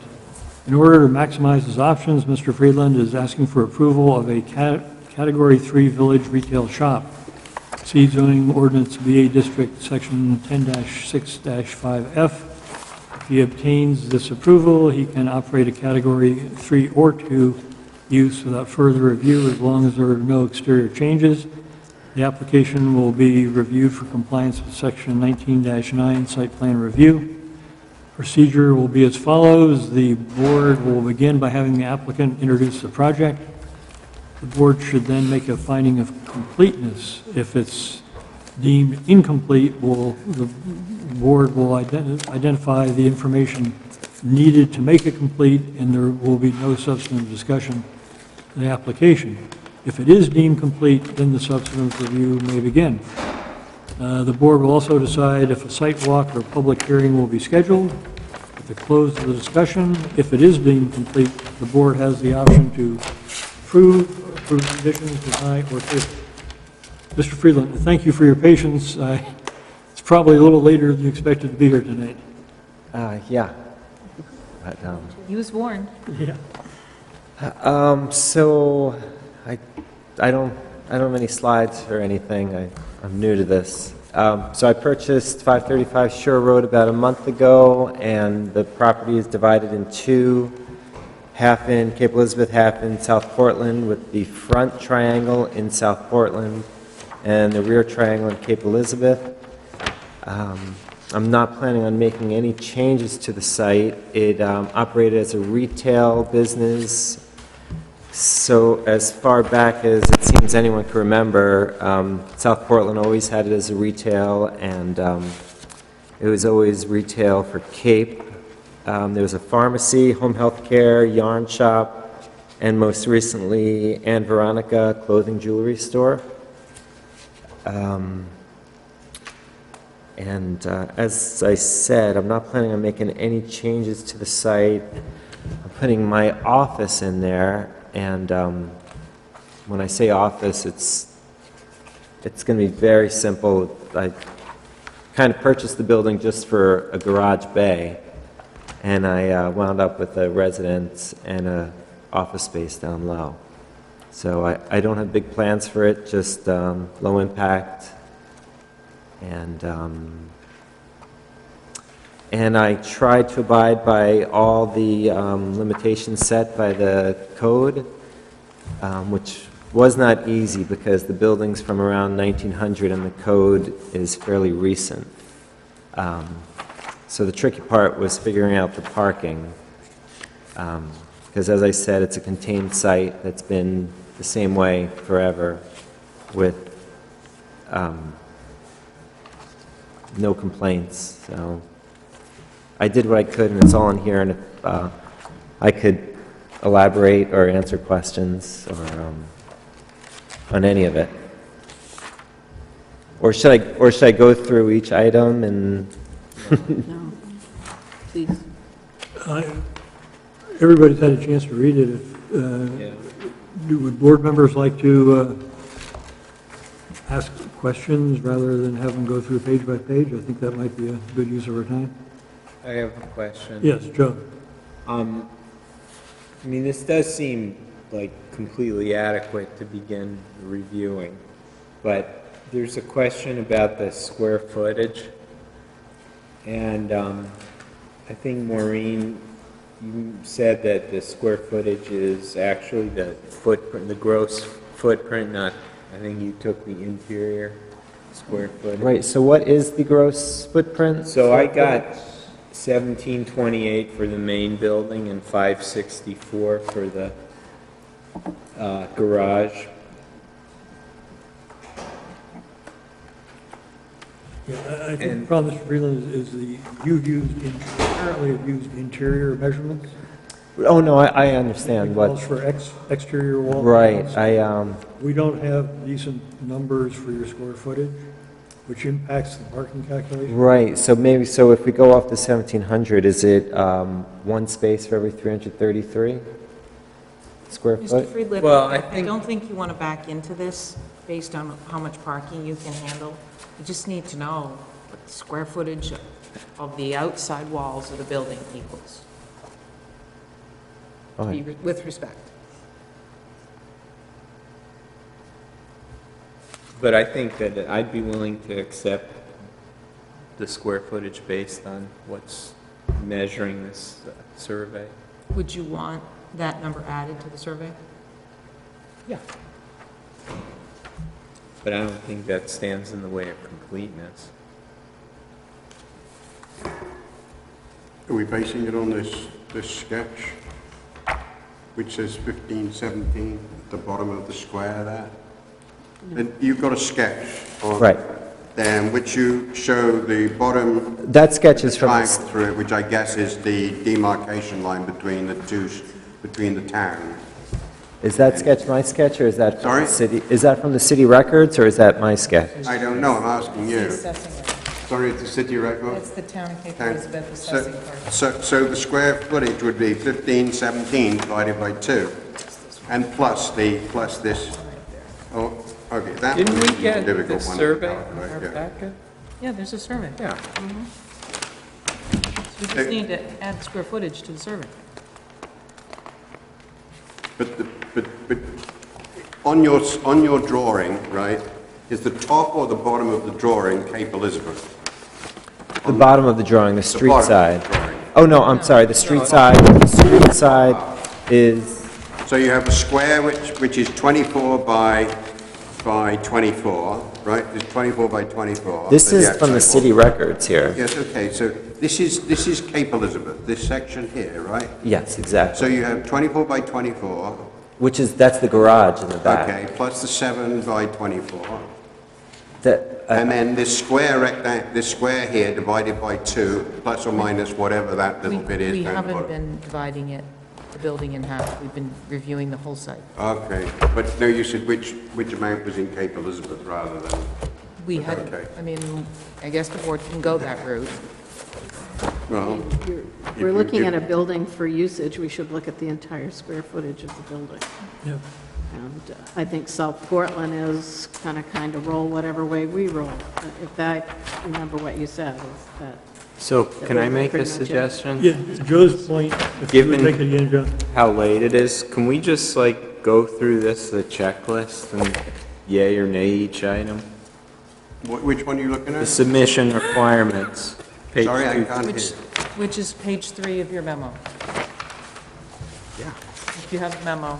Right. Page three is the site plan review submission checklist.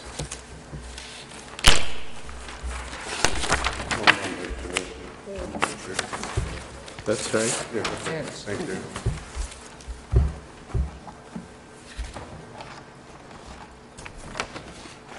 Okay, so right title and interest, we have key map, et cetera. Um, Lot line dimensions, we have.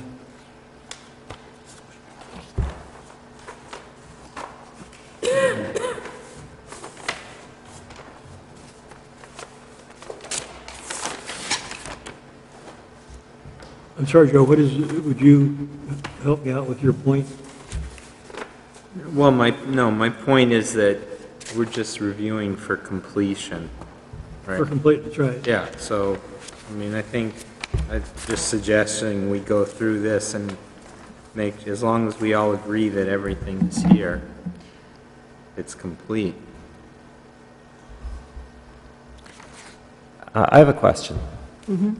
So if the square footage is 1728, and, and I have to say that part of that 1728 is a boiler room and a staircase to the second floor, which isn't at all part of the office space. It's the gross.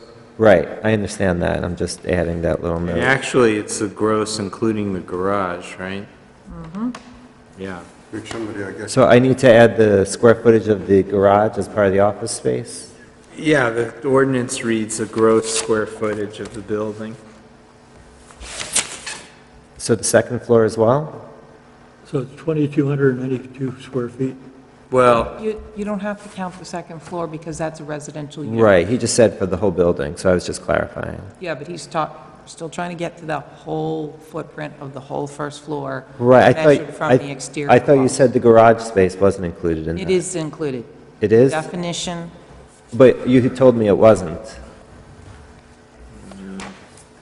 the definition on page two of the memo for floor area of a structure, which is in the zoning ordinance, says the sum of the contiguous horizontal areas of the floors of a structure enclosed by exterior walls, including unfinished areas within the exterior walls, and attached garages, and excluding basement space, porches, and decks.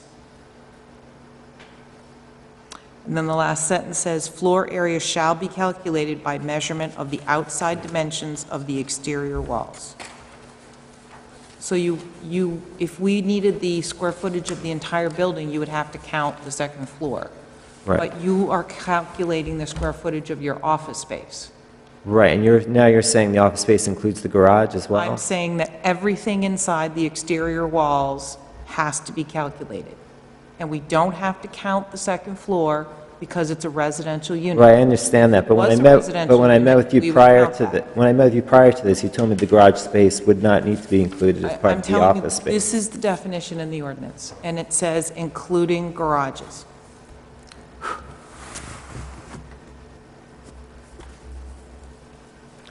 Um, so then if we go by that, so if, Defined. what was You that? take this sketch, you've already defined. Because that's what Maureen asked for, the outer dimensions of the building, and you've already defined it. It's just that you've got to calculate 576, 168, 1517, and 296, and that's it. I don't have a Henry, what are mind you, to add that Henry, up. what are you reading from? What? The assessing card. Reading from the assessor page. The Yeah, the that's assessing not map is not what we're, surveys. we're not using that. Have to use the survey. It's a, it's this, this guy right here. So, uh, Maureen, correct me if I'm wrong, we need an accurate square footage to calculate the parking requirements from which Mike is uh, requesting some relief. And, and I also believe you need an accurate square footage in order to grant an approval. Because typically, when you grant approvals for types of uses, other than residential, you quote a specific square footage. So are you saying you want the surveyor to represent what it is? I think we need a measurement that goes from the exterior walls. Okay. And one way to, I mean, this is the problem. One way to do it would be to use the survey that the applicant has submitted. Another way to do it would be to use the assessing card. But I don't think calculating the interior walls, which was done on one page of the applicant's application, meets the definition. No. Well, th- this, this is what we're working with now, and it doesn't meet the definition. Which one are you looking at now? Given the hour, would it make sense to find this is not complete and come back the next meeting with the measurements and the, the detail of your request on parking, using the correct measurements? Sure. Would that be a problem?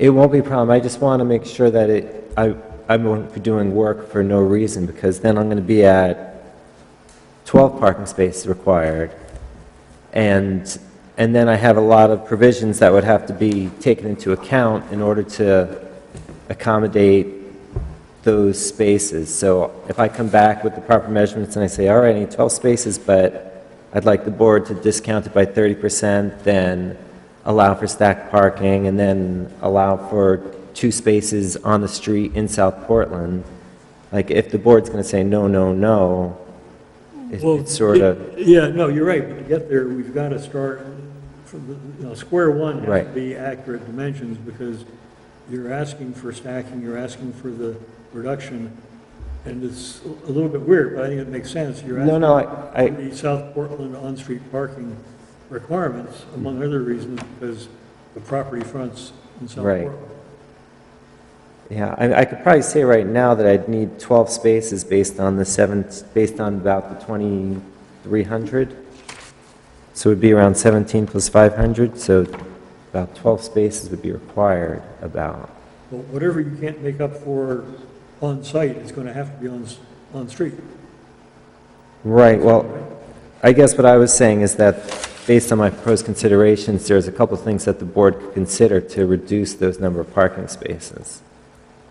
Because I've searched off-site, and there is no off-site parking. I've checked everywhere. Substantive discussion. Yeah, that would, that is substantive. Um, Tell you what, let me suggest to the board that we find that it's not complete, ask Mr. Friedland to come back for the next meeting with the data and work in the meantime with Maureen to formulate a scheme, if you will, or a request to handle the parking requirement, whatever it might be. All right, yeah, I've been working on that. Um, I ask one I'll? I'll come back with the new dimensions and the new number of parking spaces needed. May I ask one question? And I, this is for Maureen. I, I missed the workshop and maybe this was discussed at that time. Um, but how did this place function beforehand? It is I- I- a I- building, yeah, it's a building that predates any development review. So it has no site plan review. It was built before we regulated this type of thing. Okay. So- Because he's a new owner, he's now. It's not the, u- he's, grandfathered in. he's changing the use. New use. Ah. And under the ordinance, if you want to change the use, you trigger site plan review, which drags him into all of this. He's changing the use from a commercial, From, re- from retail to office. gotcha, all right. And I have one other question. If, if it comes to light that I need 12 parking spaces and I can only provide four, can I just not use the building? Is there, like, I, I don't know what happens. Is there just an impasse where that this building can't be functional? Maureen, can- can I ask you a question? Sure. So you're saying that we have to do this because the applicant wants to change the use, Yes. but the approval that the applicant is requesting is not for a change of use. He's requesting an approval for the historic use. He isn't, he's, he's actually going from a grand, and I know it seems strange, but he's, he's going from a grandfathered retail use to a site plan approved category three village retail, which allows him both to operate village retail type uses and category two type uses. Which requires more parking, retail or The- It, Or it goes back and office. forth. It- I mean, one parking is based on square foot, there- there's two different square footage requirements, and then they also talk about employees. So. I guess I'm a little troubled to kind of um, permanently give our stamp of approval to a property that has four parking places, Yep. where our standards would require 12. Yes. Um, So I'm wondering if there isn't some other way to accomplish, Not that the code enforcement officer and I have been able to figure out. Well, Can I ask the gentleman a question? It, are you going to be retail there, or you- No. is it just a retail, op- well, I was going to say, is it just going to be a retail space that just never, never has customers? The the, the concern is that the applicant is working with both Town of Cape Elizabeth and City of South Portland regulations. And the irony is that in Cape Elizabeth, he is closer to a conforming use than he is in South Portland.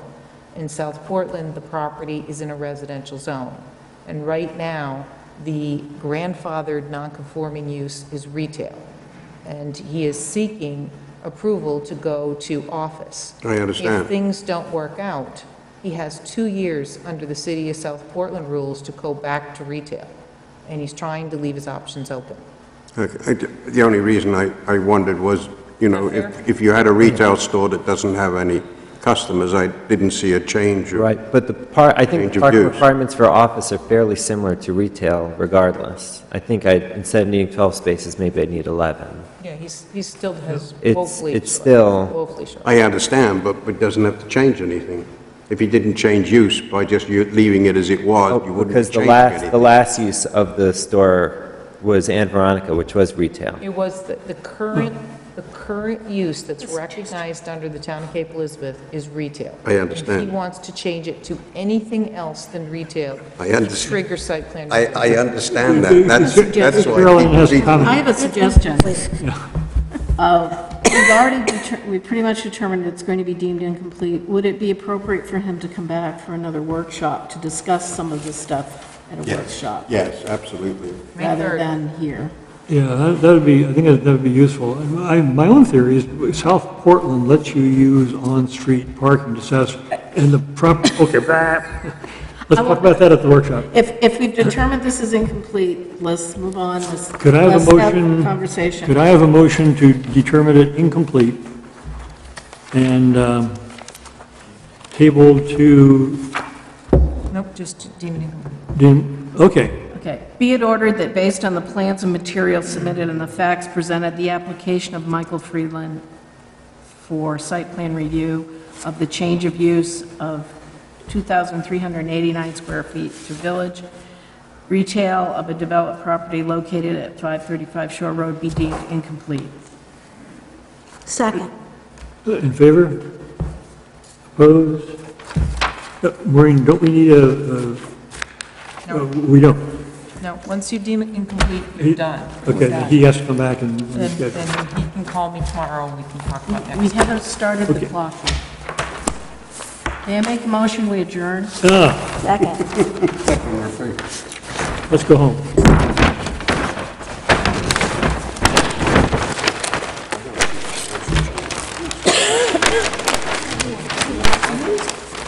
One of those all long meetings.